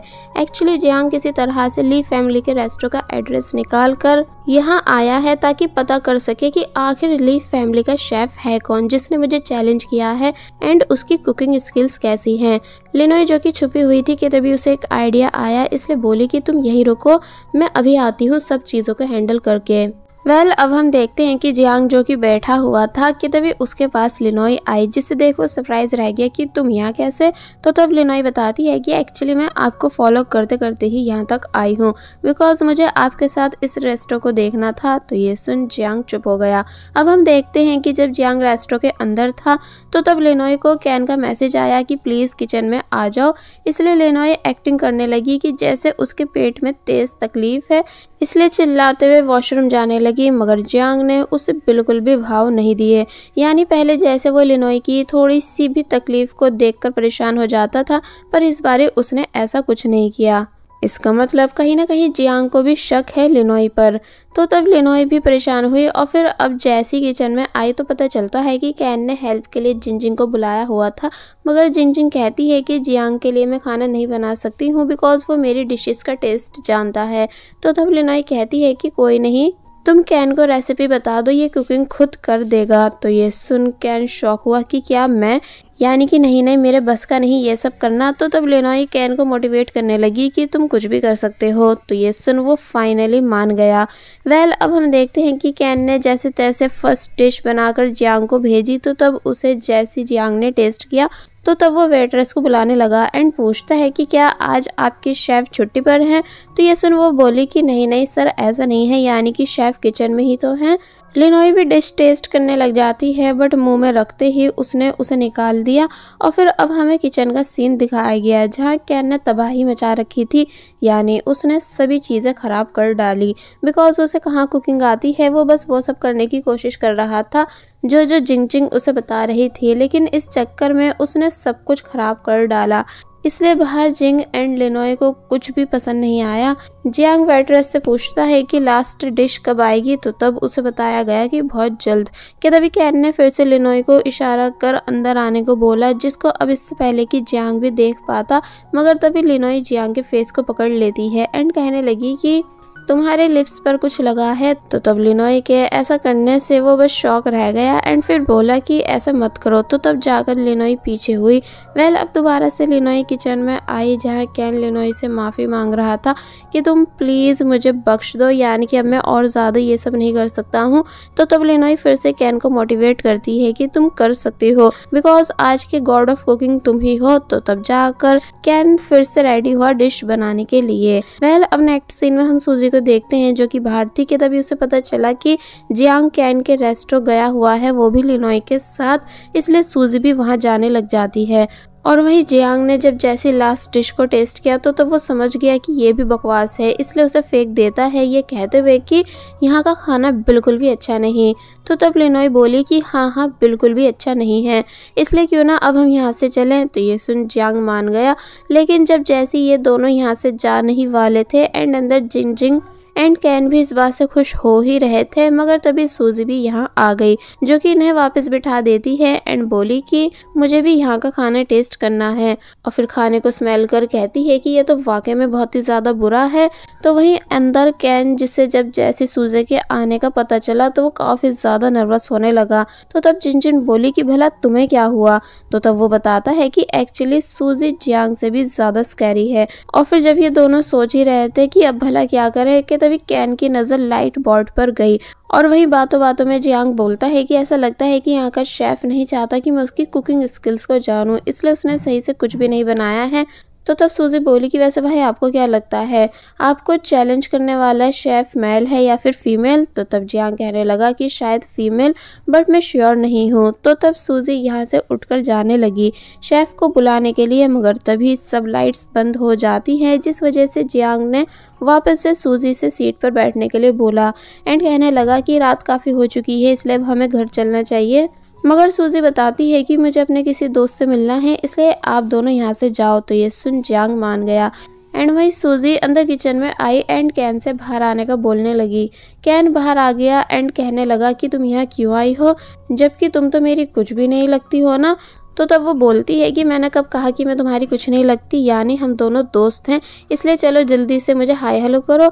मगर कैन मान नहीं रहा था कि तभी जिन जिन भी यहाँ आ गई, जिसको देख सूजी बोलने लगी कि ओ ओ अच्छा तो आजकल तुमने इसे अपनी फ्रेंड बना रखा है, जो कि तुमसे काफ़ी ज़्यादा बड़ी भी है।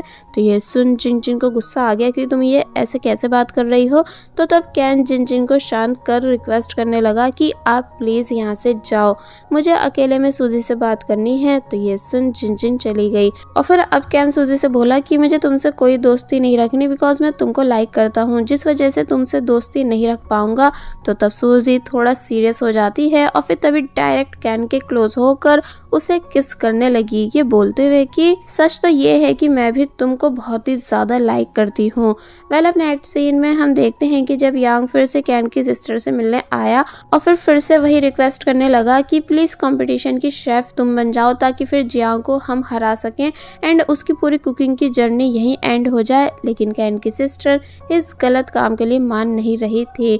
तो तब यांग खड़े होकर कहने लगा कि, मुझे पता है कि तुम्हारी कंपनी बहुत जल्द बैंक होने वाली है। इसलिए अगर तुम्हें अपनी कंपनी को बर्बाद होने से बचाना है तो बिना सोचे मेरा साथ देने के लिए मान जाओ, क्योंकि फिर मैं कैसे भी करके तुम्हारी कंपनी को बर्बाद होने से बचा लूँगा। तो ये सुन फाइनली कैंग की सिस्टर मान गई कि ठीक है, मैं जियांग को कंपटीशन में हरवा दूँगी। तो ये सुन यांग बहुत ही ज़्यादा खुश हुआ और बस फिर इसी सीन के साथ पार्ट 15 यहीं पर एंड हो जाता है। सो पार्ट सिक्सटीन की स्टार्टिंग में हम देखते हैं कि फैंग जो कि जियांग के साथ था कि तभी वो जियांग को सूजी की फ़ोटो दिखाते हुए बताता है कि आई थिंक तुम्हारी बहन लिनोई की फ्रेंड कैन को डेट कर रही है। तो ये सुन जियांग काफ़ी ज़्यादा सरप्राइज़ हुआ। और वही सूजी जो कि इस इंतज़ार में थी कि लिनोई कब बाहर आएगी, जिसके बाद मैं उसका पीछा कर सकूँ, कि तभी उसने कैन की फ़ोटोज़ को देखते हुए एक फ्लैशबैक याद किया कि कल रात जब कैन ड्रंक हो गया था तो तब पहले तो सूजी ने काफ़ी कोशिश की थी। कैन से ये जानने की आखिर लिनोई जियांग से कंपटीशन क्यों करना चाहती है? बट जब कैन कुछ नहीं बोला था तो तब सूजी ने कैन के फेस पे ड्राइंग बनाकर उसके फेस को ख़राब कर दिया था। एंड इन्हीं बातों को प्रेजेंट में सोच सोच कर वो मुस्करा रही होती है कि तभी उसे लिनोई दिखी जो कि रेस्टो से बाहर आई, इसलिए सूजी ने लिनोई का पीछा करना शुरू कर दिया। अब हम देखते हैं कि लिनोई घर नहीं गई और ना ही अपने रेस्टो बल्कि वो मास्टर कॉन्ग से मिलने आई। उनके लिए खाना लेकर तो तब मास्टर कॉन्ग कहते भी हैं कि तुम्हें रोज़ रोज़ मेरे लिए खाना लाने की ज़रूरत नहीं है, मगर वो मानती नहीं। और फिर पूछने लगी कि वैसे मास्टर अगर कभी मेरा कंपटीशन जियांग के साथ हुआ तो आपको क्या लगता है कि कौन जीतेगा? तो तब मास्टर कोंग बोले कि तुम दोनों ही कुकिंग में बहुत अच्छे हो, इसलिए बताना मुश्किल है कि कौन जीत पाएगा। और वहीं बाहर सूजी हॉस्पिटल के नीचे खड़े होकर लिनोई के वापस आने का वेट कर रही थी। साथ ही कन्फ्यूज़ भी थी कि आखिर लिनोई यहाँ किससे मिलने आई है। और वही मास्टर कोंग लिनोई से बोले कि वैसे तुम और जियांग दोनों दिल से कुकिंग नहीं करते हो, बल्कि तुम दोनों में एक अलग ही जुनून है। यानी जियांग ने कुकिंग इसलिए इसलिए सीखी ताकि वो अपने ग्रैंड को हरा सके। एंड तुमने कुकिंग इसलिए सीखी ताकि तुम मेरा बदला जियांग से ले सको। इसलिए अगर कभी तुम दोनों के बीच कंपटीशन हुआ तो उसे वही जीतेगा जो दिल से कुकिंग करेगा। तो ये सुन लिनोई इन बातों को अच्छे से समझ गई। और फिर जब जैसी चली गई तो तब उसके जाते ही यहाँ सूजी आई, जिसको देख पहले तो मास्टर कॉन्ग सरप्राइज़ रह गए, मगर फिर हँसते हैं। और वहीं हमें कैन दिखाया गया जिसको जियांग ने मिलने बुलाया हुआ था। और फिर जब जैसे पूछता है कि क्या सच में तुम मेरी सिस्टर को डेट कर रहे हो तो तब कैन ने बताया कि हाँ ये बात सच है। एंड मैं उसे वाकई में बहुत ही ज़्यादा लाइक करता हूँ। तो ये सुन जियांग कहने लगा कि पर मुझे नहीं लगता कि वो तुम्हें लेकर सीरियस होगी। तो तब कैन बोलता है कि हाँ वो सीरियस तो नहीं है, बल्कि सिर्फ़ टाइम पास कर रही है मेरे साथ। ताकि अपना अकेलापन दूर कर सके, लेकिन मैं तब भी ओके हूँ। तो ये सुन जांग चुप हो जाता है। और वहीं दूसरी तरफ़ सूजी बहुत ही ज़्यादा रोई मास्टर कॉन्ग की पूरी सिचुएशन को जानकर इसलिए माफ़ी मांगती है कि ये सब मेरी वजह से हुआ। तो तब मास्टर कॉन्ग सूजी को चुप कराने लगे और फिर अब हमें इनकी बातों से पता चला कि जब जियांग मास्टर कॉन्ग के पास रिक्वेस्ट करने आया था तो तब उसके आने से पहले सूजी मास्टर कॉन्ग से मिली थी एंड उसने रिक्वेस्ट की थी कि जब मेरा भाई मुझे आपके पास छोड़ने आए तो आप प्लीज़ उसे मना कर देना। बिकॉज़ मैं अपने भाई को छोड़ना नहीं चाहती हूँ तो तब मास्टर कॉन्ग ने ऐसा ही किया था। यानी सूजी के बोलने पर उसे अपने पास नहीं रखा था। लेकिन जियांग को लगने लगा कि मास्टर कॉन्ग ने यह सब उसके ग्रैंडफादर के बोलने पर किया। इसलिए अब सूजी बहुत ही ज़्यादा परेशान है। इतनी सारी मिसअंडरस्टैंडिंग करके तो तब मास्टर कॉन्ग बस यही बोलते गए कि कोई नहीं, जो होना था हो चुका है, तुम माफ़ी मत मांगो। एंड ना ही कभी जियांग को इस बारे में बताना, वरना वो रिग्रेट करेगा। तो ये सुन सूजी और ज़्यादा परेशान हो जाती है। और वही कैन जियांग से कहता है कि वैसे मुझे भी आपसे कुछ पूछना है और फिर तभी जियांग के पास आकर पूछने लगा कि आप लुनोई को लाइक करते हो, है ना? तो ये सुन जियांग शौक रह गया। इसलिए पहले तो उसने ये बात एक्सेप्ट नहीं की कि नहीं, ऐसा नहीं है, मगर फिर बाद में एक्सेप्ट कर लेता है कि हाँ मैं उसे लाइक करता हूँ। पर पता नहीं क्यों वो मुझे लाइक नहीं करती। तो ये सुन कैन सरप्राइज़ रह गया कि क्या वाकई में आप उसे लाइक करते हो? और फिर कहने लगा कि कोई नहीं, अब मैं आपकी हेल्प कराऊँगा। मगर जब ये दोनों बातें कर ही रहे थे कि तभी बाहर से लिनोई की आवाज़ आई, जो कि कह रही होती है कि प्लीज़ जियांग कैंग को मत मारना, इसमें उसकी कोई भी गलती नहीं। पर जब किसी ने डोर ओपन किया ही नहीं तो तब वो खुद से पासवर्ड डालकर अंदर आ गई। एंड कैन को चेक करने लगी कि क्या तुम ठीक हो? तो तब वो बोलता है कि हाँ हम दोनों तो यहाँ सिर्फ़ बातें कर रहे थे और फिर तभी कैन जियांग को सॉरी कर जाने लगा। तो तब लिनोय भी जियांग को सॉरी कर यहाँ से चली गई, कैन को अपने साथ लेकर। जहाँ जब ये दोनों लिफ्ट में थे तो तब कैन पूछता है कि वैसे तुम्हें जियांग के डोर का पासवर्ड कैसे पता चला? तो तब वो बताने लगी कि मुझे ये जियांग नहीं बताया था, एंड ये जियांग की बर्थडे डेट है। तो तब कैन सरप्राइज़ रह गया कि पर ये डेट तो आज की है, इसका मतलब क्या आज जियांग का बर्थडे है? तो ये सुन लिनोई बोली कि हाँ शायद, और फिर याद करने लगी कि एक बारी उसे जियांग ने बताया था कि मुझे मेरे फादर मेरे बर्थडे पर बीफ सूप बनाकर देते थे। इसलिए प्रेजेंट में वो कुछ करने का डिसाइड करने लगी। मतलब नेक्स्ट सीन में हमें दिखाया गया कि लिनोई ने तरह तरह की डिशेस बनाकर उनको जिन जिन को टेस्ट कराया। तो तब वो बोली कि ये सब एकदम परफेक्ट है। यानी कि अब तुम वाकई में बहुत अच्छी शेफ बन चुकी हो। लेकिन अभी ये सब तुम्हारी जियांग को हराने में हेल्प नहीं करा पाएँगी बिकॉज़ वो बहुत ही ज़्यादा स्मार्ट है। तो ये सुन कैन बोलने लग जाता है कि क्या और कोई रास्ता नहीं है जियांग को हराने का? तो तब जिन ने जवाब दिया कि हाँ एक है। अगर जियांग का हार्ट टूट जाए तो तब हम उसे हरा पाएँगे। कैन लिनोई से पूछता है कि क्या तुम्हें मास्टर कॉन्ग ने कोई एडवाइस नहीं दी? तो तब लिनोई बोली कि उन्होंने मुझसे बस ये कहा कि कंपटीशन वही जीतेगा जो दिल से कुकिंग करेगा। और फिर तभी अंदर गई एंड बीफ सूप लाकर इन दोनों को दे देती है। ये बोलकर कि मैंने ये भी बनाया है, इसलिए इसको भी तुम दोनों टेस्ट कर लो, क्योंकि ये बच गया है। और फिर जब जैसी यहाँ से चली गई एंड इन दोनों ने उस सूप को टेस्ट किया तो तो वो दोनों काफ़ी बुरी तरह शौक रह गए। बिकॉज़ ये बहुत ही ज़्यादा टेस्टी बना था, क्योंकि लिनोई ने इसको जियांग के लिए दिल से जो बनाया था, और वहीं हम जियांग को देखते हैं, जो कि अपने बचपन की वीडियोस को देखते हुए बहुत ही ज़्यादा ड्रिंक कर रहा था, कि कैसे उसकी लाइफ हैप्पी हुआ करती थी। जब उसके पेरेंट्स उसके साथ थे कि तभी डोरबेल बजी, जिसे जब जैसी वो चेक करने आया तो तब उसे डोर के पास लंच बॉक्स रखा दिखा, जो कि वही है जो बारिश के टाइम में जियांग ने लिनोई को दिया था। सूप बनाकर इसलिए जियांग समझ जाता है कि ये ज़रूर लिनोई यहाँ लाई है जो कि आसपास ही होगी। इसलिए जब जैसी वो लिनोई को ढूँढने लगा मगर तभी बेहोश हो गया, जिसके गिरने से पहले लिनोई उसे बचा लेती है और फिर वो जियांग को अपने साथ उसके अपार्टमेंट में ले आई, जहाँ वो जियांग को लिटा ही रही थी, लेकिन तभी गलती से जियांग लिनोई पर ही गिर गया एंड बिल्कुल भी पीछे नहीं हो रहा था। पर जब जियांग को थोड़ा बहुत होश आया तो तब वो पूछता है कि, तुम यहाँ क्यों आई हो? तो तब लिनोई बताने लगी, इसलिए बिकॉज़ मैं आज तुम्हारे घर में विदाउट परमिशन एंटर हो गई थी, इसलिए इस चीज़ के लिए मुझे तुमसे सॉरी कहना था। तो तब जियांग कहने लगा कि, तुम्हें ऐसा क्यों लग रहा था कि मैं तुम्हारे दोस्त कैन को मारूँगा? क्या तुम मुझे बैड पर्सन समझती हो? तो तब लिनोई बोलने लगी कि, नहीं नहीं, ऐसा नहीं है। और फिर जब जैसी जाने लगी कि तभी जियांग फिर से बेहोश हो गया। जिसे जब जैसी वो चेक करती है तो पता चला कि जियांग को बहुत ही तेज फीवर है। इसलिए लिनोई जियांग के मोबाइल से एंबुलेंस को कॉल करने लगी पर जब जैसी उसने देखा कि वॉलपेपर पर उसकी फ़ोटो थी तो, तो वो काफ़ी बुरी तरह सरप्राइज़ रह गई। यानी अब जाकर लिनोई को पता चल रहा है कि वो जियांग के लिए कितनी ज़्यादा इम्पोर्टेंट है। कि तभी जियांग बोला कि प्लीज़ एंबुलेंस को मत बुलाना यानी कि अब मैं ठीक हूँ। बस थोड़ी भूख लगी है और फिर अब दिखाया जाता है कि जियांग ने वही सूपिया जो लिनोई बनाकर लाई थी एंड वो उसे काफ़ी ज़्यादा पसंद भी आया। इसलिए कहने लगा कि तुम वाकई में अब एक परफेक्ट शेफ बन चुकी हो। लिनोई खुश हुई एंड जब जैसी जाने लगी तो तब जियांग फिर से लिनोई को रोक लेता है। ये पूछते हुए कि अगर मैंने मिस्टर कॉन्ग की नाइफ को सीज नहीं किया होता तो क्या तब मैं तुम्हारे लिए तुम्हारा फेवरेट पर्सन पाता तो ये सुन पहले तो लिनोई शांत हो गई और फिर बोली कि अब कुछ भी बदल नहीं सकता। जियांग सॉरी बोलने लगा, मगर लिनोई नहीं मानी बिकॉज़ जियांग की जिद की वजह से आज मिस्टर कॉन्ग हॉस्पिटल में एडमिट है, इसलिए वो तभी यहाँ से चली गई एंड जियांग बस उदास बैठा रह गया।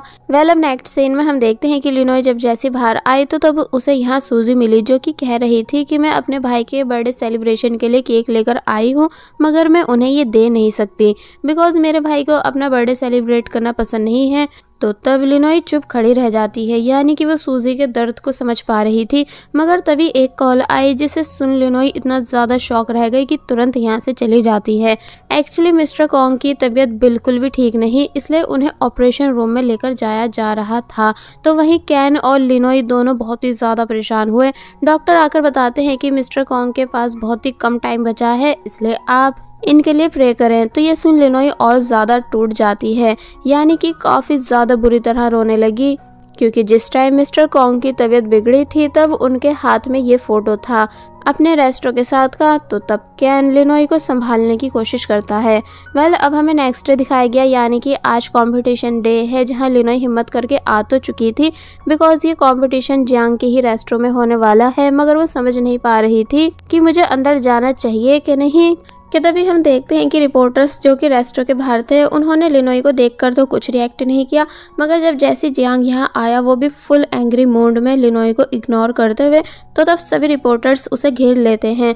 एक्चुअली अभी किसी को भी ये बात नहीं पता है कि जियांग की ओपोनेंट लिनोई है, मगर जब कैन की सिस्टर यहाँ आई तो तब वो लिनोई से बोली कि, मुझे पता है कि तुम जियांग की ओपोनेंट हो, इसलिए जल्द से जल्द कॉम्पिटिशन के लिए रेडी होकर आ जाओ यानी कि ड्रेस चेंज करके और फिर तभी अंदर चली जाती है। अब हमें अंदर का सीन दिखाया गया जहाँ सब लोग आए हुए थे, यानी कि फैंग भी था। तो वहीं Yang manager Choi and Jing Jing and Suzy ये सब लाइव इस कॉम्पिटिशन को देख रहे थे। मगर वहीं अगर बात की जाए कैन की तो वो मिस्टर कॉन्ग के लिए बहुत ही ज़्यादा परेशान है बिकॉज़ उनका ऑपरेशन हो रहा है। लिनोई छुप छुप कर जियांग को देखने लगी, जो कि कंपटीशन के लिए रेडी है, मगर लिनोई से अब भी बाहर नहीं आया जा रहा था। यानी वो डर रही है कि कैसे जियांग को फेस करेगी। कि तभी उसे मिस्टर कॉन्ग याद आए कि उनके साथ कितना बुरा हुआ है, इसलिए लिनोई मन बना लेती है कि वो कंपटीशन करेगी। इसलिए जब जैसी अपनी यूनिफॉर्म पहनकर एंड नाइफ का बैग लेकर सभी के सामने आई तो तब यहाँ जियांग के होश उड़ गए। लिनोई को अपने सामने देखकर यानी वो बिलीव नहीं कर पाया कि उसकी ओपोनेंट लिनोई है, जिसने उसे चैलेंज किया है। तो वहीं फैंग भी सदमे में था कि क्या ये सब सच में अपनी लिनोई ने किया है? वेल, अब दिखाया जाता है कि लिनोई सबसे पहले अपनी फैमिली का नाइफ सभी को दिखाती है इस प्रूफ के लिए कि ये रियल है और फिर उसने शर्त रखी कि वो अपने मास्टर कॉन्ग के नाइफ के लिए आई है। वेल, अब कंपटीशन स्टार्ट हुआ जहाँ लिनोई का फोकस तो डिश बनाने पर था, मगर जियांग बार बार लिनोई को ही हैरानी से देख रहा होता है, जिस वजह से उससे चीज़ें ख़राब होने लगी। लिनोई बार बार मास्टर कॉन्ग की बातों को याद करती है तो वहीं जियांग लिनोई को देखने की वजह से फिर से गलती कर देता है। एक्चुअली उसे अभी तक बिलीव नहीं हो रहा है कि उसे और किसी ने नहीं, बल्कि उस लड़की ने चैलेंज किया है, जो उसके लिए बहुत ही ज़्यादा इंपॉर्टेंट है। इसलिए दिल तो टूटना ही था एंड काम भी खराब होने ही थे। लिनोई ने मीट कट के लिए अपना नाइफ उठाया एंड जब जैसी जियांग की तरफ़ देखा तो पता चला कि वो उसी को गुस्से में देख रहा था। दोनों कुकिंग करना शुरू कर देते हैं एंड अपनी अपनी परफेक्ट स्किल्स का यूज़ करने लगे। एंड जियांग भी अब फुल फोकस आ चुका है, यानी पहले वो लिनोई को देख देख कर डिस्ट्रैक्ट हो रहा था, मगर अब फाइनली वो भी फुल फोकस हो चुका है। और फिर जब फाइनली इन दोनों ने अपनी अपनी डिलीशियस डिश को रेडी कर दिया एंड जियांग ने बेल बजाई तो उसे सुन लेनोई फ्रीज रह गई, यानी उसे अजीब एहसास हुआ। बिकॉज़ डॉक्टर लाख कोशिश करने के बाद भी मिस्टर कॉन्ग को बचा नहीं पाए हैं। इसका मतलब अब मिस्टर कॉन्ग इस दुनिया में नहीं रहे, इसलिए कैन बहुत ही ज़्यादा रोया तो वहीं लिनोई भी इस चीज़ को फील कर पा रही थी, लेकिन तभी उसे ऐसा लगा जैसे मास्टर कॉन्ग ने उसकी वाली बैल को प्रेस करवाया हो। वेल अब दिखाया जाता है टेस्टिंग टाइम जहाँ सभी जजेस को लिनोई की भी डिश पसंद आती है एंड जियांग की भी। इसलिए एक वोट लिनोई को मिल जाता है एंड एक वोट जियांग को। सो अब बारी थी फाइनल वोट की, जो कि और किसी को नहीं, बल्कि कैन की सिस्टर को देना है। इसलिए सब लोग इस मोमेंट को हैरानी से देखने लगे कि आगे क्या होगा। यानी सभी लोग सीरियस हो चुके थे कि कौन जीतने वाला है एंड कौन हारेगा और बस फिर इसी सीन के साथ पार्ट सिक्सटीन यहीं पर एंड हो जाता है। सो अभी तक हमने देखा कि सब लोग सीरियस थे ये जानने के लिए कि लास्ट वोट किसको मिलेगा जो कि और कोई नहीं बल्कि कैन की सिस्टर देने वाली है और फिर तभी वो यांग की बातों को याद करने लगी कि यांग ने कैसे कहा था कि वो उनकी कंपनी को बर्बाद होने से बचा सकता है। इसलिए कैन की सिस्टर ने बिना देरी करे लिनोई को वोट दे दिया, जबकि खाना उन्हें जियांग का ज़्यादा पसंद आया था। सूजी शौक रह गई ये सब देख तो वहीं जिन जिन खुश हुई एंड यांग भी, मगर फैंग बहुत ही ज़्यादा गुस्सा। जियांग एंड लिनोई ये दोनों भी सरप्राइज़ थे, स्पेशली लिनोई जो कि जियांग से नज़रें तक मिला नहीं पा रही होती है कि तभी जियांग ने पहले लिनोई को मिस्टर कॉन्ग का नाइफ वापिस किया और फिर अपना नाइफ लिनोई को देने लगा, जो कि लिनोई ले लेती है। मगर उसे यह सब कर बिल्कुल अच्छा फील नहीं हुआ एंड देन जियांग उदासी के साथ यहाँ से चला गया। वेल अब नेक्स्ट सीन में हम देखते हैं कि लिनोई कैन के साथ मास्टर कॉन्ग के रेस्टोरेंट के बाहर बैठी है एंड मास्टर कॉन्ग को बहुत ही ज़्यादा मिस कर रही थी कि तभी इन दोनों के मोबाइल पर काफ़ी सारे पैसे ट्रांसफ़र का मैसेज आया तो तब कैन बताने लगा कि ये मास्टर कॉन्ग का ही आइडिया था कि उनके जाने के बाद हम दोनों उनके मनी का सही यूज़ करें। तो तब लिनोई और ज़्यादा इमोशनल हो जाती है। और वही हमें जियांग दिखाया गया जो कि अपने रेस्टोरेंट की किचन में आकर उन सभी मेमोरीज को याद कर रहा था। जो जो उसके एंड लिनोई के बीच में रह चुकी हैं कि तभी फैंग यहाँ आया एंड बताने लगा कि मैंने सभी एम्प्लॉयज़ को उनकी सैलरी देकर भेज दिया है। एक्चुअली अब रूल के अकॉर्डिंग जियांग का भी रेस्टोरेंट क्लोज हो चुका है। जियांग ने अपना कार्ड फैंग को दिया, ये बोलते हुए कि इनमें कुछ पैसे हैं जिन्हें तुम यूज़ कर सकते हो। तो तब फैंग बोला कि, प्लीज़ तुम्हें मेरे साथ ऐसे बिहेव करने की ज़रूरत नहीं। और फिर बोलने लगा कि, मुझे लगता है कि जैसे हमारे साथ चिटिंग हुई है, क्योंकि लास्ट जज कैन की सिस्टर थी। तो तब जियांग बोला कि, मगर मुझे ऐसा नहीं लगता कि लिनोई जीतने के लिए ऐसा कुछ करेगी। यानी कि वो चिटिंग नहीं कर सकती, मगर फैंग मानता नहीं क्योंकि उसे पूरा बिलीव है कि हमारे साथ कुछ तो गलत हुआ है। इसलिए उसने इस सब के बारे में मीडिया को इन्फॉर्म कर दिया। इसलिए जब जैसे लिनोई अपने रेस्टोरेंट के बाहर आई तो तब सब मीडिया वाले लिनोई को घेर लेते हैं एंड पूछने लगे कि क्या आपने वाकई कंपटीशन में चिटिंग की है? जिस वजह से आप जीत पाई तो ये सुन लिनोई शौक रह गई, यानी समझ नहीं पाती कि आखिर ये सब ऐसा क्यों बोल रहे हैं। कि तभी कैन ने एक टैक्सी रोकी जिसमें उसने लिनोई को बिठाकर यहाँ से भेज दिया। मगर अब क्योंकि वो खुद मीडिया वालों के बीच में फंस चुका था तो तब कैन को बचाने सूजी आई, जो कि कैन को अपने साथ यहाँ से ले गई और फिर बाद में एक जगह रुक कर पूछती है कि, क्या वाकई तुम्हारी बहन ने जानबूझकर मेरे भाई को वोट नहीं दिया था? तो तब कैन बोला कि, नहीं, ऐसा तो नहीं है। यानी मेरी सिस्टर कभी ऐसा नहीं कर सकती। तो तब सूजी रिक्वेस्ट करने लगी कि, तुम प्लीज़ इस बारे में अपनी बहन से बात करो कि आखिर सच क्या है? और वही हम कैन की सिस्टर को देखते हैं, जिनको भी सब मीडिया वाले घेर चुके थे ये पूछ पूछ कर कि, क्या वाकई आपने कंपटीशन में चीटिंग कराई है?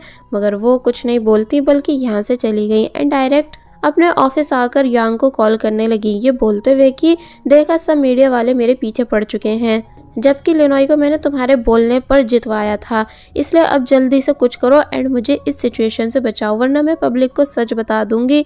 तो ये सुन यांग बोला कि ठीक है, मैं कुछ करता हूँ।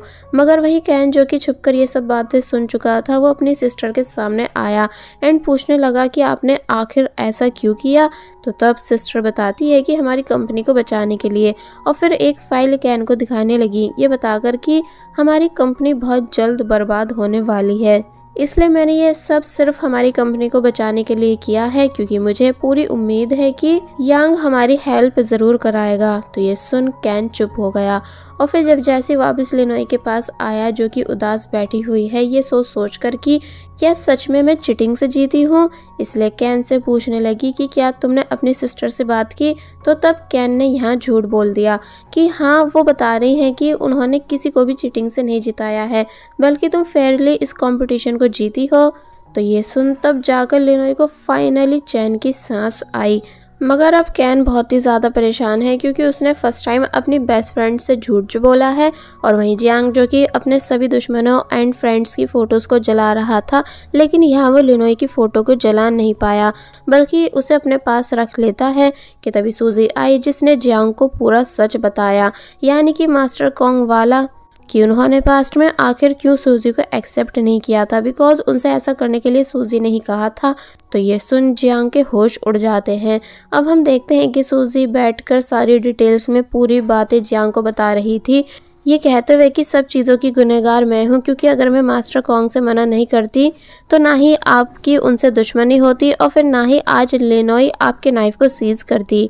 तो ये सुनजांग उठा एंड सूजी के पास आकर उसे चुप कराने लगा। ये बोलते हुए कि कोई नहीं, तुम रो मत। वेल, अब नेक्स्ट सीन में हम देखते हैं कि लिनोई जब जैसी अपने रेस्टो आई तो तब वो शॉक रह गई बिकॉज़ किसी ने उसके रेस्टो पर उल्टी सीधी बातें लिखी हुई थी और फिर अब इससे पहले कि एक मिस्टीरियस पर्सन लिनोई को मार पाता, कहते हुए जियांग लिनोई के पास आकर उसे बचा लेता है।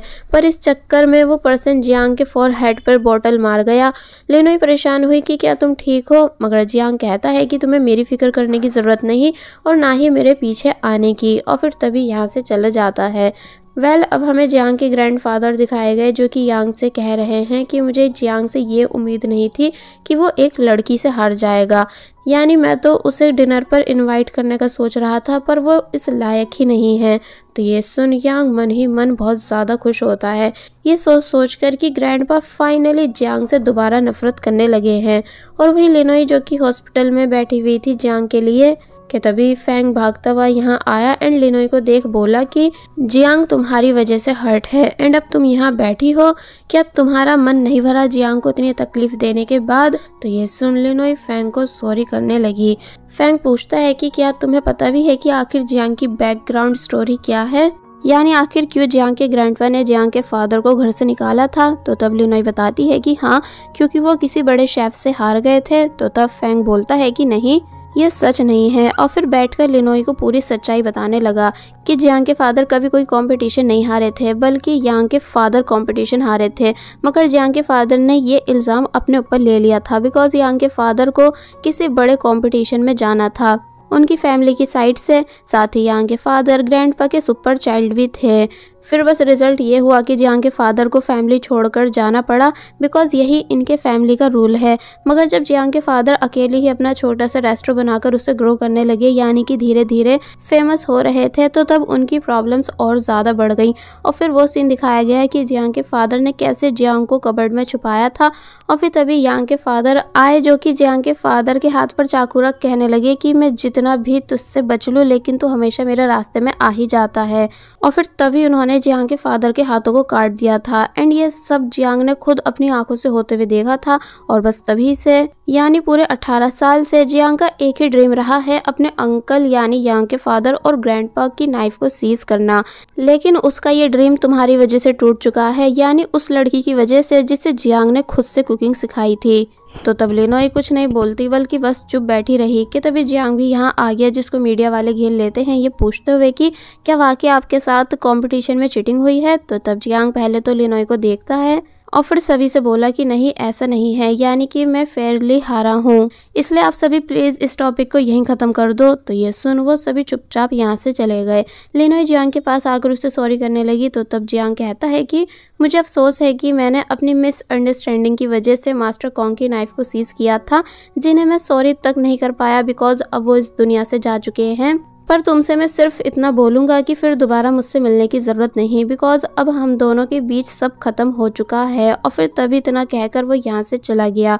तो तब लेनोई बहुत ही ज़्यादा उदास हुई और फिर जब वापस अपने घर आई तो उसे पता चलता है कि वो फ़िश भी मर चुकी है, जो कि जियांग ने लेनोई को गिफ्ट की थी। इसलिए लेनोई ज़ोर ज़ोर से रोना शुरू कर देती है ये बोलते हुए कि जियांग भी मुझे हमेशा के लिए छोड़कर जा चुका है एंड उसकी दी हुई फ़िश भी। तो तब लेनोई के फादर लेनोई को चुप कराने लगे। मगर लिनोई चुप होती ही नहीं, बल्कि बस ज़ोर ज़ोर से रोती रही और वहीं सूजी जब जैसी कैन से मिलने आई और पूछती है कि क्या तुमने अपनी सिस्टर से बात की तो तब कैन कहता है कि हाँ एंड उन्होंने मुझे बताया है कि उन्होंने कोई भी चिटिंग नहीं की है। तो ये सुन सूजी को बहुत ही बड़ा झटका लगा कि इसका मतलब क्या मेरा भाई सच में कॉम्पिटिशन हारा है? और फिर काफ़ी बुरी तरह रोने लगी कि मेरे भाई ने बचपन से कितनी कोशिश की बदला लेने की एंड अब वो सिर्फ़ कुछ ही स्टेप्स दूर था, लेकिन उसके साथ ये सब हो गया। एंड मैं अपने अपने भाई के लिए कुछ भी नहीं कर पा रही हूँ। तो तब कैन सूजी को हक कर चुप कराने लगता है क्योंकि वो बहुत ही ज़्यादा शर्मिंदा है। बिकॉज़ उसे अपनी कंपनी बचाने के लिए अपने ही दोस्तों से झूठ जो कहना पड़ रहा है। वेल अब नेक्स्ट टाइम देखते हैं कि लिनोई और ज़्यादा शौक रह जाती है कैन के भेजे लेटर को रीड कर, जिसमें लिखा है कि वो लिनोई के साथ वर्क नहीं कर पाएगा बिकॉज़ उसे और कोई दूसरी जॉब मिल चुकी है। इसलिए ये सब रीड कर लिनोई और भी ज़्यादा डाउन फील करने लगी बिकॉज़ अब एक तरह से कैन भी उसे छोड़कर जा चुका है। जिसके बाद अब दिखाया गया कि लिनोई विदाउट कैन रेस्टो को हैंडल कर तो रही है, जहाँ काफ़ी सारे गेस्ट भी आ रहे थे, मगर अब वो पहले की तरह खुश नहीं। और फिर जब पूरे दिन काम करके वापस घर आए तो यहाँ वो सरप्राइज़ रह गई। ये बात जानकर कि उसके डैड वापस से सेम वही फ़िश लेकर आ चुके हैं, जो कि मर गई थी। इसलिए लेनोई को एक उम्मीद दिखी कि वो भी इसी तरह जियांग को वापस पा सकती है। इसलिए जब भागते हुए जियांग के पास जाने लगी, उन सभी मोमेंट्स को याद करते हुए जो जो जियांग और उसके बीच रह चुके हैं कि कैसे जियांग ने हमेशा लिनोई को प्रोटेक्ट किया है एंड ऑलवेज प्यार किया था। मगर जब जैसी वो जियांग के डोर की बेल प्रेस करती है तो तब कोई डोर ओपन करता ही नहीं। इसलिए लिनोई ने खुद से पासवर्ड डाला। बट अब क्योंकि पासवर्ड जियांग ने चेंज कर दिया था, इसलिए वो इस तरह से भी अंदर नहीं जा पाई, बल्कि वहीं खड़े होकर बहुत ही ज़्यादा उदास होने लगी। ये सोच सोच कर कि इसका मतलब जियांग मुझे सच में हमेशा के लिए छोड़कर जा चुका है। वेल, अब नेक्स्ट सीन में हम एक बहुत ही बड़े शेफ यानी मिस्टर चाओ को देखते हैं, जो कि वही हैं जिन्होंने बहुत टाइम पहले यांग के फादर को कंपटीशन में हराया था। वेल well, उन्हें कोई पर्सन फेक इंग्रेडिएंट्स बेच रहा था कि तभी जियांग यहाँ आया जो कि बहुत ही ज़्यादा ड्रंक है एंड देन बताने लगा कि ये इंग्रेडिएंट्स रियल नहीं। तो तब वो शॉप ऑनर डर गया एंड देन जल्दी से रियल इंग्रेडिएंट्स देते हुए कहने लगा कि प्लीज़ बाहर इस बारे में किसी को मत बताना। तो तब मिस्टर चाओ हैरान रह गए एंड अब इससे पहले कि जियांग को थैंक्स कर पाते, लेकिन वो यहाँ से जा चुका था। अब दिखाया गया कि जियांग जो कि बहुत ही ज़्यादा ड्रिंक करते हुए चल रहा है तो तब उसकी यहाँ कुछ लोगों से टक्कर हो गई, जो कि जियांग से लड़ने लगे। जियांग उनको सॉरी करता भी है, मगर जब वो माने नहीं तो तब जियांग ने उनमें से एक पर्सन को मारा और यहाँ से भाग गया। एंड देन एक ट्रक में आकर छुप जाता है, मगर अब क्योंकि वो काफ़ी ज़्यादा ड्रंक भी था, इसलिए तभी वहीं बेहोश हो गया। वो सभी लोग जियांग को ढूंढते हुए आए, मगर जब जियांग उन्हें मिला नहीं तो वो चले जाते हैं। कि तभी ट्रक स्टार्ट हुआ जिस वजह से जियांग भी ट्रक के साथ साथ शहर से बाहर चला गया। वेल well, अब हमें नेक्स्ट डे का सीन दिखाया गया जहाँ जियांग को वही पर्सन उठाता है जिसकी जियांग ने हेल्प कराई थी यानी मिस्टर चाओ ये पूछते हुए कि तुम यहाँ कैसे? तो ये सुन जियांग जब जैसे उठा तो तब उसके खुद होश उड़ गए उस पूरी जगह को देखकर कि आखिर मैं ये कहाँ आ गया हूँ? वो भी शहर से इतना दूर और बस फिर इसी सीन के साथ ये पार्ट यहीं पर एंड हो जाता है। सो पार्ट 19 की स्टार्टिंग में हम देखते हैं कि जियांग जो कि गलती से शहर से काफ़ी दूर आ चुका है, इसलिए वो मिस्टर चाओ से मिला एंड उनको थैंक्स करने लगा। बिकॉज़ वो कल रात उनकी ही कार की वजह से तो गुंडों से बच पाया और फिर कहता है कि आप मुझे इतनी दूर तक ड्राइव करके लाए हो, इसलिए मैं आपको पे कर दूँगा। तो ये सुन मिस्टर चाओ बहुत ही ज़्यादा खुश होने लगे। लेकिन जब जैसे जियांग ने अपनी पॉकेट चेक की तो तब उसमें ना ही वॉलेट था और ना ही उसका मोबाइल सिर्फ़ एक कॉइन था जो कि वो मिस्टर चाओ को दे देता है। तो तब मिस्टर चाओ को लगने लगा कि शायद ये कोई भिखारी है। जियांग बोलता भी है कि आप मुझे अपना मोबाइल नंबर दो ताकि मैं अपने भाई को कॉल कर सकूँ, लेकिन मिस्टर चाओ ऐसा नहीं करते। बिकॉज़ उन्हें लगा कि ये कोई चोर भी हो सकता है, इसलिए कह देते हैं कि अब जब तक तुम मुझे पैसे नहीं दोगे, मैं तुम्हें यहाँ से जाने नहीं दूँगा। और फिर नेक्स्ट सीन में जियान को विलेज के एल्डर्स के सामने ले आई। ये बोलते हुए कि, इसे मैं रेंट पर देना शुरू कर रहा हूँ, जिससे चाहिए ले लो, मगर फिर काम करवाने के बाद मुझे वापस कर देना। एक ओल्ड वुमेन को जियांग बहुत ही ज़्यादा पसंद आया अपनी ग्रैंड डॉटर के लिए, इसलिए वो कहने लगी कि, क्या ये मेरी ग्रैंड डॉटर के साथ डेट पर जा सकता है? लेकिन अब क्योंकि मिस्टर चियांग ने जियांग के रेट्स काफ़ी ज़्यादा हाई कर रखे थे, उसके गुड लुक्स एंड हाइट की वजह से इसलिए वो उसे अफोर्ड नहीं कर पाई। नेक्स्ट सीन में दिखाया गया कि जियांग जब जैसी मिस्टर चाव की किचन में आया तो वहाँ देखता है कि मिस्टर चाओ सफ़ाई का बिल्कुल ध्यान नहीं रखते हुए कुकिंग कर रहे थे। इसलिए जियांग पूछने लगा कि आप ऐसा क्यों कर रहे हो तो तो वो बताते हैं कि डिशेस चीप प्राइस पर मैं बेचता हूँ, इसलिए उसकी सफ़ाई तो ऐसी ही होगी ना। जियांग बोलता है, मगर तब भी इतने फैलावे से आपको भी नुकसान हो सकता है। तो तो वो बोले कि, नहीं, कुछ भी नहीं होता। मगर तभी कोई चीज़ उनके पैर के नीचे आई, जिस वजह से वो डायरेक्ट नीचे गिर गए। नेक्स्ट सीन में दिखाया गया कि अब मिस्टर चाव के हाथ पर चोट है तो वही कस्टमर्स पूछ रहे थे कि, सर, अब हमें खाना बनाकर कौन देगा? क्या आपका ये असिस्टेंट कुछ बना सकता है? तो तब मिस्टर चाव बोलने लगे कि, नहीं, इसे कुछ नहीं आता, बल्कि मैं अपने एक हाथ से ही कुकिंग करके दे सकता हूँ। तो ये सुन जियांग मुँह बनाने लगा की, जरा देखो तो उनकी बातों को। और फिर जब जैसी किचन में कुकिंग करने आया तो तब मिस्टर चाव भी वहाँ आ गए और बोले कि तुम्हें ये सब करके मेरा काम और ज़्यादा बिगाड़ने की ज़रूरत नहीं, बल्कि मार्केट जाओ और कुछ सामान लेकर आओ। एंड उससे पहले मेरा एक पार्सल भी लेते आना। एंड भागने की सोचना भी मत, जब तक कि तुम मुझे मेरे पैसे वापस नहीं दे देते। तो ये सुन जियांग मान गया और जब जैसे मिस्टर चाओ के पार्सल को लेने एक जगह आया तो तब पार्सल पर फुल नेम देख जियांग को समझ आ जाता है कि ये फ़ेमस शेफ मिस्टर चाओ है जिनके साथ मेरा कंपटीशन होने वाला था इसलिए वो कुछ सोचने के बाद यहाँ रुकने का डिसाइड कर लेता है। वेल well, अब हमें पूरे टू मंथ्स के बाद का सीन दिखाया गया जहाँ पहले हमें लिनोई दिखाई जाती है जो कि अपने रेस्टो में अच्छा कर रही थी यानी अब उसका रेस्टो पहले से भी ज़्यादा चलने लगा था। साथ ही जिन जिन भी लिनोई के साथ रेस्टो को संभाल रही है क्योंकि ये अब लिनोई के ही साथ काम करती है। आफ्टर वर्क जब ये दोनों बातें कर रही थी तो तब जिन जिन ने जिद करी कि आज तो तुम्हें इंटरव्यू देना ही होगा तो तब लिनोई मान गई और फिर जब जैसे इंटरव्यू देने बैठी तो तब उससे सारे क्वेश्चंस जान से रिलेटेड पूछे गए। ये भी कि जब से मिस्टर जांग हारे हैं, तब से उनको किसी ने भी नहीं देखा। क्या आपको पता है कि वो कहाँ हैं? तो ये सुन लिनोई कुछ नहीं बोल पाती है तो तब जिन जिन ने जल्दी से इंटरव्यू को एंड कराया और फिर बाद में लिनोई से माफ़ी मांगने लगी। लिनोई बोली इट्स ओके और फिर ये दोनों डिस्कस करने लग जाती हैं कि आखिर ये दोनों साथ में क्यों हैं। एक्चुअली जब लिनोई जिनजिन से इस चीज़ की रिक्वेस्ट करने गई थी कि जिनजिन लिनोई के साथ उसके रेस्टोरेंट में वर्क करे तो तब जिनजिन ने मना कर दिया था। ये बताकर कि मुझे किसी चीज़ की कमी नहीं है, यानी मैं बहुत ही ज़्यादा रिच हूँ इसलिए तुम्हारे रेस्टोरेंट में एक छोटी सी असिस्टेंट की जॉब क्यों करो? तो तब लिनोई ने बताया था, इसलिए क्योंकि जब हमारे रेस्टोरेंट को सेवन स्टार मिल जाएँगे तो फिर तब हम नाइफ कंपटीशन के इस रूल को चेंज कर पाएँगे कि कोई भी विनर अपने ओपोनेंट की नाइफ को नहीं लेगा और ना ही उसका रेस्टो क्लोज कराएगा। तो तब इस वजह से जिनजिंग लिनोई के साथ वर्क करने के लिए मानी थी वेल अब दिखाया गया कि लिनोई एक बार फिर जियांग को चेक करने उसके घर आई। ये जानने की क्या वो वापस आ चुका है? तो तब उसे जियांग तो मिला नहीं, बल्कि सूजी मिली। जिसने डायरेक्ट लेनोई को ज़बरदस्ती अंदर ले लिया और फिर अब ये दोनों साथ में काफ़ी सारी बातें करती हैं। एक्चुअली अब सूजी के दिल में लेनोई को लेकर कोई नफरत नहीं है। जब से उसे पता चला है कि लेनोई मास्टर कॉन्ग की स्टूडेंट है। वेल दोनों ही बहुत ज़्यादा ड्रिंक करती हैं बिकॉज़ लेनोई इस बात से परेशान है कि जियांग कहाँ गायब है। तो वहीं सूजी इस बात से परेशान थी कि पता नहीं कैन कहाँ गायब है। जिसके बाद अब नेक्स्ट डे दिखाया गया, जहाँ सूजी जब जैसी जा रही थी तो तब उसे कैन छुप छुप कर देख रहा था। एक्चुअली कैन ने जब से सूजी से झूठ कहा है कि जियांग कॉम्पिटिशन में फेयरली हारा था तो तब से वो काफ़ी ज़्यादा शर्मिंदा है। इसलिए डिसाइड कर चुका है कि वो सूजी से दूर रहेगा क्योंकि वो उसके लायक नहीं है। और वहीं हम जियांग को देखते हैं जो कि पूरे टू मंथ्स में विलेज में रहकर विलेज को बहुत ही अच्छे से समझ चुका है। यानी यहाँ वो लोगों से घुल मिल चुका था, साथ ही वहाँ के सभी कामों को भी काफ़ी अच्छे से सीख चुका था। बिकॉज़ उसे पैसे जो कमाने थे, इसलिए उसने यहाँ के हर एक काम को सीखा। और फिर जब जैसी मिस्टर चाओ के पास आया जो कि पूछने लगे कि तुम आखिर कब मुझे मेरे पैसे वापस दोगे? तो तब आज यहाँ फाइनली जियांग ने मिस्टर चाओ को उनके पैसे दे दिए। वो भी डबल बिकॉज़ वो इतने दिन उनके घर में भी जो रुका था।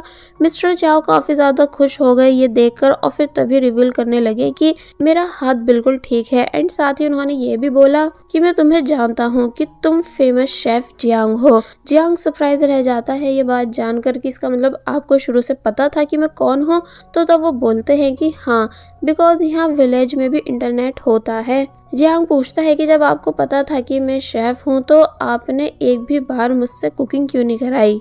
तो तब वो बताने लगी, इसलिए क्योंकि ये मेरा एरिया है। जहाँ कोई भी ऐसे ही शेफ नहीं बन सकता। साथ ही मुझे ये भी पता था कि तुम यहाँ क्यों आए हो, ताकि मेरी नाइफ को सीज कर सको। तो तब जियांग बोला कि ओ अच्छा तो आपको सब कुछ शुरू से ही पता था। तभी आप मेरे सामने सही से कुकिंग भी नहीं करते थे ताकि मैं आपकी कुकिंग स्किल्स को सीख नहीं जाऊँ।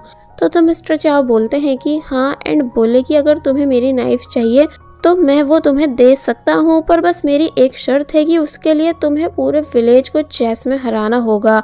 जियांग सोचने लगा कि, भला ऐसी शर्त क्यों? तो तब वो बताते हैं, इसलिए बिकॉज़ अगर तुम्हें अपने ग्रैंडफादर की नाइफ को सीज करना है तो उसके लिए सिर्फ़ अच्छी कुकिंग काफ़ी नहीं, बल्कि शार्प माइंड भी होना चाहिए। तभी मैं भी तुम्हें इस काबिल समझ पाऊँगा कि अपनी नाइफ दे सकूँ। तो ये सुन जियांग मान तो जाता है, लेकिन वो चेस गेम में इतना ज़्यादा वीक था कि एक बच्चे तक से हार गया। मिस्टर चाओ परेशान हुए कि इसे तो ये गेम बिल्कुल भी नहीं आता तो वहीं बच्चा भी जियांग का मज़ाक बनाने लगा कि, अंकल, अगर आपके सर में दिमाग है तो उसका यूज़ क्यों नहीं करते हो? तो ये सुन जियांग बच्चे को घूरने लगा। वेल, अब नेक्स्ट सीन में हमें जिन जिन दिखाई गई जो कि बता रही थी, आजकल इंग्रेडिएंट्स काफ़ी ज़्यादा एक्सपेंसिव हो रहे हैं, इसलिए हमें हमारी डिशेस का भी प्राइस बढ़ा देना चाहिए। तो तब लेनाई ऐसा करने से मना कर देती है। ये बताकर कि डिशेस के प्राइस बढ़ने से नॉर्मल कस्टमर्स को प्रॉब्लम होगी। इसलिए क्यों ना हम इंग्रेडिएंट्स डायरेक्ट फार्मर से बाय करें बिकॉज़ वहाँ से हमें वो चीप प्राइस पर मिल सकते हैं। तो ये सुन जिन जिन मान जाती है। और वही हमें जियांग दिखाया गया जिसको मिस्टर चाओ ने एक शॉप पर भेजा सामान लेने के लिए। जियांग उस शॉप पर आ जाता है और जब जैसे सामान लेकर जा ही रहा था कि तभी लिनोई को सामने से आता देख उसके होश उड़ गए।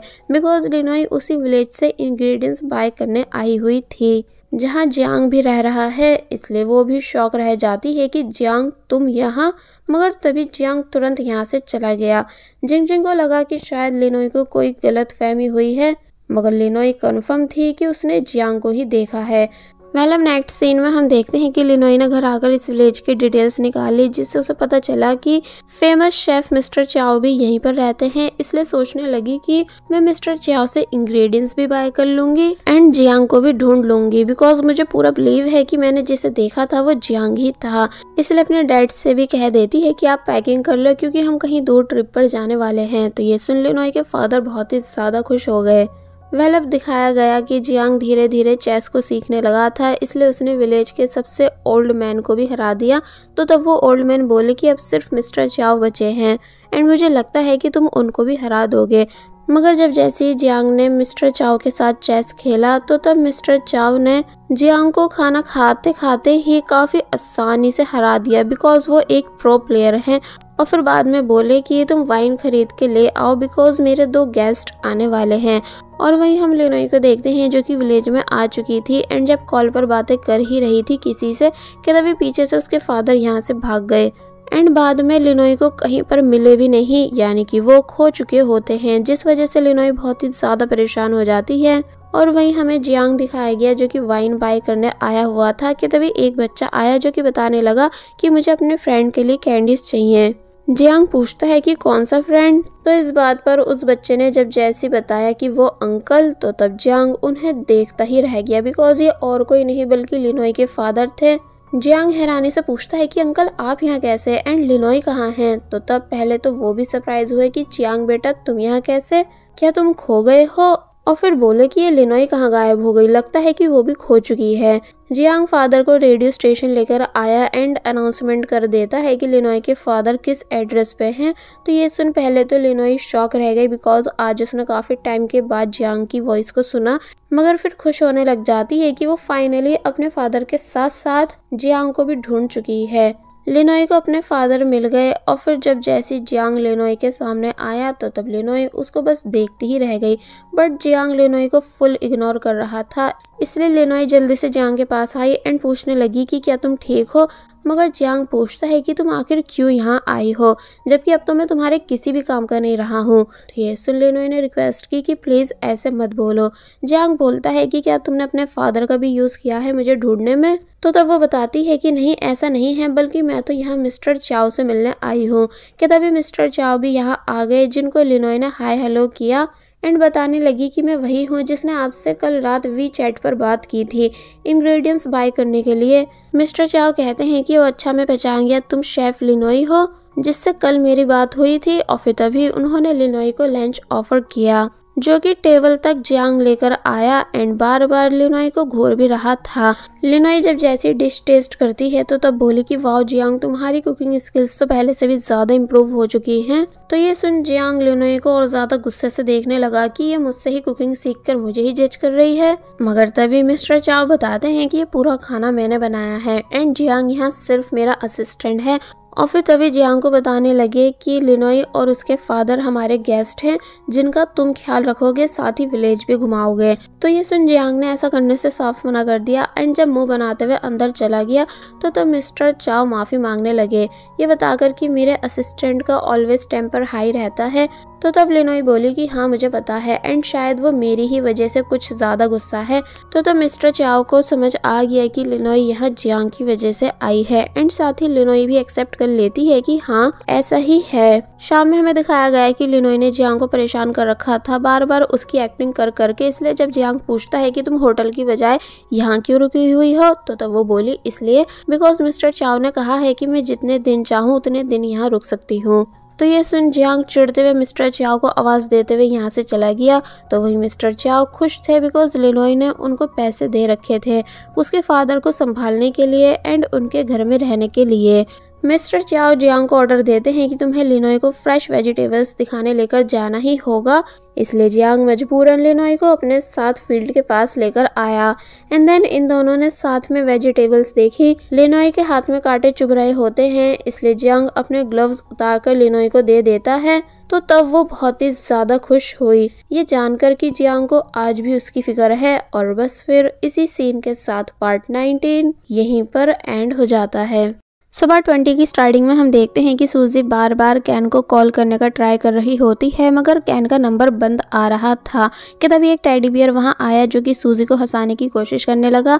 सूजी फाइनली खुश हो गई एंड उसे लगने लगा कि कहीं ये कैन तो नहीं है, मगर जब जय सी ने स्कैन कोड दिखाया तो तब तो वो श्योर हो गई कि ये कैन नहीं हो सकता। लेकिन जब कोड स्कैन के बाद सूजी के मोबाइल पर एक क्यूट इमोजी आई तो तब वो समझ जाती है कि ये कैन ही था। मगर तब तक वो टेड बियर यहाँ से जा चुका होता है। दूसरी तरफ़ चलते टाइम जियांग ने लिनोई से अपनी बहन के बारे में पूछा कि क्या सूजी ठीक है? तो तब लिनोई बताती है कि हाँ मैं अभी कुछ दिन पहले ही तो उससे मिली थी और फिर जब जैसी गिरने ही वाली होती है कि तभी जियांग ने लिनोई को बचा लिया। दोनों ही एक दूसरे को देखने लगे कि तभी जियांग आगे चला जाता है।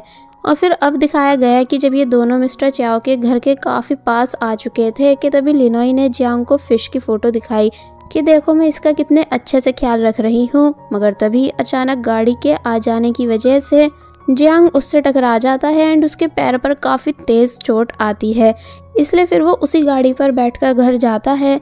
जियांग काफ़ी इंसल्टेड फील कर रहा था बिकॉज़ उस पर सभी लोग हंस रहे थे। इसलिए लिनोई ने अपना बैग जियांग को दिया। ये कहकर कि तुम इससे अपना फेस हाइड कर लो तो तब जियांग ऐसा ही करता है। रात में दिखाया जाता है कि जियांग ने एक बार फिर मिस्टर चाओ के साथ चेस खेला जहाँ आज वो फुल फोकस था। तो तब मिस्टर चाओ पूछने लगे कि कहीं तुम्हारे इस फोकस की वजह लिनोई तो नहीं? तो तब जियांग बताता है कि हाँ ऐसा ही है। क्योंकि अब मैं जब जब लिनोई को देखता हूँ तो मुझे याद आ जाता है कि उसने कैसे मुझे कंपटीशन में हराया था। इसलिए अब मैं अपना फोकस सभी चीज़ों को देना चाहता हूँ, ताकि कोई भी कंपटीशन नहीं हार सकूँ। मिस्टर चाव बोलने लगे, लेकिन मुझे ऐसा लगता है कि जैसे तुम उसको अभी भी पसंद करते हो, मगर बस स्ट्रिक बनकर दिखा रहे हो। और फिर तभी फिर से जियांग को हरा कर जाने लगे, जिनसे जियांग कहता भी है कि नहीं, ऐसा नहीं है। यानी कि मैं लिनोई को बिल्कुल भी पसंद नहीं करता हूँ बट वो उसकी एक नहीं सुनते। वेल well, अब नेक्स्ट डे हम देखते हैं कि सूजी जब जैसे किसी रेस्टोरेंट के बाहर आई कि तभी उसे वहाँ कैन दिखा जो कि किसी और लड़की के साथ था जिसको देख सूजी के होश उड़ गए कि तुम ये किसके साथ हो? इसलिए वो तुरंत उस लड़की को यहाँ से भगा देती है एंड बोली कि अभी तक हम दोनों ने ब्रेकअप नहीं किया है। इसलिए तुम ऐसे कैसे और किसी लड़की के साथ घूम सकते हो? एंड आखिर टू मंथ से कहाँ गायब थे? तो तब कैन बोलता है कि ठीक है, अगर हमने ब्रेकअप पहले नहीं किया था तो मैं अब तुमसे ब्रेकअप कर लेता हूँ। तो ये सुन सूजी हार्ट ब्रोकन हुई, फिर काफ़ी देर तक इन दोनों के बीच बहस होती है एंड देन वो रोते हुए यहाँ से चली जाती है। तो वहीं कैन को बाद में काफ़ी ज़्यादा अफसोस हुआ जिसके बाद अब दिखाया गया कि लिनोई जियांग के पैर की पूरी पूरी केयर कर रही थी, यानी मेडिसिन लगा रही होती है, जो जो जियांग को चाहिए होता है, वो सब लाकर दे रही होती है। जिससे जियांग ने बोला भी कि तुम्हें यह सब करने की ज़रूरत नहीं, मगर वो मानती नहीं। और फिर जब जैसे जियांग कहीं बाहर जाने लगा तो तब वो भी उसके पीछे पीछे गई। अब हम देखते हैं कि जब जियांग किसी के साथ चेस खेल रहा था तो तब लिनोई ने जियांग को बहुत ही ज़्यादा परेशान किया। इतना ज़्यादा कि वो बार बार डिस्टर्ब हो रहा था, इसलिए वो लिनोई को किसी बहाने से यहाँ से भेज देता है। और जब वो चली गई तो तब जियांग भी अपने वर्क प्लेस आ गया, लेकिन यहाँ आते ही सामने लिनोई को खड़ा देख उसके होश उड़ गए। इसलिए पूछने लगा कि तुमको कैसे पता चला कि मैं यहाँ हूँ? तो तब लिनोई बोली कि मुझे मिस्टर चाओ ने बताया था कि तुम यहाँ लकड़ियाँ काटने आते हो। जियांग की लिनोई से बहस हो जाती है कि तुम मेरा पीछा क्यों नहीं छोड़ रही हो? कि तभी एक लेडी आई जिनको लगा कि ये दोनों कपल है, इसलिए कहती हैं कि तुम दोनों को ऐसे लड़ते हुए देख मुझे अपने पुराने दिन याद आ गए, जब मैं भी अपने हस्बैंड से ऐसे ही लड़ा करती थी और फिर तभी यहाँ से चली जाती हैं। जियांग थोड़े टाइम के लिए नर्वस होने लगा कि क्या वाकई हम दोनों कपल दिखते हैं? और फिर जब अपना काम करने लगा तो तब उसे काफ़ी मेहनत करनी पड़ रही थी लकड़ियों को काटने में। मगर जब जैसी यही सेम काम लिनोई ने किया जियांग की हेल्प करने के लिए तो तब उसने एक ही बारी में लकड़ी को तोड़ दिया। इसका मतलब कि लिनोई काफ़ी ज़्यादा स्ट्रांग भी है, इसलिए जियांग ये सब देख शौक रह जाता है। और फिर कहने लगा कि ठीक है तुम ये पूरा काम कर दो, इतने में कुछ और करने जा रहा हूँ। लिनोई पूछती भी है कि मगर कहाँ? तो तब उसने जवाब दिया कि मुझे तुम्हें बताने की ज़रूरत नहीं, क्योंकि मुझे पता है कि तुम मुझे ढूंढ ही लोगी और फिर तभी यहाँ से चला जाता है। वेल, अब दिखाया गया है कि लिनोई जब जैसी सभी लकड़ियों को काटने के बाद घर वापस आई तो तब उसे जियांग कहीं भी नहीं दिखा। लिनोई ने मिस्टर चियाओ से जियांग के बारे में पूछा कि वो कहाँ हैं, मगर वो कुछ बता ही नहीं रहे थे, इसलिए लिनोई ने उनको फिर से पैसे दिए। तो तब जाकर वो बताते हैं कि जियांग अपने सेकंड वर्क प्लेस पर गया है। जिसका एड्रेस भी उन्होंने लिनोई को बता दिया तो ये सुन वो तुरंत यहाँ से चली गई। रात में हम देखते हैं कि मिस्टर चाओ जब जैसे अपने रूम आए तो तब यहाँ आकर वो शौक रह गए क्योंकि जियांग यहीं पर था इसलिए पूछने लगे कि तुम यहाँ क्या कर रहे हो? यानी कि आज तुम काम पर नहीं गए? तो तब जियांग बताता है कि नहीं बिकॉज़ मुझे नींद आ गई थी इसलिए मैं लिनोई से छुप कर यहाँ आपके रूम में सो गया था। वैसे मेरे पैर में काफ़ी पेन है इसलिए मैं कोई भी काम सही से नहीं कर पा रहा हूँ। तो, तो मिस्टर चाओ बोले लेकिन मैंने तो लिनोई को तुम्हारे वर्क प्लेस पर भेज दिया था एंड वो अभी तक वापस भी नहीं आई है तो ये सुन जियांग के होश उड़ गए। इसलिए वो तभी लिनोई को ढूंढते हुए जंगल की तरफ़ आ गया एंड लिनोई का नाम पुकारने लगा कि लिनोई आखिर तुम कहाँ हो? थोड़ी आगे जियांग को लिनोई का मोबाइल पड़ा मिलता है, जिस वजह से वो और ज़्यादा घबराने लगा कि आखिर तुम कहाँ हो? कि तभी जियांग को लिनोई एक गड्ढे के अंदर बेहोश पड़ी मिली। इसलिए पहले तो उसने लिनोई से बोला कि तुम डरो मत, मैं अभी तुम्हारे पास आ रहा हूँ। और फिर मिस्टर चियाओ को कॉल कर कहने लगा कि मुझे आपकी ज़रूरत है, गड्ढे से बाहर निकलने में। वेल अब जियांग भी लिनोई के पास आ गया बिकॉज़ लिनोई यहाँ गलती से गिरी है और फिर अपनी जैकेट देकर कहने लगा कि इसे पहन लो बिकॉज़ ठंड और ज़्यादा बढ़ने वाली है। तो तब लिनोई उस जैकेट को हाफ़ खुद पहनती है एंड हाफ़ जियांग के साथ शेयर करती है और फिर बताने लगी कि एक्चुअली मैं यहाँ स्पेशली तुम्ही को ढूँढने आई थी बिकॉज़ मुझे पता चला था कि तुम यहाँ हो। मैं बहुत शर्मिंदा हूँ कि मैंने तुम्हारे साथ इतना बुरा किया, इसलिए क्या प्लीज़ तुम मुझे माफ़ कर सकते हो? तो तब जियांग बताने लगा कि मैं वो मोमेंट अभी तक भूला नहीं हूँ। जब मुझे पता चला था कि मेरी ओपोनेंट और कोई नहीं, बल्कि तुम हो। इसलिए मैं ऐसे कैसे तुम्हें माफ़ कर दूँ? सच बताऊँ तो तुम मेरे लिए काफ़ी इम्पोर्टेंट बन चुकी थी, मगर अब मेरा बिल्कुल भी मन नहीं तुमसे कोई भी दोस्ती रखने का। इसलिए अच्छा रहेगा कि तुम यहाँ से चली जाओ और मुझे अकेला छोड़ दो। लिनोई शांत बैठी रह जाती है, जियांग की इन बातों को सुनकर कि जियांग अब उससे कितनी ज़्यादा नफरत करता है कि तभी मिस्टर चियाओ मदद लेकर यहाँ आ गए। नेट सीन में दिखाया गया कि घर वापस आकर लिनोई बार बार इन्हीं बातों को सोचने लगी तो वहीं जियांग भी सही से सो नहीं पा रहा था। यानी बस लिनोई के ही बारे में सोचता है और फिर जब नेक्स्ट मॉर्निंग अपने रूम से बाहर आया तो तब उसे मिस्टर चाओ बताने लगे कि लिनोई यहाँ से जा चुकी है। तो ये सुन जांग सैड फील करने लगा। दोनों एक बार फिर चेस गेम खेलने बैठे, जहाँ इस बारी जियांग ने फुल फोकस के साथ मिस्टर चाओ को इजीली हरा दिया। तो तब मिस्टर चाओ हँसते हैं कि क्या मैं वाकई हार चुका हूँ? जियांग कहता है कि आपको अपना प्रॉमिस याद है ना? कि अब आप अपनी नाइफ मुझे दोगे? तो तब वो कहते हैं कि कौन सा प्रॉमिस क्या तुम्हारे पास कोई प्रूफ है कि मैंने तुमसे ऐसा कोई प्रॉमिस किया था? तो ये सुन जियांग भी हंसने लगा कि प्लीज़ मज़ाक करना बंद कीजिए, मैं ऑलरेडी एक बार धोखा खा चुका हूँ।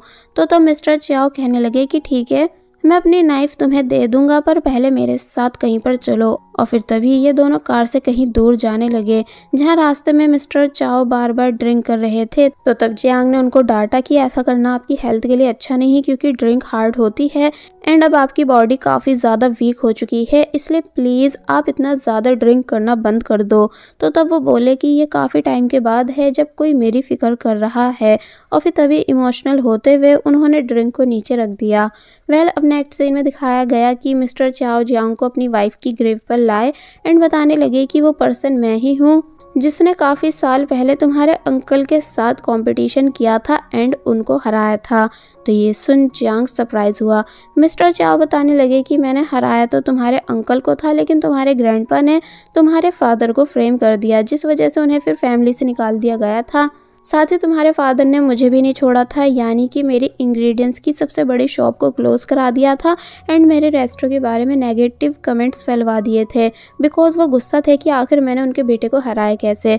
मेरी वाइफ उस टाइम प्रेग्नेंट थी एंड उसकी कंडीशन बिल्कुल भी ठीक नहीं थी, जिस वजह से मैं काफ़ी ज़्यादा परेशान हो चुका था कि इलाज के पैसे कहाँ से लाऊं।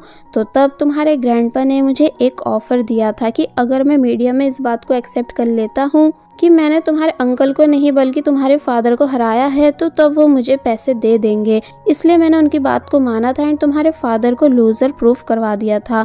मगर मैं तब भी अपनी प्रेग्नेंट वाइफ को बचा नहीं पाया, यानी कि इलाज देर से शुरू होने की वजह से उसकी डेथ हो गई थी।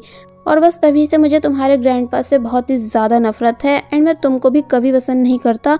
मगर जब मुझे पता चला कि तुम अपने ग्रैंड की तरह चीटर नहीं, यानी तुमने लिनोई के साथ कॉम्पिटिशन में अपनी हार को एक्सेप्ट किया एंड अपना नाइफ भी उसे दिया इसलिए तब मैं समझ गया था कि तुम एक अच्छे इंसान हो। और फिर फाइनली अपना नाइफ निकाल कर जियांग को देने लगे। ये बोलते हुए कि, मुझे उम्मीद है कि तुम इसका अच्छे से यूज़ करोगे। जियांग बहुत ही ज़्यादा खुश हो गया, मगर फिर रिक्वेस्ट करने लगा कि, पर मैं आपको अपना मास्टर भी बनाना चाहता हूँ, इसलिए कि आप प्लीज़ मुझे एज ए स्टूडेंट एक्सेप्ट कर सकते हो? तो तब मिस्टर चाओ मान गए और बस फिर ये सीन यहीं पर कट हो जाता है। वेल well, अब कुछ दिन बाद का सीन दिखाया गया जहाँ हम देखते हैं कि लिनोई जो कि अपने रेस्टो में थी कि तभी यहाँ सूजी आई जो कि पूरे रेस्टो को चेक करने लग जाती है।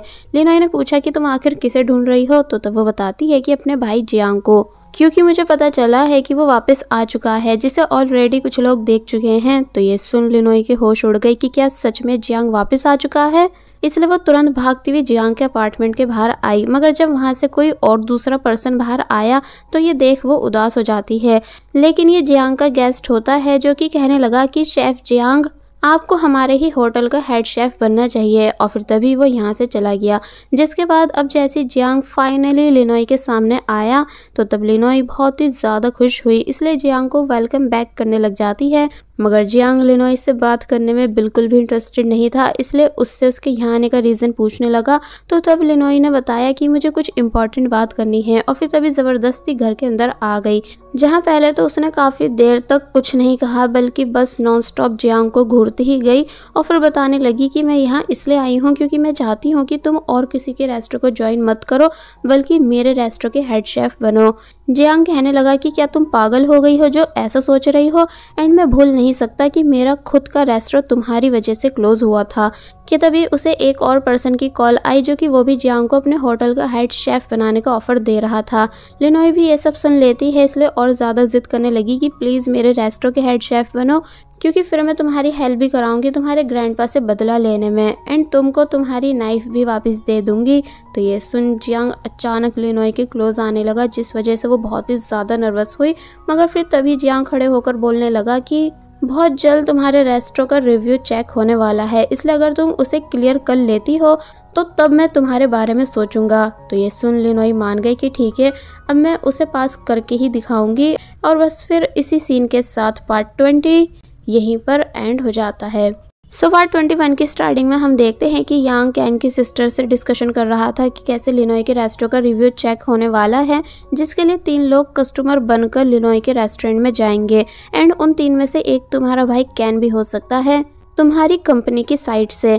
इसलिए मैं उम्मीद करता हूँ कि वो हमारा साथ देते हुए लिनोई को फेल कर देगा। तो ये सुन कैन की सिस्टर बोली कि, मगर क्यों? यानी पहले तुमने खुद लिनोई को विन कराया और अब तुम उसी के रेस्टोरेंट की रेटिंग गिराना चाह रहे हो? तो तब यांग बताता है कि ये सब मैं इसलिए कर रहा हूँ। बिकॉज़ पूरे चांस है कि लिनोई जियांग को अपने साथ लाकर हमारे होटल को चैलेंज कर सकती है, क्योंकि वो उसे पसंद करती है। एंड सोने पे सुहागा ग्रैंडपा ने हमारे होटल का हेड शेफ सूजी को बना रखा है, जो कि वो भी आसानी से जियांग का साथ देकर हमेशा के लिए हमारे होटल को बंद करवा देगी। बिकॉज़ ग्रैंडपा को लगता है कि सूजी उनकी टीम में है, लेकिन वो अभी भी सिर्फ़ जियांग को ही अपनी फैमिली मानती है। इसलिए मैं पहले ही लिनोई के रेस्टोरेंट की रेटिंग को नीचे गिरवा कर अपने होटल को रिस्क से बचा रहा हूँ।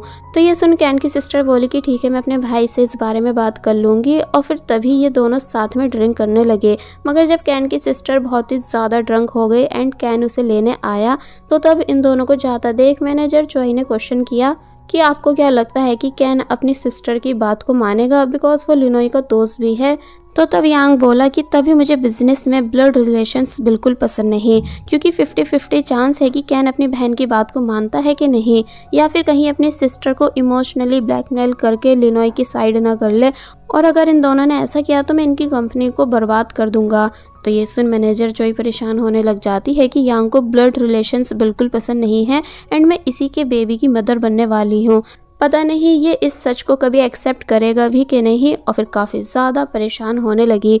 और वहीं कैन जब जैसे अपनी सिस्टर को उघलाया तो तब उसने अपनी सिस्टर के हाथ में एक फ़ाइल देखी, जिसे रीड कर कैन को यांग के सभी प्लान्स के बारे में पता चल गया कि यांग क्या क्या करने वाला है एंड किस किस का यूज़ करने वाला है।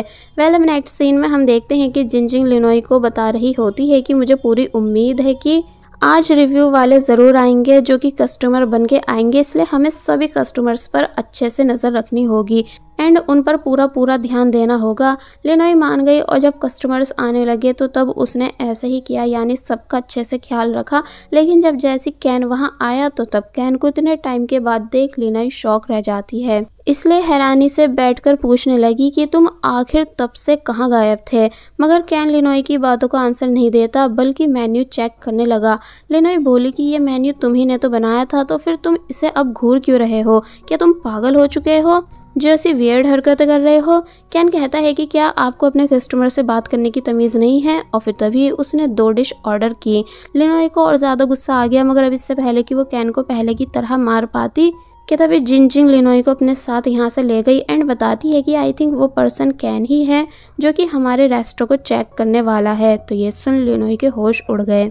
और वहीं दूसरी तरफ़ सूजी फाइनली जंग से मिली, लेकिन गुस्सा थी कि क्या आप सच में लिनोई के रेस्टो को ज्वाइन करने की प्लानिंग कर रहे हो? जबकि आपको पता है ना कि उसने आपके साथ कितना बुरा किया था?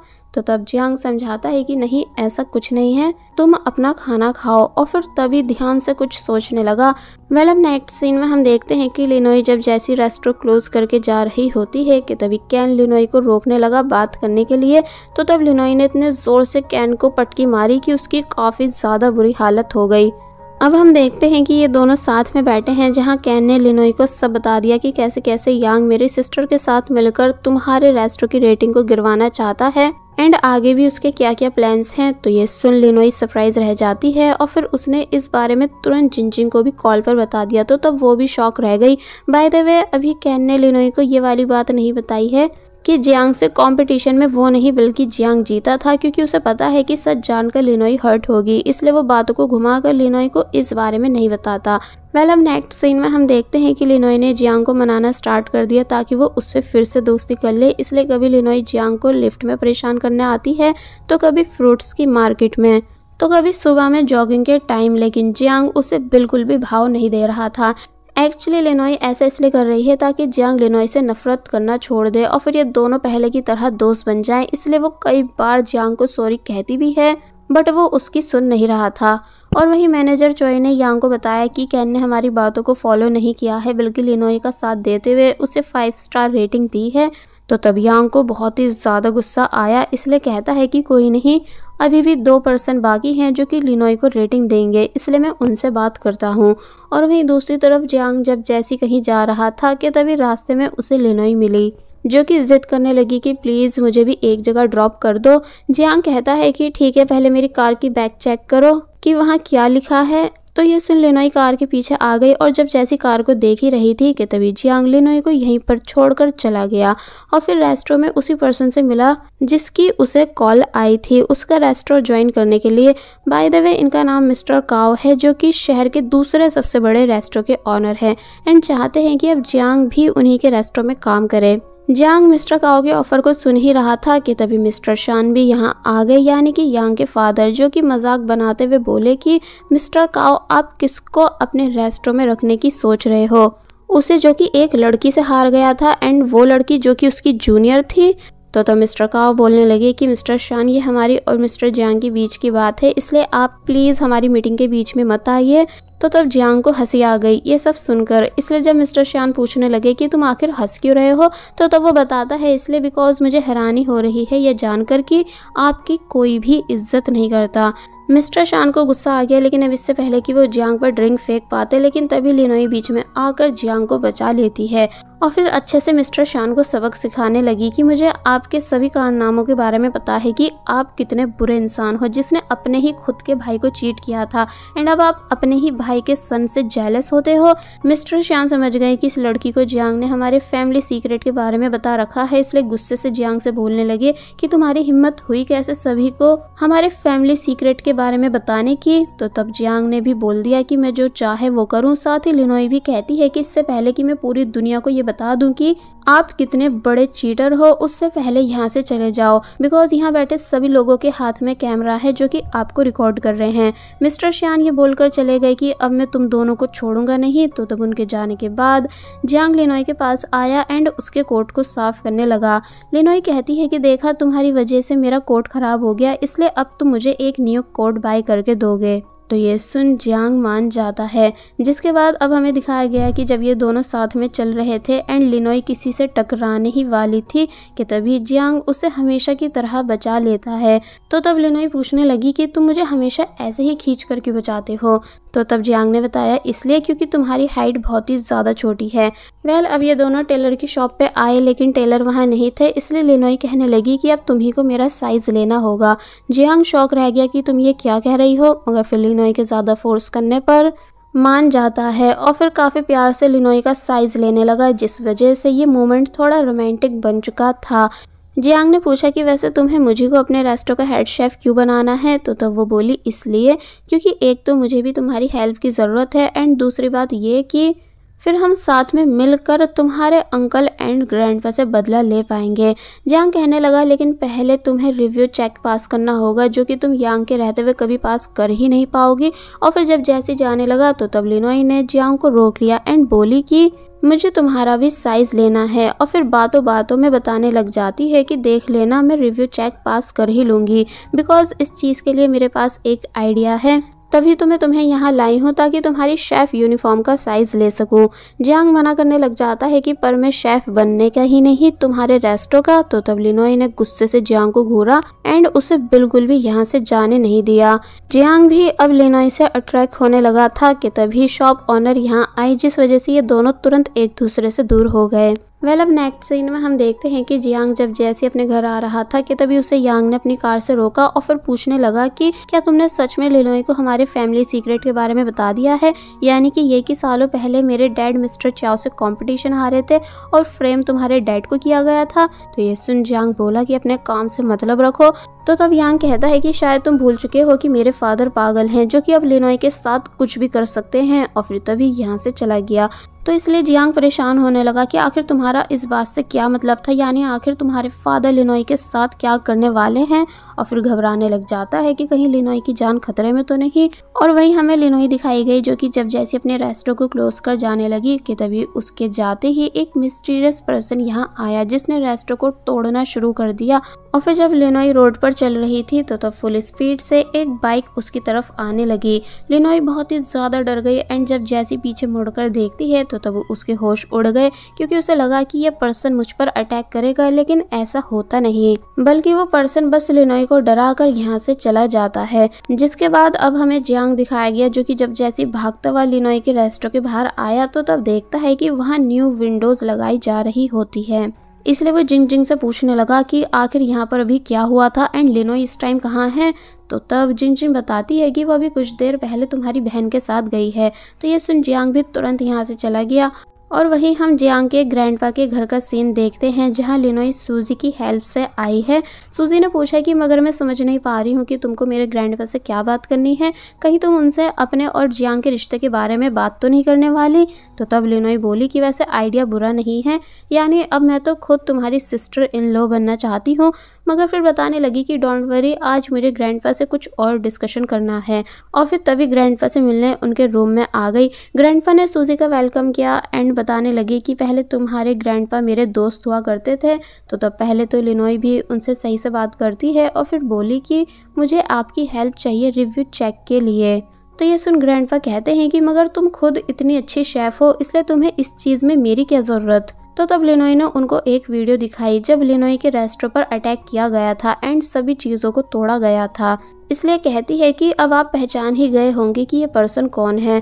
तो ये सुन ग्रैंड पर चुप बैठे रह गए क्योंकि वो समझ चुके हैं कि ये और कोई नहीं, बल्कि उनका छोटा बेटा मिस्टर शान है, जो कि लिनोई के रेस्टों में तोड़फोड़ कर रहा था। और वही मिस्टर शान, जो कि किसी से कॉल पर बात करते हुए जा रहे थे, ये कहते हुए कि अब दोबारा कैसे लिनोई को सबक सिखाना है? कि तभी जियांग अपनी कार से यहाँ आया, जिसने पहले अपनी कार से मिस्टर शान को हिट किया, जिस वजह से उन्हें काफ़ी ज़्यादा तकलीफ़ हुई। और फिर जियांग उनको वार्न करने लगा कि जो सब आप मेरे डैड के साथ कर चुके हो, अगर वही सब आपने फिर से लिनोई के साथ करने की कोशिश की तो इस बारी मैं आपको छोड़ूँगा नहीं, बल्कि जान से मार दूँगा। तो ये सुन मिस्टर शान पूछने लग जाते हैं कि आखिर वो लड़की कौन लगती है तुम्हारी जिसकी वजह से तुम मुझसे पंगा ले रहे हो? तो तब जियांग ने इस चीज़ का तो कोई आंसर नहीं दिया, बल्कि बस बहुत ही ज़्यादा गुस्से से मिस्टर शान को देखने लगा। और बस फिर इसी सीन के साथ पार्ट 21 यहीं पर एंड हो जाता है। सो पार्ट 22 की स्टार्टिंग में हम देखते हैं कि लिनोई जियांग के ग्रैंडपा को बता चुकी है कि उसके रेस्टो पर और किसी ने नहीं, बल्कि उनके छोटे बेटे यानी मिस्टर शान ने अटैक किया था। तो तब ग्रैंडपा मुकरने लगे कि नहीं, ये मेरा बेटा शान नहीं हो सकता, तुम्हें कोई गलत फहमी हो रही होगी। पर अगर ये सच में मेरा बेटा शान है तो मैं उसे डांटूँगा।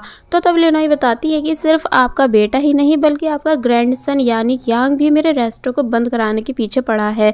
और फिर डिटेल्स में यांग की पूरी प्लानिंग बताने लगी। जो जो उसे कैन से पता चली थी, और वो ये कि एक्चुअली यांग ऐसा सब इसलिए कर रहा है क्योंकि वो आपके रेस्टो को एक चैन रेस्टो में डेवलप करना चाहता है। उसे पता है कि वो एक न एक दिन सूजी को हेड शेफ की पोजीशन से हटा ही देगा और फिर आपके रेस्टो को किसी बड़े इंटरनेशनल ब्रांड को बेच देगा। तो ये सुन ग्रैंड पर शौक रह गए, इसलिए बोले कि, चलो कोई नहीं, मैं अपने ग्रैंड सन से इस बारे में बात करता हूँ एंड रही बात तुम्हारी तो तुम ये किसी को मत बताना। बदले में मैं तुम्हारा रिव्यू चेक फेयरली पास करा दूँगा। तो ये सुन लिनोई खुश हुई और फिर नेक्स्ट डे दिखाया गया कि जिन जिन एंड लिनोई दोनों सेलिब्रेशन कर रही हैं बिकॉज़ फाइनली इनका रेस्टो पास हो चुका है। कि तभी जियांग भी यहाँ आ गया, ये पूछते हुए कि क्या मेरे लिए यहाँ कोई जॉब है? तो तब जियांग को देख लिनोई और ज़्यादा खुश हो जाती है। और फिर जब वो अंदर थी एंड जियांग रेडी होकर बाहर आया तो तब लिनोई जियांग को बस देखती ही रह गई। बिकॉज़ अब वो जियांग को पसंद जो करने लगी है, इसलिए काफ़ी प्यार से जियांग की ड्रेस को भी ठीक करने लगी। और वही हमें यांग दिखाया गया, जिसको ग्रैंडपा ने बहुत ही ज़्यादा डांटा कि आखिर तुम मेरे रेस्टो को बंद कराने की सोच कैसे सकते हो? तुम्हें क्या लगता है कि मैं अंधा हूँ, बहरा हूँ, बीमार हूँ? जिसे तुम्हारी इन हरकतों के बारे में कभी पता नहीं चल पाएगा। तो तब यांग कुछ नहीं बोला, बल्कि बस डरते हुए रिक्वेस्ट करने लगा कि प्लीज़ मुझे माफ़ कर दो, अब मैं दोबारा ऐसा कुछ नहीं करूँगा। और फिर जब वो बाहर आया तो तब मैनेजर चोई बोली कि वैसे हमने अपना प्लान सिर्फ़ कैन की सिस्टर के साथ शेयर किया था, लेकिन ये बात लिनोई तक कैसे पहुँची? जिसके बाद अब हमें नेक्स्ट डे का सीन दिखाया गया, जहाँ जब लिनोई अपने फादर के साथ ब्रेकफास्ट कर रही थी कि तभी खबर मिली कि उसके रेस्टोरेंट के बाहर बहुत सारी भीड़ जमा हो चुकी है। इसलिए सुन लिनोई जब जैसी भागती हुई अपने रेस्टोरेंट के बाहर आई एंड देखती है तो तब उसे पता चला कि ये सब तो सिर्फ़ लड़कियाँ हैं जो कि रेस्टोरेंट के खुलने का वेट कर रही थी, कि तभी जिंजिंग भी यहाँ आ गई और बताने लगी कि इन सभी को जियांग के आने का इंतज़ार है, क्योंकि ये सब उसकी बिग फ़ैन है। और फिर जब जैसी जियांग इन सभी के सामने आया तो तब सभी गर्ल्स जियांग को देखती ही रह गई, यानी कि बहुत ही ज़्यादा खुश हुई, इसलिए उसकी फ़ोटोज़ क्लिक करती हैं। लिनोई भी इम्प्रेस हुई ये देखकर कि जियांग को सब कितना ज़्यादा पसंद करते हैं एंड देन जियांग लिनोई के पास आकर कहने लगा कि, तुम डोर ओपन करो। पहले दिखाया गया कि रेस्ट ओपन हो चुका है तो वहीं किचन में लिनोई सोच रही थी कि अब वो जियांग के साथ टाइम स्पेंड किया करेगी, लेकिन जियांग की फैंस बार बार जियांग को बुलाने लग जाती हैं। कभी जियांग के खाने की तारीफ़ करने के लिए तो कभी जियांग के साथ फ़ोटोज़ क्लिक कराने के लिए। जिस सबसे लिनोई को बहुत ही ज़्यादा गुस्सा आया, यानी कि इस बार वो जेलस हुई। इसलिए जब फिर से जियांग को बुलाया गया तो तब वो खुद से कस्टमर्स के पास जाती है और पूछने लगी कि मैं आपकी क्या मदद कर सकती हूँ। तो तब वो सभी बोली कि, पर हमें मिस्टर जियांग से मिलना है। तो ये सुन लिनोई फिर से जेलस हो गई कि सभी लड़कियाँ कैसे बार बार सिर्फ़ जियांग की ही डिमांड कर रही हैं। और वहीं जियांग ये सब देख हंसने लगा। लिनोई जब जैसे वापस किचन में जाने लगी कि तभी इनके रेस्टो का एक रेगुलर कस्टमर यहाँ आया, जिसको देख लिनोई ने उसका वेलकम किया। और फिर ये दोनों हँसी मज़ाक करने लगे। मगर अब की बार ये सब देख जियांग जेलस होता है कि आखिर ये कस्टमर कौन है और कब से यहाँ आ रहा है। तो तब उसे जिंगजिंग ने बताया कि ये कस्टमर हमारे रेस्टोरेंट में पूरे वन मंथ से आ रहा है। एंड ये सिर्फ़ लिनोई के हाथ का बना खाना ही खाना पसंद करता है। तो तब जियांग गुस्से से बोलने लगा कि मुझे उम्मीद है कि ये यहाँ सिर्फ़ खाने की ही वजह से आता होगा, ना कि लिनोई के। तो तब जिंग जिंग कंफ्यूजन के साथ यहाँ से चली गई और फिर बाद में जियांग लिनोई से आकर पूछने लगा कि आखिर वो मेल कस्टमर कौन था? क्या तुम दोनों के बीच कुछ चल रहा है? तो तब लिनोई समझाती है कि नहीं, ऐसा कुछ भी नहीं है, वो सिर्फ़ मेरा एक कस्टमर है। तो तब जाकर जियांग थोड़ा शांत हुआ। लेकिन जब जैसी रात हुई, यानी कि सब कस्टमर्स जा चुके थे एंड लिनोई रेस्टो को बंद करने ही वाली थी कि तभी वही मेल कस्टमर वापस आता है एंड लिनोई से बोलने लगा कि, मिस लिनोई मुझे आपसे कुछ इम्पोर्टेंट बात करनी है और वो ये कि क्या हम दोनों मूवी देखने चल सकते हैं? तो ये सुन लेनोई तो शौक रह जाती है कि तभी जियांग फुल गुस्से में यहाँ आया एंड कहने लगा कि नहीं, इसको बहुत काम है, इसलिए कहीं भी नहीं जाएगी। तो तब वो पर्सन बोला तो फिर क्या परसों हम दोनों साथ में चल सकते हैं? मगर जियांग परसों को भी मना कर देता है ये बताकर कि इसको किसी भी दिन कहीं जाने का टाइम नहीं है। लिनोई को काफ़ी अजीब लगा कि जियांग कितने गुस्से में बात कर रहा है, इसलिए वो कस्टमर को अपने साथ बाहर ले गई अकेले में बात करने के लिए। तो तब भी जियांग काफ़ी कोशिश करता है कि इन दोनों के बीच की बातों को सुन पाए, लेकिन उसे कुछ सुनाई नहीं दे रहा था। और फिर जब जैसी लिनोई वापस आई तो तब जियांग उसे फॉलो करने लगा कि आखिर तुमने उस कस्टमर से क्या बात की है? जबकि तुम तो कह रही थी कि तुम दोनों के बीच कुछ भी नहीं चल रहा है। लिनोई जियांग की बातों को सुन नहीं रही थी, इसलिए जियांग ने लिनोई को एक जगह ब्लॉक कर दिया और फिर पूछने लगा कि, क्या सच में तुम कल उस कस्टमर के साथ मूवी देखने जाने वाली हो? तो तब लिनोई बताती है कि नहीं, यानी कि मैंने उसे मना कर दिया है। पर क्या मैं जान सकती हूँ कि तुम इतना गुस्सा क्यों हो रहे हो?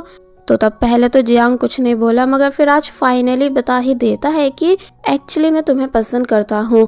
अब से नहीं, वो भी काफ़ी टाइम पहले से। लिनोई बहुत ही ज़्यादा खुश हो जाती है ये सुनकर। तो तब जियांग ने पूछा कि और तुम मेरे बारे में क्या सोचती हो? तो तब लिनोई ने भी कन्फेस कर दिया कि हाँ मैं भी तुम्हें लाइक करती हूँ। जियांग खुश हुआ एंड लिनोई को किस करने के लिए आगे बढ़ने लगा, लेकिन अब इससे पहले कि ये दोनों किस कर पाते कि तभी जिंजिंग यहाँ आ गई जो कि लिनोई को अपने साथ लेकर जाने लगी किसी ज़रूरी काम के लिए। तो तब जियांग काफ़ी बोला कि प्लीज़ मत जाओ, लेकिन लिनोई रुक नहीं पाई। कि तभी वापस आई और जियांग से ये बोलकर गई कि, कल तुम रेडी रहना बिकॉज़ कल हमारी फ़र्स्ट डेट है। मिस्टर बॉयफ्रेंड तो ये सुन जियांग शौक रह गया। इसलिए लिनोई के जाने के बाद बार बार इसी बारे में सोच सोच कर मुस्कुराता है कि वो कैसे मुझे बॉयफ्रेंड कहकर गई है। जिसके बाद अब हम रात का सीन देखते हैं जहाँ जियांग को बार बार लिनोई का ही ख्याल आ रहा था। यानी ना ही वो चैन से सो पा रहा था और ना ही कुकिंग कर पा रहा था, बस लिनोई को ही सोचता जा रहा था। तो वही यही सेम कंडीशन लिनोई की भी थी, यानी कि वो भी बार बार सिर्फ़ जियांग को ही याद कर रही थी कि तभी डोर पर कोई आया जिसे जब जैसे लिनोई ने चेक किया तो वो और कोई नहीं, बल्कि जियांग था। लिनोई हैरान हुई और पूछने लगी कि तुम यहाँ क्या कर रहे हो? तो तब वो बताता है कि मैं तुम्हारे फादर से मिलने आया हूँ। लिनोई चुप हो जाती है और बोली कि, पर डैड तो घर पर नहीं है, यानी अपने दोस्त के घर गए हैं। आज रात वहीं रुकने के लिए तुम बैठो, मैं तुम्हें पानी लाकर देती हूँ। और फिर जब जैसी पानी लेने गई तो तब जियांग लिनोई के पीछे पीछे आया और फिर तभी डायरेक्ट उसने लिनोई को किस कर ली। बिकॉज़ अब ये दोनों लव रिलेशनशिप में जो आ चुके हैं इसलिए आज फाइनली जियांग ने अपनी सारी फीलिंग्स एक्सप्रेस कर दी। नेक्स्ट डे मॉर्निंग में दिखाया गया कि लिनोई उठने के बाद बार बार जियांग को देख देख के खुश हो रही थी, लेकिन जब पता चला कि उसके डैड वापस आ चुके हैं तो तब वो काफ़ी ज़्यादा परेशान हो जाती है, इसलिए उसने जल्दी से जियांग से छुपने के लिए बोला। एंड जब डैड रूम में आए तो तब लिनोई ने पूछा कि आप अकेले इतनी जल्दी कैसे आ गए? तो तब वो बताते हैं कि मैं जल्दी क्यों नहीं आता? क्या तुम्हें याद नहीं कि आज तुम्हारा स्कूल है? इसलिए चलो जल्दी स्कूल, वरना तुम लेट हो जाओगी। और फिर तभी लिनोई को अपने साथ लेकर जाने लगे।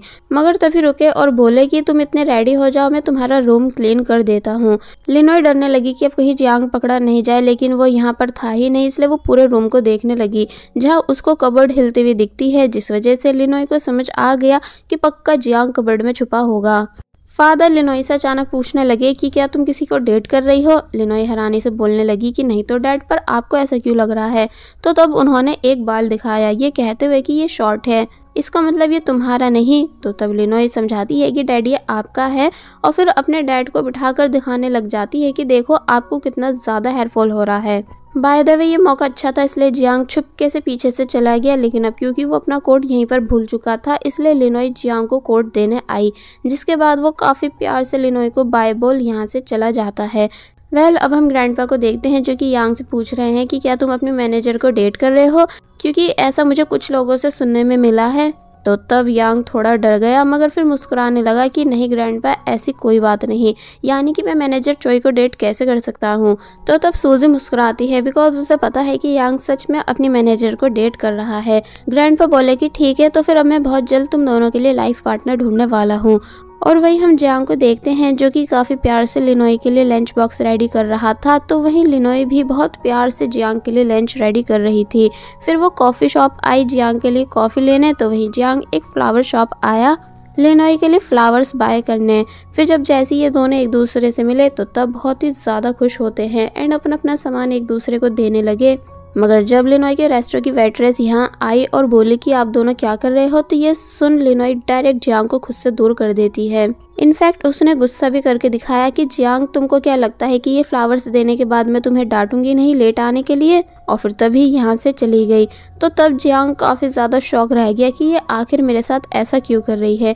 इसलिए जब अंदर आता है तो तब वो लिनोई को बहुत अच्छे से इग्नोर कर रहा था। इसलिए लिनोई ने जैसे तैसे जियांग को रोका और सॉरी बोलते हुए समझाने लगी कि मैं कुछ रीजंस की वजह से फ़िलहाल हमारे रिलेशनशिप को हाइड रखना चाहती हूँ। इसलिए तुम प्लीज़ मेरी कंडीशन समझो तो तब फाइनली जियांग मान गया। अब हम देखते हैं कि जब ब्रेक टाइम में लिनोई और जियांग एक दूसरे को लंच खिला रहे थे एंड काफ़ी ज़्यादा खुश भी थे कि अब कैसे वो दोनों हर मोमेंट को एंजॉय कर सकते हैं। मगर जब जैसी जिंग जिंग यहाँ आई तो तब उसको देख लिनोई ने डायरेक्ट जियांग को खुद से दूर फेंक दिया और उसके पास भागती हुई चली गई। जिंग जिंग को समझ नहीं आता कि आखिर ये दोनों छुप कर लंच क्यों कर रहे थे, इसलिए इसलिए उसने बाद में लिनोई से पूछा भी कि क्या तुम जियांग को डेट कर रही हो? मगर लिनोई मना कर देती है कि नहीं, ऐसा कुछ भी नहीं है। मगर अब क्योंकि जियांग बहुत ही ज़्यादा हर्ट हुआ था, इतना ज़्यादा कि अब वो लिनोई के कई बार सॉरी कहने पर भी मान नहीं रहा था इसलिए लेनोई जियांग को किस करती है और फिर ये दोनों एक दूसरे को काफ़ी ज़्यादा प्यार से किस करने लगे। वेल, अब नेक्स्ट सीन में हम देखते हैं कि मैनेजर चोई अपने बेबी के लिए शॉपिंग करने आती है, इसलिए काफ़ी प्यार से बेबी के कपड़ों को देखने लगी। फिर जब वो उन्हें बाय करती है, वो भी उस कार्ड से जो कि यांग का है तो तब शॉप ऑनर ने पूछा कि आपका हस्बैंड कहाँ है? क्या वो आपके साथ शॉपिंग के लिए नहीं आए? तो ये सुन मैनेजर चोई शांत हो गई एंड उदास होने लगी और वहीं दूसरी तरफ़ हमको दिखाया गया कि कैन ग्रैंडपा से बात करने आया हुआ था। एक्चुअली बहुत जल्द एक ऑल शेफ्स मीटिंग होने वाली है एंड उसी दिन ग्रैंडपा का बर्थडे भी है। इसलिए कैन कहता है कि कोई नहीं, मैं डेट चेंज करा दूँगा, मगर ग्रैंडपा मना करने लगे और कहते हैं कि कोई नहीं, एक ही दिन दोनों काम होने दो। और वहीं सूजी, जो कि गुस्सा थी कि आखिर कैन ग्रैंडपा से मिलने क्यों आया हुआ है, कि तभी यहाँ वही पर्सन आया जो कि रेस्टोरेंट में जियांग से मिला था। यानी कि मिस्टर काओ, जो कि सूजी को बताने लगा कि मुझे तुम्हारे ग्रैंडपा ने चूज़ किया है तुम्हारे लिए, ताकि हम दोनों एक दूसरे को डेट कर सके। सूजी शौक रह जाती है कि ये क्या बकवास है? तो तब मिस्टर काओ सूजी को रोक बताने लगे कि हम एक परफेक्ट मैच बन सकते हैं। कि तभी इतने में कैन भी यहाँ आ गया जो कि हैरान रह गया, सूजी को किसी और के साथ देखकर। सूजी भी समझ गया कि ये जेलस हो रहा है, इसलिए कैन को और ज़्यादा चिढ़ाने के लिए अपने ग्रैंड से बोलने लगी कि, मुझको मिस्टर काओ काफ़ी ज़्यादा पसंद आए, इसलिए क्या मैं इन्हें अपना रूम दिखा सकती हूँ? ग्रैंडपा कहते हैं कि, बिल्कुल। तो तब सूजी मिस्टर काओ के साथ यहाँ से चली गई। तो वही कैन बस सदमे में खड़ा रह गया। दूसरी तरफ़ मैनेजर चोई जब जैसी यांग से पूछती है कि, तुम कहाँ जा रहे हो? तो तब यांग बताने लगा कि एक्चुअली आज ग्रैंडपा ने मेरी किसी के साथ ब्लाइंड डेट अरेंज की है। मैनेजर चॉइस शौक रह गई ये बात सुनकर तो तब यांग कहता है कि मैंने तुम्हें अपना कार्ड दे तो रखा है, इसलिए तुम जितना चाहो उसे यूज़ किया करो। पर अब हम दोनों रिलेशनशिप में नहीं रह सकते और फिर तभी वो यहाँ से चला गया और मैनेजर चोई बस उदास हुई भी खड़ी रह गई। यहाँ तक कि यांग को रोक तक नहीं पाई और वही यांग जब जैसी एक जगह आया कि तभी उसके मोबाइल पर एक मैसेज आया कि उसके कार्ड को बेबी शॉप में यूज़ किया गया है, जिस वजह से यांग के होश उड़ जाते हैं कि भला मैनेजर चोई ने बेबी शॉप पर शॉपिंग क्यों की। और बस फिर इसी सीन के साथ पार्ट 22 यहीं पर एंड हो जाता है। सो पार्ट 23 की स्टार्टिंग में दिखाया गया कि कैन बहुत ही ज़्यादा उदास था सूजी को किसी और पर्सन के साथ देखकर, इसलिए बोला कि, सूजी ने आज तक कभी मुझे अपना रूम नहीं दिखाया, लेकिन वो उस पर्सन को अपना रूम दिखाने क्यों गई? तो तब लिनोई बोली कि, तुम पूरे टू मंथ से गायब थे वो भी बिना सूजी को कुछ बताए, इसलिए वो तो तुमसे नाराज़ होगी ही। पर चलो कोई नहीं, मैं जियांग से इस बारे में बात करूँगी कि वो सूजी से बात करे, क्योंकि वो उसका ब्रदर जो है, जिसके बाद अब नेक्स्ट डे हम देखते हैं कि जिंग जिंग अपने साथ एक बच्ची को लाई और रिक्वेस्ट करने लगी कि क्या प्लीज़ तुम इसका ख्याल रख सकती हो? ये मेरे रिलेटिव्स की है, मगर मैं इसका ख्याल नहीं रख पाऊँगी अर्जेंट वर्क की वजह से।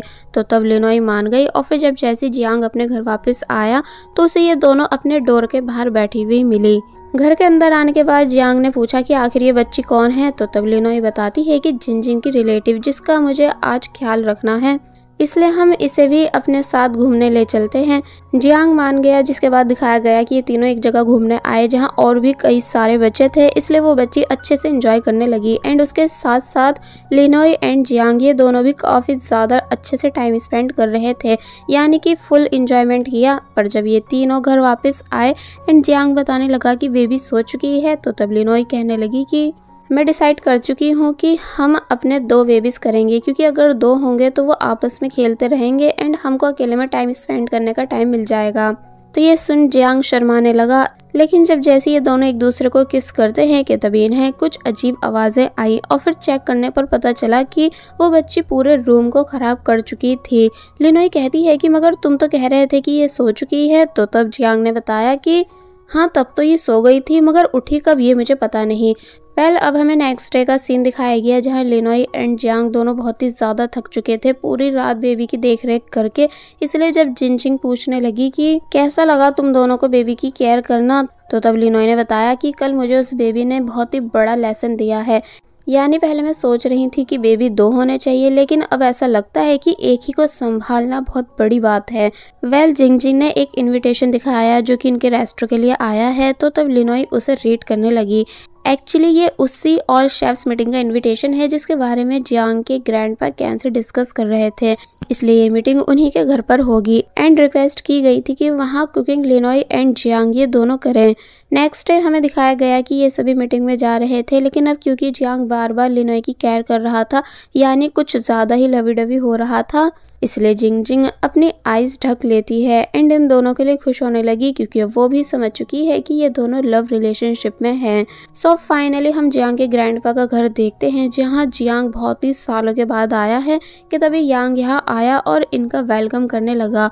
फिर वो इन्हें अपने साथ ले जाता है इनको, इनका कुकिंग एरिया दिखाने के लिए और जब यहाँ से चला गया तो तब सूजी आई, जो कि खुश थी कि कैसे इतने टाइम के बाद उसका भाई घर आया है। मगर जब जियांग ने सूजी से कैन के बारे में पूछना शुरू किया कि अब तुम कैन से क्यों बात नहीं करती तो तब वो बातों को घुमा देती है कि तभी उसकी नज़र कैन पर गई, जो कि अपनी सिस्टर के साथ आ रहा था तो तब उसे जलाने के लिए वो भी मिस्टर काओ के साथ कैन के सामने से गुजरे, जिन दोनों को साथ में कैन बस देखता ही रह गया। यानी कि बहुत ही ज़्यादा जेलस हुआ। फिर जब सूजी अकेली खड़ी थी कि तभी कैन उसके पास आता है एंड देन अपनी जैकेट उसे पहनाने लगा। सूजी काफ़ी मना करती भी है तो तब कैन बोलने लगा कि, मुझे तुम बस थोड़ा सा टाइम दो, फिर मैं बताऊँगा कि मैं आखिर टू मंथ्स के लिए कहाँ गायब हुआ था। सूजी गुस्से से कैन की जैकेट को उतार कर फेंक देती है एंड बोलने लगी कि, अब जब मुझे तुमसे कोई रिलेशन नहीं रखना है तो फिर क्यों तुम मेरे पीछे आ रहे हो? तो ये सुन कैन उदास हुआ और फिर जब यहाँ से चला गया तो तब उसके जाने के बाद सूजी को भी अच्छा नहीं लगता। यानी वो भी अपने वर्ड्स को याद करके उदास होने लगी कि तभी कैन वापस आता है एंड देन उसने डायरेक्ट सूजी को किस कर ली एंड बोला कि मैं तुम्हें खुद से दूर नहीं कर सकता हूँ और ना ही किसी और के साथ देख सकता हूँ। तो तब वो चुप खड़ी रह जाती है। इसका मतलब अब इन दोनों के बीच सब ठीक हो चुका है। वेल अब हम जियांग और लिनोई को देखते हैं जो कि कुछ प्लानिंग कर रहे थे बिकॉज़ उनका आज बहुत कुछ करने का प्लान है। इसलिए जब लिनोई बाहर किसी को चेक करने आई जो कि और कोई नहीं बल्कि मास्टर कॉन्ग है तो तब वो उन्हें अपने साथ कहीं ले जाती है। जिन दोनों का पीछा करने का मैनेजर चोई ने काफ़ी ट्राई किया, लेकिन कर नहीं पाई बिकॉज़ यहाँ सूजी आ चुकी थी, जो कि मिस्टर काओ से मैनेजर चोई को इंट्रोड्यूस कराने लगी और जब ये तीनों बातें कर ही रहे थे कि तभी यांग भी यहाँ आ गया, जिसके सामने सूजी ने मैनेजर चोई को ड्रिंक ऑफ़र की। लेकिन अब क्योंकि मैनेजर चोई प्रेग्नेंट है, इसलिए वो ड्रिंक नहीं ले रही थी। यांग के एक्सप्रेशंस को देख समझ आ गया कि अब जैसे उसे भी लगने लगा है कि मैनेजर चोई प्रेग्नेंट है, और फिर जब जैसे ज़्यादा फोर्स करने पर मैनेजर चोई ड्रिंक लेने ही वाली थी, मगर तभी सूजी उसे वो देती नहीं, बल्कि यहाँ से जाने लग जाती है। इसका मतलब सूजी को भी मैनेजर चोई की प्रेगनेंसी के बारे में पता है। यांग चोई से कहने लगा कि तुम यहाँ क्या कर रही हो? यानी तुम्हें पार्टी में होना चाहिए ताकि तुम और सभी पर नज़र रख सको। वेल, अब नेक्स्ट सीन में हम देखते हैं कि फाइनली पार्टी स्टार्ट हो चुकी थी, यानी कि सभी गेस्ट आ चुके थे। एंड यहाँ का होस्ट और कोई नहीं, बल्कि कैन था, जिसने सभी से बोला कि आज मैं आप सबको एक बहुत ही अनफेयर स्टोरी सुनाना चाहता हूँ। और फिर तभी वो जियांग के फादर एंड यांग के फादर की स्टोरी सुनाने लगा। कि कैसे कैसे जियांग के फादर कंपटीशन नहीं हारे थे, बल्कि उन्होंने कभी मिस्टर कॉन्ग के साथ कोई कंपटीशन किया ही नहीं, मगर तब भी उनको घर से निकाल दिया गया था। एंड जो पर्सन हारा था वो मिस्टर शान थे, लेकिन उनको ग्रैंडपा ने बचा लिया। तो ये सुन सभी लोग शौक रह गए तो वहीं ग्रैंडपा घबराने लगे कि ये आखिर हमारे फैमिली के सीक्रेट्स क्यों बता रहा है, एंड इसको ये सब कहाँ से पता चले? तो वहीं जियांग काफ़ी ज़्यादा खुश हुआ कि आज फाइनली मेरे फादर की इमेज क्लीन हो जाएगी। मगर यांग जल्दी से बाहर आता है क्योंकि उसने जान कर अपने फादर को पार्टी में बुलाया है। और वो क्यों, ये हमें आगे पता चलेगा। वेल मिस्टर शान भी अब यहाँ आ गए थे, जिनको बिल्कुल भी कोई आइडिया नहीं था कि यहाँ क्या हो रहा था। इसलिए जब जैसी ग्रैंडपा को वो सूप देने लगे तो तब उसे ग्रैंडपा फेंक देते हैं। क्योंकि ऑब्वियसली ऐसे टाइम पर वो खाना कैसे खा सकते हैं, जब उनकी फैमिली के सीक्रेट्स ओपन हो रहे हों। सो अब एंट्री हुई मिस्टर कॉन्ग की जिनको देख पहले तो सभी शौक रह गए कि ये इतने सालों के बाद आज हम सभी के सामने कैसे आए। और फिर अब मिस्टर कॉन्ग ने भी ए टू जेड पूरा सच बताना शुरू कर दिया कि कैसे कैसे ग्रैंडपा ने उन्हें पैसे दिए थे मीडिया में झूठ कहने के और कैसे कैसे वो ग्रैंडपा की वजह से बर्बाद हुए एंड कैसे कैसे बेचारे जियांग के फादर को सब प्रॉब्लम्स फेस करनी पड़ी थी। मिस्टर शान लड़ने लग जाते हैं कि तुम ये सब क्या बकवास कर रहे हो? तो वहीं ग्रैंडपा ने अपना ड्रामा स्टार्ट कर दिया। यानी उन्होंने खुद को सभी के सामने ऐसे बनकर दिखाया जैसे उन्हें तो इस सब के बारे में कुछ पता ही नहीं था। बल्कि उनके बेटे शान ने ही सब किया है। उनके नाम को यूज़ करके और फिर तभी जान के पास आकर माफ़ी मांगते हैं कि, सॉरी बेटा, तुम्हारे फादर को इतना सब झेलना पड़ा। लेकिन सच में मुझे इस सब के बारे में कुछ नहीं पता था। तो तब जियांग गुस्से से उनके हाथ को झटक देता है एंड बताने लगा कि ये झूठ कह रहे हैं। यानी आप अब भी अपनी गलती को मान कैसे नहीं रहे हो? क्या आज भी आपके लिए अपनी इमेज सबसे ज़्यादा इंपॉर्टेंट है? और फिर मिस्टर शान के पास आकर बोलने लगा कि, अभी सब बातें एक्सेप्ट करो और ये भी कि तुम तुम्ही ने मेरे फादर के हाथ भी काटे थे। तो ये सुन सब शौक हुए इंक्लूडिंग सूजी, कि तुम्हारा इस बात से क्या मतलब? यानी मैंने तो सुना था कि फादर ने अपने हाथों को खुद से नुकसान पहुँचाया था। तो तब जियांग ने उस दिन का पूरा सीन बताया, जब जियांग ने अपनी आँखों से देखा था मिस्टर श्यान को अपने फादर के हाथ काटते हुए। जिन बातों को सुन सूजी भी गुस्से में आ गई कि आप मेरे फादर के साथ ऐसा कैसे कर सकते हो तो वहीं ग्रैंड भी इस बात को सुन सदमे में थे। बिकॉज़ किसी को आइडिया नहीं था कि मिस्टर शान इतने नीचे गिर जाएँगे, इसलिए पूछने लगे कि तुम आखिर अपने भाई के हाथ कैसे काट सकते हो?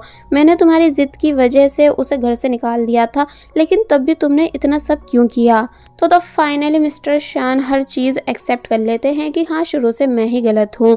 जो सब सुन सभी शेफ्स हैरान हुए, एंड जियांग काफ़ी काफ़ी ज़्यादा खुश। लेकिन ऐसे मोमेंट पे यांग आराम से बैठा हुआ था और फिर जब जैसी ग्रैंडपा की तबीयत बिगड़ी, ज़्यादा गुस्सा करने की वजह से इसलिए उनको तुरंत हॉस्पिटल लेकर जाया जाता है। एक्चुअली यही यांग का प्लान था कि जियांग और ग्रैंडपा की लड़ाई के बीच में ग्रैंडपा बीमार हो जाएँ, क्योंकि उन्हें डॉक्टर ने ज़्यादा गुस्सा करने से मना कर रखा था। और फिर जब जैसी वो हॉस्पिटल में एडमिट होंगे तो तब यांग अपनी मनमानी करेगा। यानी ग्रैंडपा के रेस्टो को चैन रेस्टो बनाकर ही रहेगा ताकि खुद का एक ब्रांड बना सके। जियांग की टीम अब जाकर इस बात को समझी थी और फिर जब जैसे ये सब जाने लगे तो तब यांग भी फुल एटीट्यूड के साथ इनको क्रॉस करते हुए जाता है बिकॉज़ अब वो अपने फादर की तरह जियांग से लड़ने जो वाला है। दूसरी तरफ़ सूजी कैन से काफ़ी ज़्यादा नाराज़ हो चुकी थी कि जब तुम्हें पता था कि यांग के फादर मेरे फादर के साथ इतना सब कर चुके हैं तो ये सब तुमने मुझसे छुपाया क्यों? तो तब कैन बहुत ज़्यादा करता भी है, लेकिन सूजी मानती नहीं, बल्कि उससे गुस्सा होकर यहाँ से चली गई। नेक्स्ट न्यूज़ में जियांग की फैमिली के बारे में सब बताया जाने लगा जो जो रात पार्टी में हुआ था। साथ ही ये भी कि अब कैसे जियांग फैमिली का हेड सिर्फ़ मिस्टर यांग है, जो कि पहले अपने रेस्टोरों को चैन रेस्टोर बनाएगा और फिर इस चेन में बाकी और सब रेस्टोरेंट्स को भी ऐड कर लेगा। तो तब लिनोई को बहुत ही ज़्यादा गुस्सा आने लगा, लेकिन जियांग समझाता है कि अब अगर हमें यांग के प्लान्स पर पानी फेरना है तो उसके लिए हमको जल्द से जल्द सूजी के साथ कंपटीशन करना चाहिए, क्योंकि जब हम उसे हरा देंगे तो इजीली ग्रैंडपा का रेस्टोरेंट भी क्लोज हो जाएगा। लिनोई इस बात के लिए मान गई और फिर ये दोनों बहुत ही ज़्यादा खुश होने लगे। और वही कैन एक बार फिर सूजी को मनाने उसके पास आया था, लेकिन वो फिर से कैन को इग्नोर करते हुए यहाँ से चली गई, जिसके जाने के बाद कैन की सिस्टर आई, जो कि कहती है कि तुम इस लड़की की वजह से अपनी खुद की बहन से दूर होते जा रहे हो। तो तब कैन बोला कि इस चीज़ की वजह आप खुद हो, यानी अगर आप ना ही जियांग को चीट करती और ना ही मुझे भी अपने इस अनफेयर डिसीज़न में ऐड करती तो मैं आज भी आपकी रिस्पेक्ट कर रहा होता एंड आप ही की ही साइड होता तो ये सुन वो चुप हो जाती हैं। और वही लिनोई जब जैसी अपने घर से बाहर आई तो तब यांग उसके पास आया एंड लिनोई से बात करने का बोलने लगा। मगर जब लिनोई मानी नहीं तो तब कहता है कि क्या तुमको नहीं जानना कि आखिर उस दिन नाइफ कंपटीशन में सच में तुम जीती थी या फिर जियांग? तो ये सुन लो यांग की पूरी बात सुनने के लिए उसकी कार में बैठ गई। और फिर जब जैसे यांग की कार यहाँ से गई तो तब जियांग की कार भी यहाँ आ जाती है, जो कि इन दोनों को जाते हुए देख चुका था। इसलिए उसने कॉल पर लिनोई से पूछा कि तुम कहाँ हो? तो तब वो झूठ बोल देती है कि मैं अपने फादर को हॉस्पिटल लेकर आई हुई हूँ। वेल, अब हम एक रेस्ट का सीन देखते हैं, जहाँ यांग ने लिनोई को फाइनली सच बता दिया कि उस दिन तुम नहीं जीती थी, बल्कि जियांग जीता था, लेकिन सिर्फ़ मेरे कहने पर तुम्हें विनर अनाउंस किया गया था, क्योंकि मैंने तुम्हारे दोस्त कैन की सिस्टर को खरीद रखा था तो ये सुन। लिनोई काफ़ी बुरी तरह शौक रह जाती है। यांग आगे कहने लगा कि मुझे लगता है कि जियांग को भी इस बारे में पता है कि असली विनर वो था, मगर पता नहीं कि वो सच जानने के बाद अब भी चुप क्यों है एंड उसने आखिर क्यों तुम्हारा रेस्टोरेंट ज्वाइन किया? कहीं उसका इरादा तुमको चीट करने का तो नहीं? तो तब ये सुन लिनोई जियांग का स्टैंड लेने लगी कि नहीं, वो तुम्हारी तरह चीप नहीं, जो ऐसी हरकत करे, यानी कि मुझे जियांग पर पूरा बिलीव है कि वो कभी तुम्हारी तरह या तुम्हारे डैड की तरह या फिर तुम्हारे ग्रैंडपा की तरह कुछ भी अनफेयर नहीं कर सकता है। एंड मुझे पता है कि तुम एक तरह से मुझे भी खरीदने की कोशिश कर रहे हो, ताकि हम तुम्हारे रेस्टो के साथ नाइफ कॉम्पिटिशन नहीं करें। लेकिन मेरी ये बात याद रखना कि मैं कभी तुम्हारे ड्रीम को पूरा नहीं होने दूँगी, बल्कि जियांग के साथ बचपन से अभी तक जितना भी कुछ बुरा होता आया है, उन सभी चीज़ों को बदला लूँगी। यहाँ गुस्से और हैरानी से लिनोई को देखता रह जाता है एंड देन लिनोई यहाँ से जाने लगी कि तभी उसको ऊपर से जियांग ने पुकारा। तो तब वो सरप्राइज़ हुई कि तुम यहाँ कैसे? इसलिए तुरंत भागती हुई जियांग के पास आती है एंड देन डायरेक्ट उसे हक कर लेती है। जियांग कहता है कि मैं प्राउड हूँ कि तुम यांग की बातों में नहीं आई, बल्कि तुमने मेरी साइड ली। तो ये सुन वो और ज़्यादा खुश होने लगी। और वहीं हम सूजी को देखते हैं जो कि ग्रैंड से मिलने हॉस्पिटल आई हुई थी क्योंकि उनकी कंडीशन सीरियस है। इसलिए कहने लगी कि कि जिस बेटे की वजह से आपने मेरे डैड को चीट किया था, वो आज इस टाइम बिल्कुल भी आपके साथ नहीं और ना ही आपका ग्रैंड सन यांग आपसे मिलने यहाँ आया। सच बताऊँ तो मैं दिल से आपको माफ़ करने लगी थी, लेकिन अब ये जानने के बाद कि आप सभी ने मिलकर कितना ज़्यादा मेरे डैड को बुली किया है कि उनके हाथ तक कटवा दिए थे ताकि वो कभी कुकिंग ही नहीं कर पाए। इसलिए मैं भी आपको छोड़कर जा रही हूँ और फिर तभी यहाँ से चली गई, जिसके जाने के बाद ग्रैंडपा को अपनी करने पर पछतावा होने लगा कि उन्हें शुरू में अपने दूसरे बेटे के साथ बुरा नहीं करना चाहिए था। और बस फिर इसी सीन के साथ पार्ट ट्वेंटी थ्री यहीं पर एंड हो जाता है। सो पार्ट 24 की स्टार्टिंग में हमें दिखाया गया है कि सूजी, जो कि बहुत ही ज़्यादा उदास है कि कैसे कैसे जियांग और उसका बचपन ख़राब हुआ है, कि तभी जियांग भी यहाँ आ गया जो कि सूजी को झूला झुलाने लगा। सेम वैसे जैसे वो पहले बचपन में सूजी को झुलाया करता था अपने फादर के साथ मिलकर एंड देन बोला कि तुम्हें पास्ट की चीज़ों को भूल जाना चाहिए, क्योंकि देख लेना अब हमारा फ्यूचर एकदम ब्राइट होगा। तो तब सूजी इमोशनल हुई एंड देन जियांग को हक कर रोने लगी। जियांग बोला कि अब तुम्हें स्ट्रांग बनने की ज़रूरत है। यानी मैं चाहता हूँ कि तुम ये न्यूज़ सब जगह वायरल करा दो कि तुम लिनोई के साथ कंपटीशन करने वाली हो ताकि फिर हम यांग के प्लान्स पर पानी फेर सकें। तो ये सुन, वो मान गई। फिर जब नेक्स्ट डे यांग को इस बारे में पता चला कि सूजी लिनोई को नाइफ कॉम्पिटिशन में चैलेंज कर चुकी है तो तब वो बहुत ही ज़्यादा गुस्सा होता है। एंड वही लिनोई जांग से उन दोनों के कंपटीशन के बारे में बात करने लगी कि हमारे बीच जो कंपटीशन हुआ था वो फेयरली नहीं था। तो तब जियांग बोला कि, पर अब मुझे इस बारे में कुछ बात नहीं करनी। लेकिन वो मानती नहीं, बल्कि कहने लगी कि, मैं दोबारा से तुम्हारे साथ कंपटीशन करना चाहती हूँ, जो कि फेयरली होना चाहिए। तो तब जियांग मान जाता है लिनोई के ज़्यादा फोर्स करने पर, और फिर दोनों अच्छे से रेडी होकर रेस कॉम्पिटिशन के लिए आए। ताकि यहाँ किसी जज की ज़रूरत नहीं पड़े, फिर बस होना क्या था? दोनों के बीच रेस स्टार्ट हो गई। जहाँ कभी जियांग जीतने वाला होता है तो कभी लिनोई मगर फिर लास्ट में जियांग कॉम्पिटिशन में जीता। जिसको लिनोई ने दिल से कॉन्ग्रेट्स किया एंड देन वो काफ़ी ज़्यादा प्यार से जियांग को हक भी करने लगी। यानी कि बहुत ही ज़्यादा खुश थी एंड जियांग लिनोई को देख देख कर खुश हो रहा था। वेल अब नेक्स्ट डे से ये सभी सीरियस हो चुके हैं कॉम्पिटिशन को लेकर कि इन्हें कैसे सूजी को हराना है। तो वहीं सूजी भी अपनी तैयारियों में लगी हुई थी कि उसको कैसे कैसे कॉम्पिटिशन में क्या क्या करना है। कि तभी अचानक लाइट ऑफ़ हुई एंड सूजी को कोई भागता हुआ दिखा जिसका वो पीछा करने लगती है। एंड थोड़ी देर बाद पता चला कि ये और कोई नहीं, बल्कि कैन है, जो कि कहने लगा कि मैं तुम्ही को छुपकर देखने आया था, क्योंकि तुम तो मेरा फेस देखना नहीं चाहती हो ना? तो तब पहले तो सूजी भी थोड़ा बहुत लड़ती है एंड सब शिकायतें रखती है कि तुम आखिर कैसे मुझे छोड़कर चले गए थे? क्या तुम्हें बिल्कुल भी मेरी याद नहीं आई थी? या तुमने मुझे मज़ाक समझ रखा है? तो तब कैन कहने लगा कि ठीक है। अब हम कल दोनों कोर्ट मैरिज कर लेंगे। बिकॉज़ मैं नहीं चाहता कि अब हमें किसी भी वजह से अलग होना पड़े। तो ये सुन सूजी मान गई, यानी कि बहुत ही ज़्यादा खुश हुई। फिर हम रात का सीन देखते हैं, जहाँ कैन छुपकर अपनी बहन के ऑफ़िस से अपनी आईडी लेने आया, जो कि उसे कहीं भी नहीं मिल रही थी। इसलिए वो काफ़ी ज़्यादा सर्च करता है। और फिर जब फाइनली कैन को अपनी आईडी मिली तो तब यहाँ उसे एक फ़ाइल दिखी, जो कि यांग के साथ कॉन्ट्रैक्ट मैरिज की थी। इसलिए ये देख कैन के होश उड़ गए कि क्या मेरी बहन यांग से शादी करने वाली है, इसलिए वो तुरंत उन फाइल्स की फ़ोटोज़ क्लिक कर लेता है। लेकिन इतने में कैन की सिस्टर भी यहाँ आ गई। सिक्योरिटी गार्ड्स को लेकर जिनको देख वो सरप्राइज़ हुआ और फिर जल्दी से फ़ोटोज़ को किसी को सेंड कर देता है। एंड देन सिस्टर ने ऑर्डर दिया कि पकड़ लो इसे। तो तब कैन को पकड़ लिया गया। अब हम नेक्स्ट डे का सीन देखते हैं जहाँ कैन लॉक है अपनी बहन को बुला रहा है। तो वहीं सूजी कोर्ट के बाहर कैन के आने का वेट कर रही थी कि अभी तक वो आया क्यों नहीं। और वहीं कैन की सिस्टर ने यांग को सॉरी किया कि मैं अपने भाई की साइड से माफ़ी मांगना चाहती हूँ। तो तब यांग कहता है कि इट्स ओके बहुत जल्द हमारी शादी होने वाली है, इसलिए तुमको स्ट्रेस लेने की ज़रूरत नहीं। तो ये सुन वो चुप हो गई और वहीं हम लिनोई को देखते हैं जिसने एक डिश रेडी की जो कि जिनजिंग को काफ़ी ज़्यादा पसंद आई, क्योंकि अब लिनोई इसी डिश का यूज़ कंपटीशन में करने वाली है। कि तभी इन्हें कोई आवाज़ें देने लगा जो कि और कोई नहीं, बल्कि मिस्टर कॉन्ग थे, जो कि वो फ़ोटोज़ दिखाते हैं जो कि कैन ने उन्हें भेजी थी। ये बताकर कि आई थिंक कैन ने मेरे पास ये बाई मिस्टेक सेंड कर दी है, लेकिन हैरानी की बात यह है कि मैं जब जब कैन को कॉल कर रहा हूँ तो उसका कोई भी रिस्पॉन्स नहीं आ रहा है। बल्कि उसका मोबाइल बंद आ रहा है। जियांग हैरान हो ही रहा था कि तभी सूजी भी यहाँ आ गई जो कि कैन के बारे में पूछने लगी कि क्या तुम लोगों को पता है कि कैन कहाँ है? यानी कि कल रात उसने मुझे बताया था कि वो अपनी बहन के ऑफ़िस जा रहा है। तो ये सुन जियांग को समझ आ गया कि कहीं वो वहीं पर किडनैप तो नहीं। इसलिए मिस्टर चाओ की गाड़ी लेकर ये तीनों यहाँ से चले गए कैन को बचाने।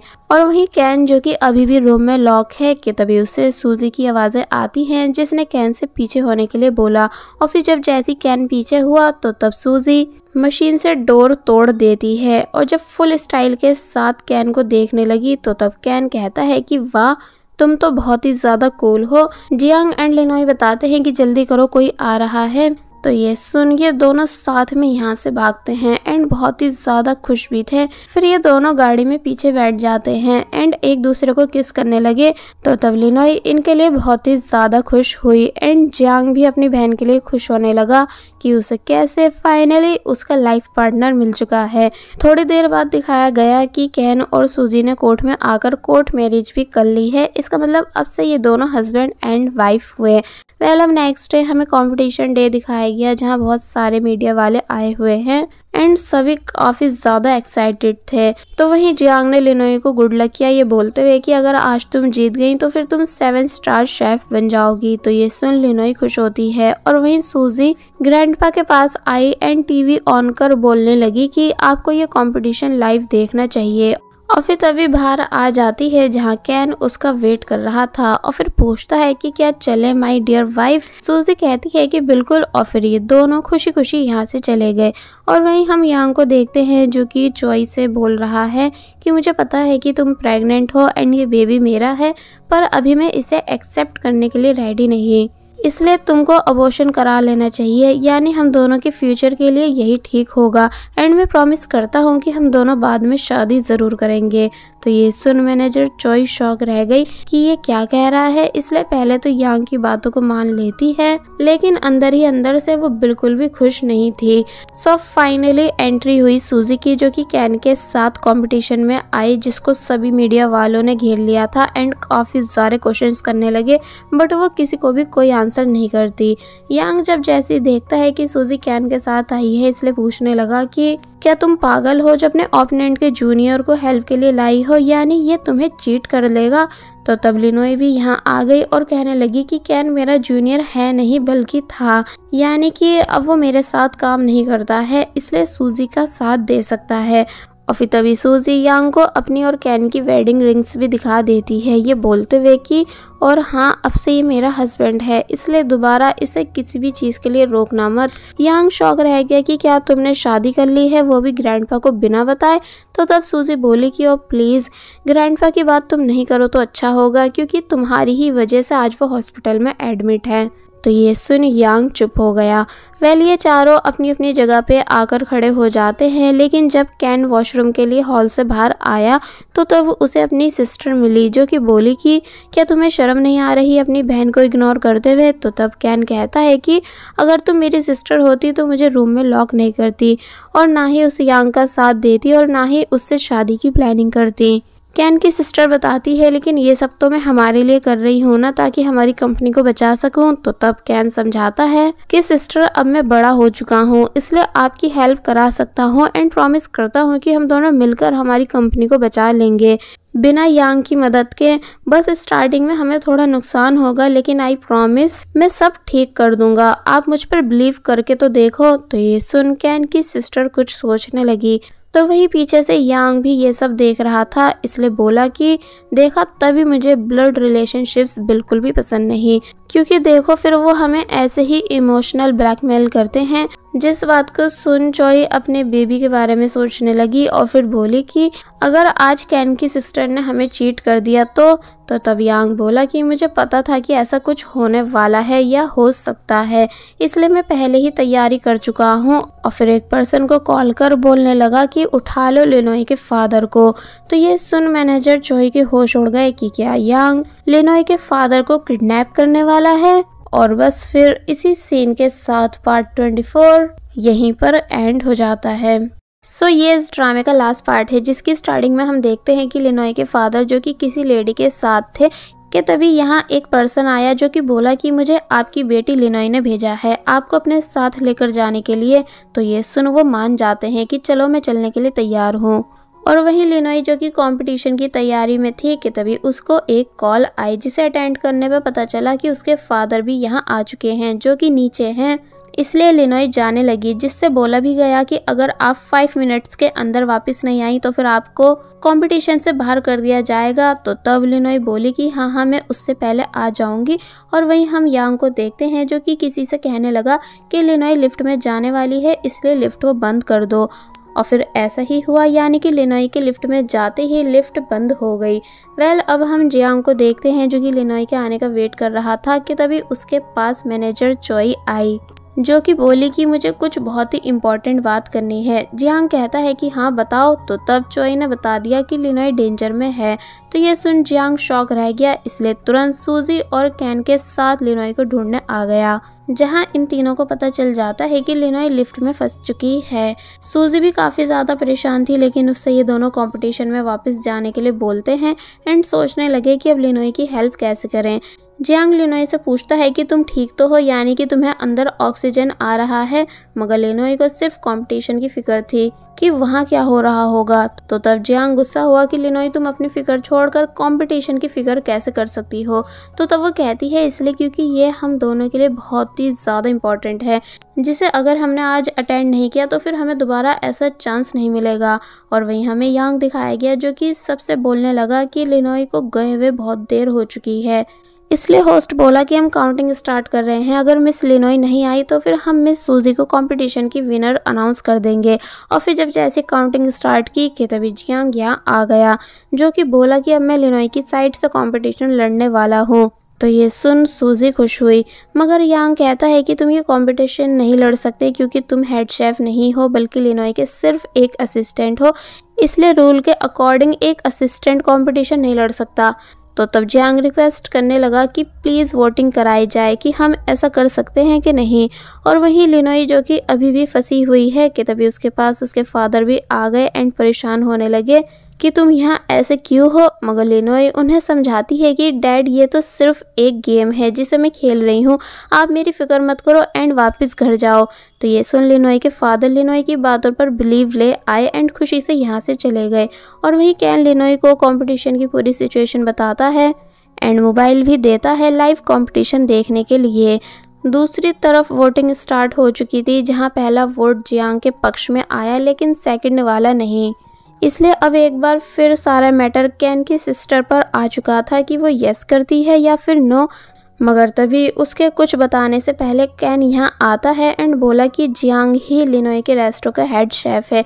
इसलिए वोटिंग सस्पेंड कर दी जाए। तो ये सुन यांग गुस्से में प्रूफ मांगने लगा कि अभी प्रूफ दिखाओ कि इस बात का क्या प्रूफ है कि जियांग लिनोई के रेस्टो का हेड शेफ है तो तब कैन ने एक पेपर दिखाया जिसमें लिनोई ने अनाउंस कर रखा है कि जियांग ही उसके रेस्टो का हेड शेफ है। साथ ही लिपस्टिक का यूज़ करके उसने स्टैंप भी लगा दी थी, जो स्टाइल काफ़ी ज़्यादा कैजुअल लगा। यांग चुप हो जाता है, पेपर को देखकर और अपनी सीट पर बैठ गया। फिर बस होना क्या था, दोनों के बीच कंपटीशन स्टार्ट होता है, जिसको ये दोनों बहुत ही अच्छे से लड़ते हैं। यानी कि इन दोनों की ही कुकिंग स्किल्स देख आइडिया हो रहा था कि ये दोनों कितने ज़्यादा एक्सपर्ट शेफ हैं। बीच बीच में हमें इन दोनों के चाइल्डहुड सीन्स भी दिखाए गए कि बचपन से लेकर अब तक इन दोनों ने कितना ज़्यादा हार्ड वर्क किया है शेफ बनने के लिए और फिर अब प्रेजेंट में फाइनली इन दोनों ने अपनी अपनी डिश को रेडी कर दिया था, जो कि जजेस की चेकिंग के लिए चली गई। और वहीं वॉशरूम में हम मैनेजर चॉय को देखते हैं, जो कि कंफ्यूज है कि उससे अबॉर्शन करा लेना चाहिए कि नहीं, कि तभी वो कहने लगी कि मैं अपने होने वाले बेबी की अच्छी मॉम बनकर दिखाऊँगी, क्योंकि अब मैं और ज़्यादा यांग पर ट्रस्ट नहीं कर सकती हूँ, जिसे मेरी बेबी की बिल्कुल भी फ़िक्र नहीं है। और वहीं हम जजेस को देखते हैं, जिन्होंने डिश टेस्ट करने के बाद एक वोट सूजी को दिया। तो वहीं दूसरे जज ने एक वोट जियांग को दिया। इसका मतलब एक बार फिर कैन की सिस्टर फंस गई कि वो अपना वोट किसे दे। लेकिन जब जैसी वो वोट देने वाली थी तो तब कैन पूछता है कि क्या मैं जान सकता हूँ कि आप वोट फेयरली दे रही हो कि नहीं? तो तब यांग गुस्से से बोला कि तुम जज को कंफ्यूज क्यों कर रहे हो? तो वहीं सिस्टर भी कह देती है कि मैं अपना ओपिनियन वोटिंग के बाद बताऊँगी। और फिर जब जैसी सूजी को वोट देकर उसे जिताने ही वाली थी कि तभी एक रिकॉर्डिंग उस पूरे हॉल में प्ले हो जाती है, जो कि यांग एंड कैन की सिस्टर के बीच की कॉन्वर्सेशन थी। एंड ये उस टाइम की थी जब जियांग और लिनोई के बीच में कंपटीशन हुआ था, जहाँ यांग कैन की सिस्टर से कह रहा होता है कि तुम्हें कैसे भी करके लिनोई को कंपटीशन जिताना है एंड जियांग को हराना है। सभी लोग शौक रह गए कि तभी यांग भागकर जल्दी से रिकॉर्डिंग बंद करता है एंड समझाने लगा कि नहीं नहीं, ऐसा कुछ भी नहीं है। यानी कि मुझे फंसाया जा रहा है, जो वॉइस है वो मेरी नहीं है। कि तभी लिनोई मैनेजर चोई के साथ यहाँ आई एंड मैनेजर चोई सभी को सच बताने लगी कि हाँ ये बात सच है कि जब कुछ महीनों पहले लिनोई और जियांग के बीच कंपटीशन हुआ था तो तब वो फेयरली नहीं था, बल्कि जियांग को जानबूझकर हराया गया था। साथ ही यांग का प्लान चेन रेस्टोरेंट्स बनाने का है, जिस वजह से वो ये सब कर रहा है। एंड साथ ही उसने कई सारे रेस्टोरेंट्स को अपनी मनी पावर का यूज़ करके ज़बरदस्ती खरीदने की कोशिश की है। इसलिए ये नहीं चाहता कि जियांग और लिनोई जीते बिकॉज़ इसे अच्छे से पता है कि अगर ऐसा हुआ तो फिर इसके सब प्लान पर पानी फिर जाएगा। यंग मैनेजर चोई पे चिल्लाया कि तुम ये क्या बकवास कर रही हो? और फिर सभी से कहने लगा कि इस लड़की की बातों पर बिलीव मत करो, क्योंकि ये गोल्ड डिगर है जो कि कुछ पैसों में बिक जाती है। ज़रूर इस बारी इसको जियांग एंड लिनोई ने खरीदा है। तो तब लिनोई बोली कि ठीक है, अगर तुम हमारी बातों को गलत बता रहे हो तो फिर क्यों ना सच कैन की सिस्टर से पूछ लिया जाए कि क्या इस रिकॉर्डिंग में वॉइस उन्हीं की है कि नहीं? तो तब यांग जल्दी से कैन के सिस्टर के पास आया और बोला कि सभी को बता दो कि जो इल्ज़ाम मुझ पर लगे हैं, वो सब झूठ हैं। लेकिन इस बारी वो यांग की एक नहीं सुनती, बल्कि कहने लगी कि ये सब कुछ सच है। जो मैनेजर चोई ने बताया है, यानी कि मैंने यांग के कहने पर ही लास्ट टाइम लिनोई को जिताया था, जबकि असली विनर जियांग था। मगर इस बार मैं ये मिस्टेक फिर से नहीं करूँगी, और फिर तभी जियांग को वोट दे देती है। ये बोलकर कि ये मेरा फेयर वोट है। यांग ने गुस्से से कैन की सिस्टर को पकड़ लिया कि तुम ऐसा कैसे कर सकती हो? तो तब कैन जल्दी से यांग को दूर फेंक देता है। ये बोलते हुए कि, तेरी हिम्मत हुई कैसे मेरी बहन को टच करने की? तो तब सिक्योरिटी गार्ड्स यांग को पकड़ लेते हैं। साथ ही पुलिस को भी बुला लिया गया। इसका मतलब अब जियांग के जीतने और सूजी के हार जाने की वजह से इनका खानदानी नाइफ जियांग को मिल चुका है, जो कि ग्रैंडपा का था। एंड साथ ही ग्रैंडपा का रेस्टो भी क्लोज हो चुका है। दूसरी तरफ़ लिनोई फाइनली बहुत ही ज़्यादा हैप्पी हुई, क्योंकि जियांग का बदला पूरा जो हो चुका है, इसलिए जियांग को कॉन्ग्रेट्स करने लगी कि अब तुम फाइनली फेयरली विनर बने हो। तो तब जियांग बहुत ही ज़्यादा हैप्पी होता है और बस फिर ये सीन यहीं कट हो गया। अब हम इस स्टोरी को थोड़े आगे से देखते हैं, यानी पूरे वन मंथ के बाद, जहाँ दिखाया गया कि मैनेजर चोई जो कि बेबी हॉस्पिटल में अपना चेकअप कराने आई हुई थी तो तो वहाँ हमें सूजी एंड कैन ये दोनों भी दिखाए गए। एक्चुअली अब सूजी भी प्रेग्नेंट है, इसलिए ये दोनों बहुत ही ज़्यादा हैप्पी थे कि कैसे इनकी फैमिली बढ़ने वाली है। तो वहीं जिंजिंग एंड लिनोई एक वीडियो को देख रही थी जिसमें इन शेफ्स ने मिलकर नाइफ कंपटीशन रूल को चेंज कर दिया था कि अब आगे होने वाले कॉम्पिटिशन्स में कोई भी किसी की नाइफ को सीज नहीं करेगा और ना ही रेस्टोरेंट क्लोज कराएगा। इसलिए इस काम के होने के बाद ये दोनों बहुत ही ज़्यादा खुश हुई। जिन जिन बोली कि मैं भी खुद का दोबारा से रेस्टोरेंट ओपन करने वाली हूँ तो तब लिनोई खुश होती है। एंड बोली कि मैं तुमको पूरा सपोर्ट करूँगी। जिनशिन जब जैसे लिनोई के रेस्टो के सेवन स्टार बोर्ड को लेकर जाने लगी तो तब बाहर जियांग आया, जिसको देख लिनोई डायरेक्ट उसे हक कर लेती है। दोनों थोड़ी देर पहले इस मोमेंट को एंजॉय करते हैं, एंड देन जियांग बोला कि अब तो कैन और सूजी भी शादी कर चुके हैं, लेकिन हम दोनों की कब होगी? तो तब लिनोई बोलने लगी कि बहुत जल्द, और फिर काफ़ी ज़्यादा खुश होती है, और बस फिर इसी हैप्पी एंडिंग सीन के साथ ये ड्रामा यहीं पर एंड हो जाता है।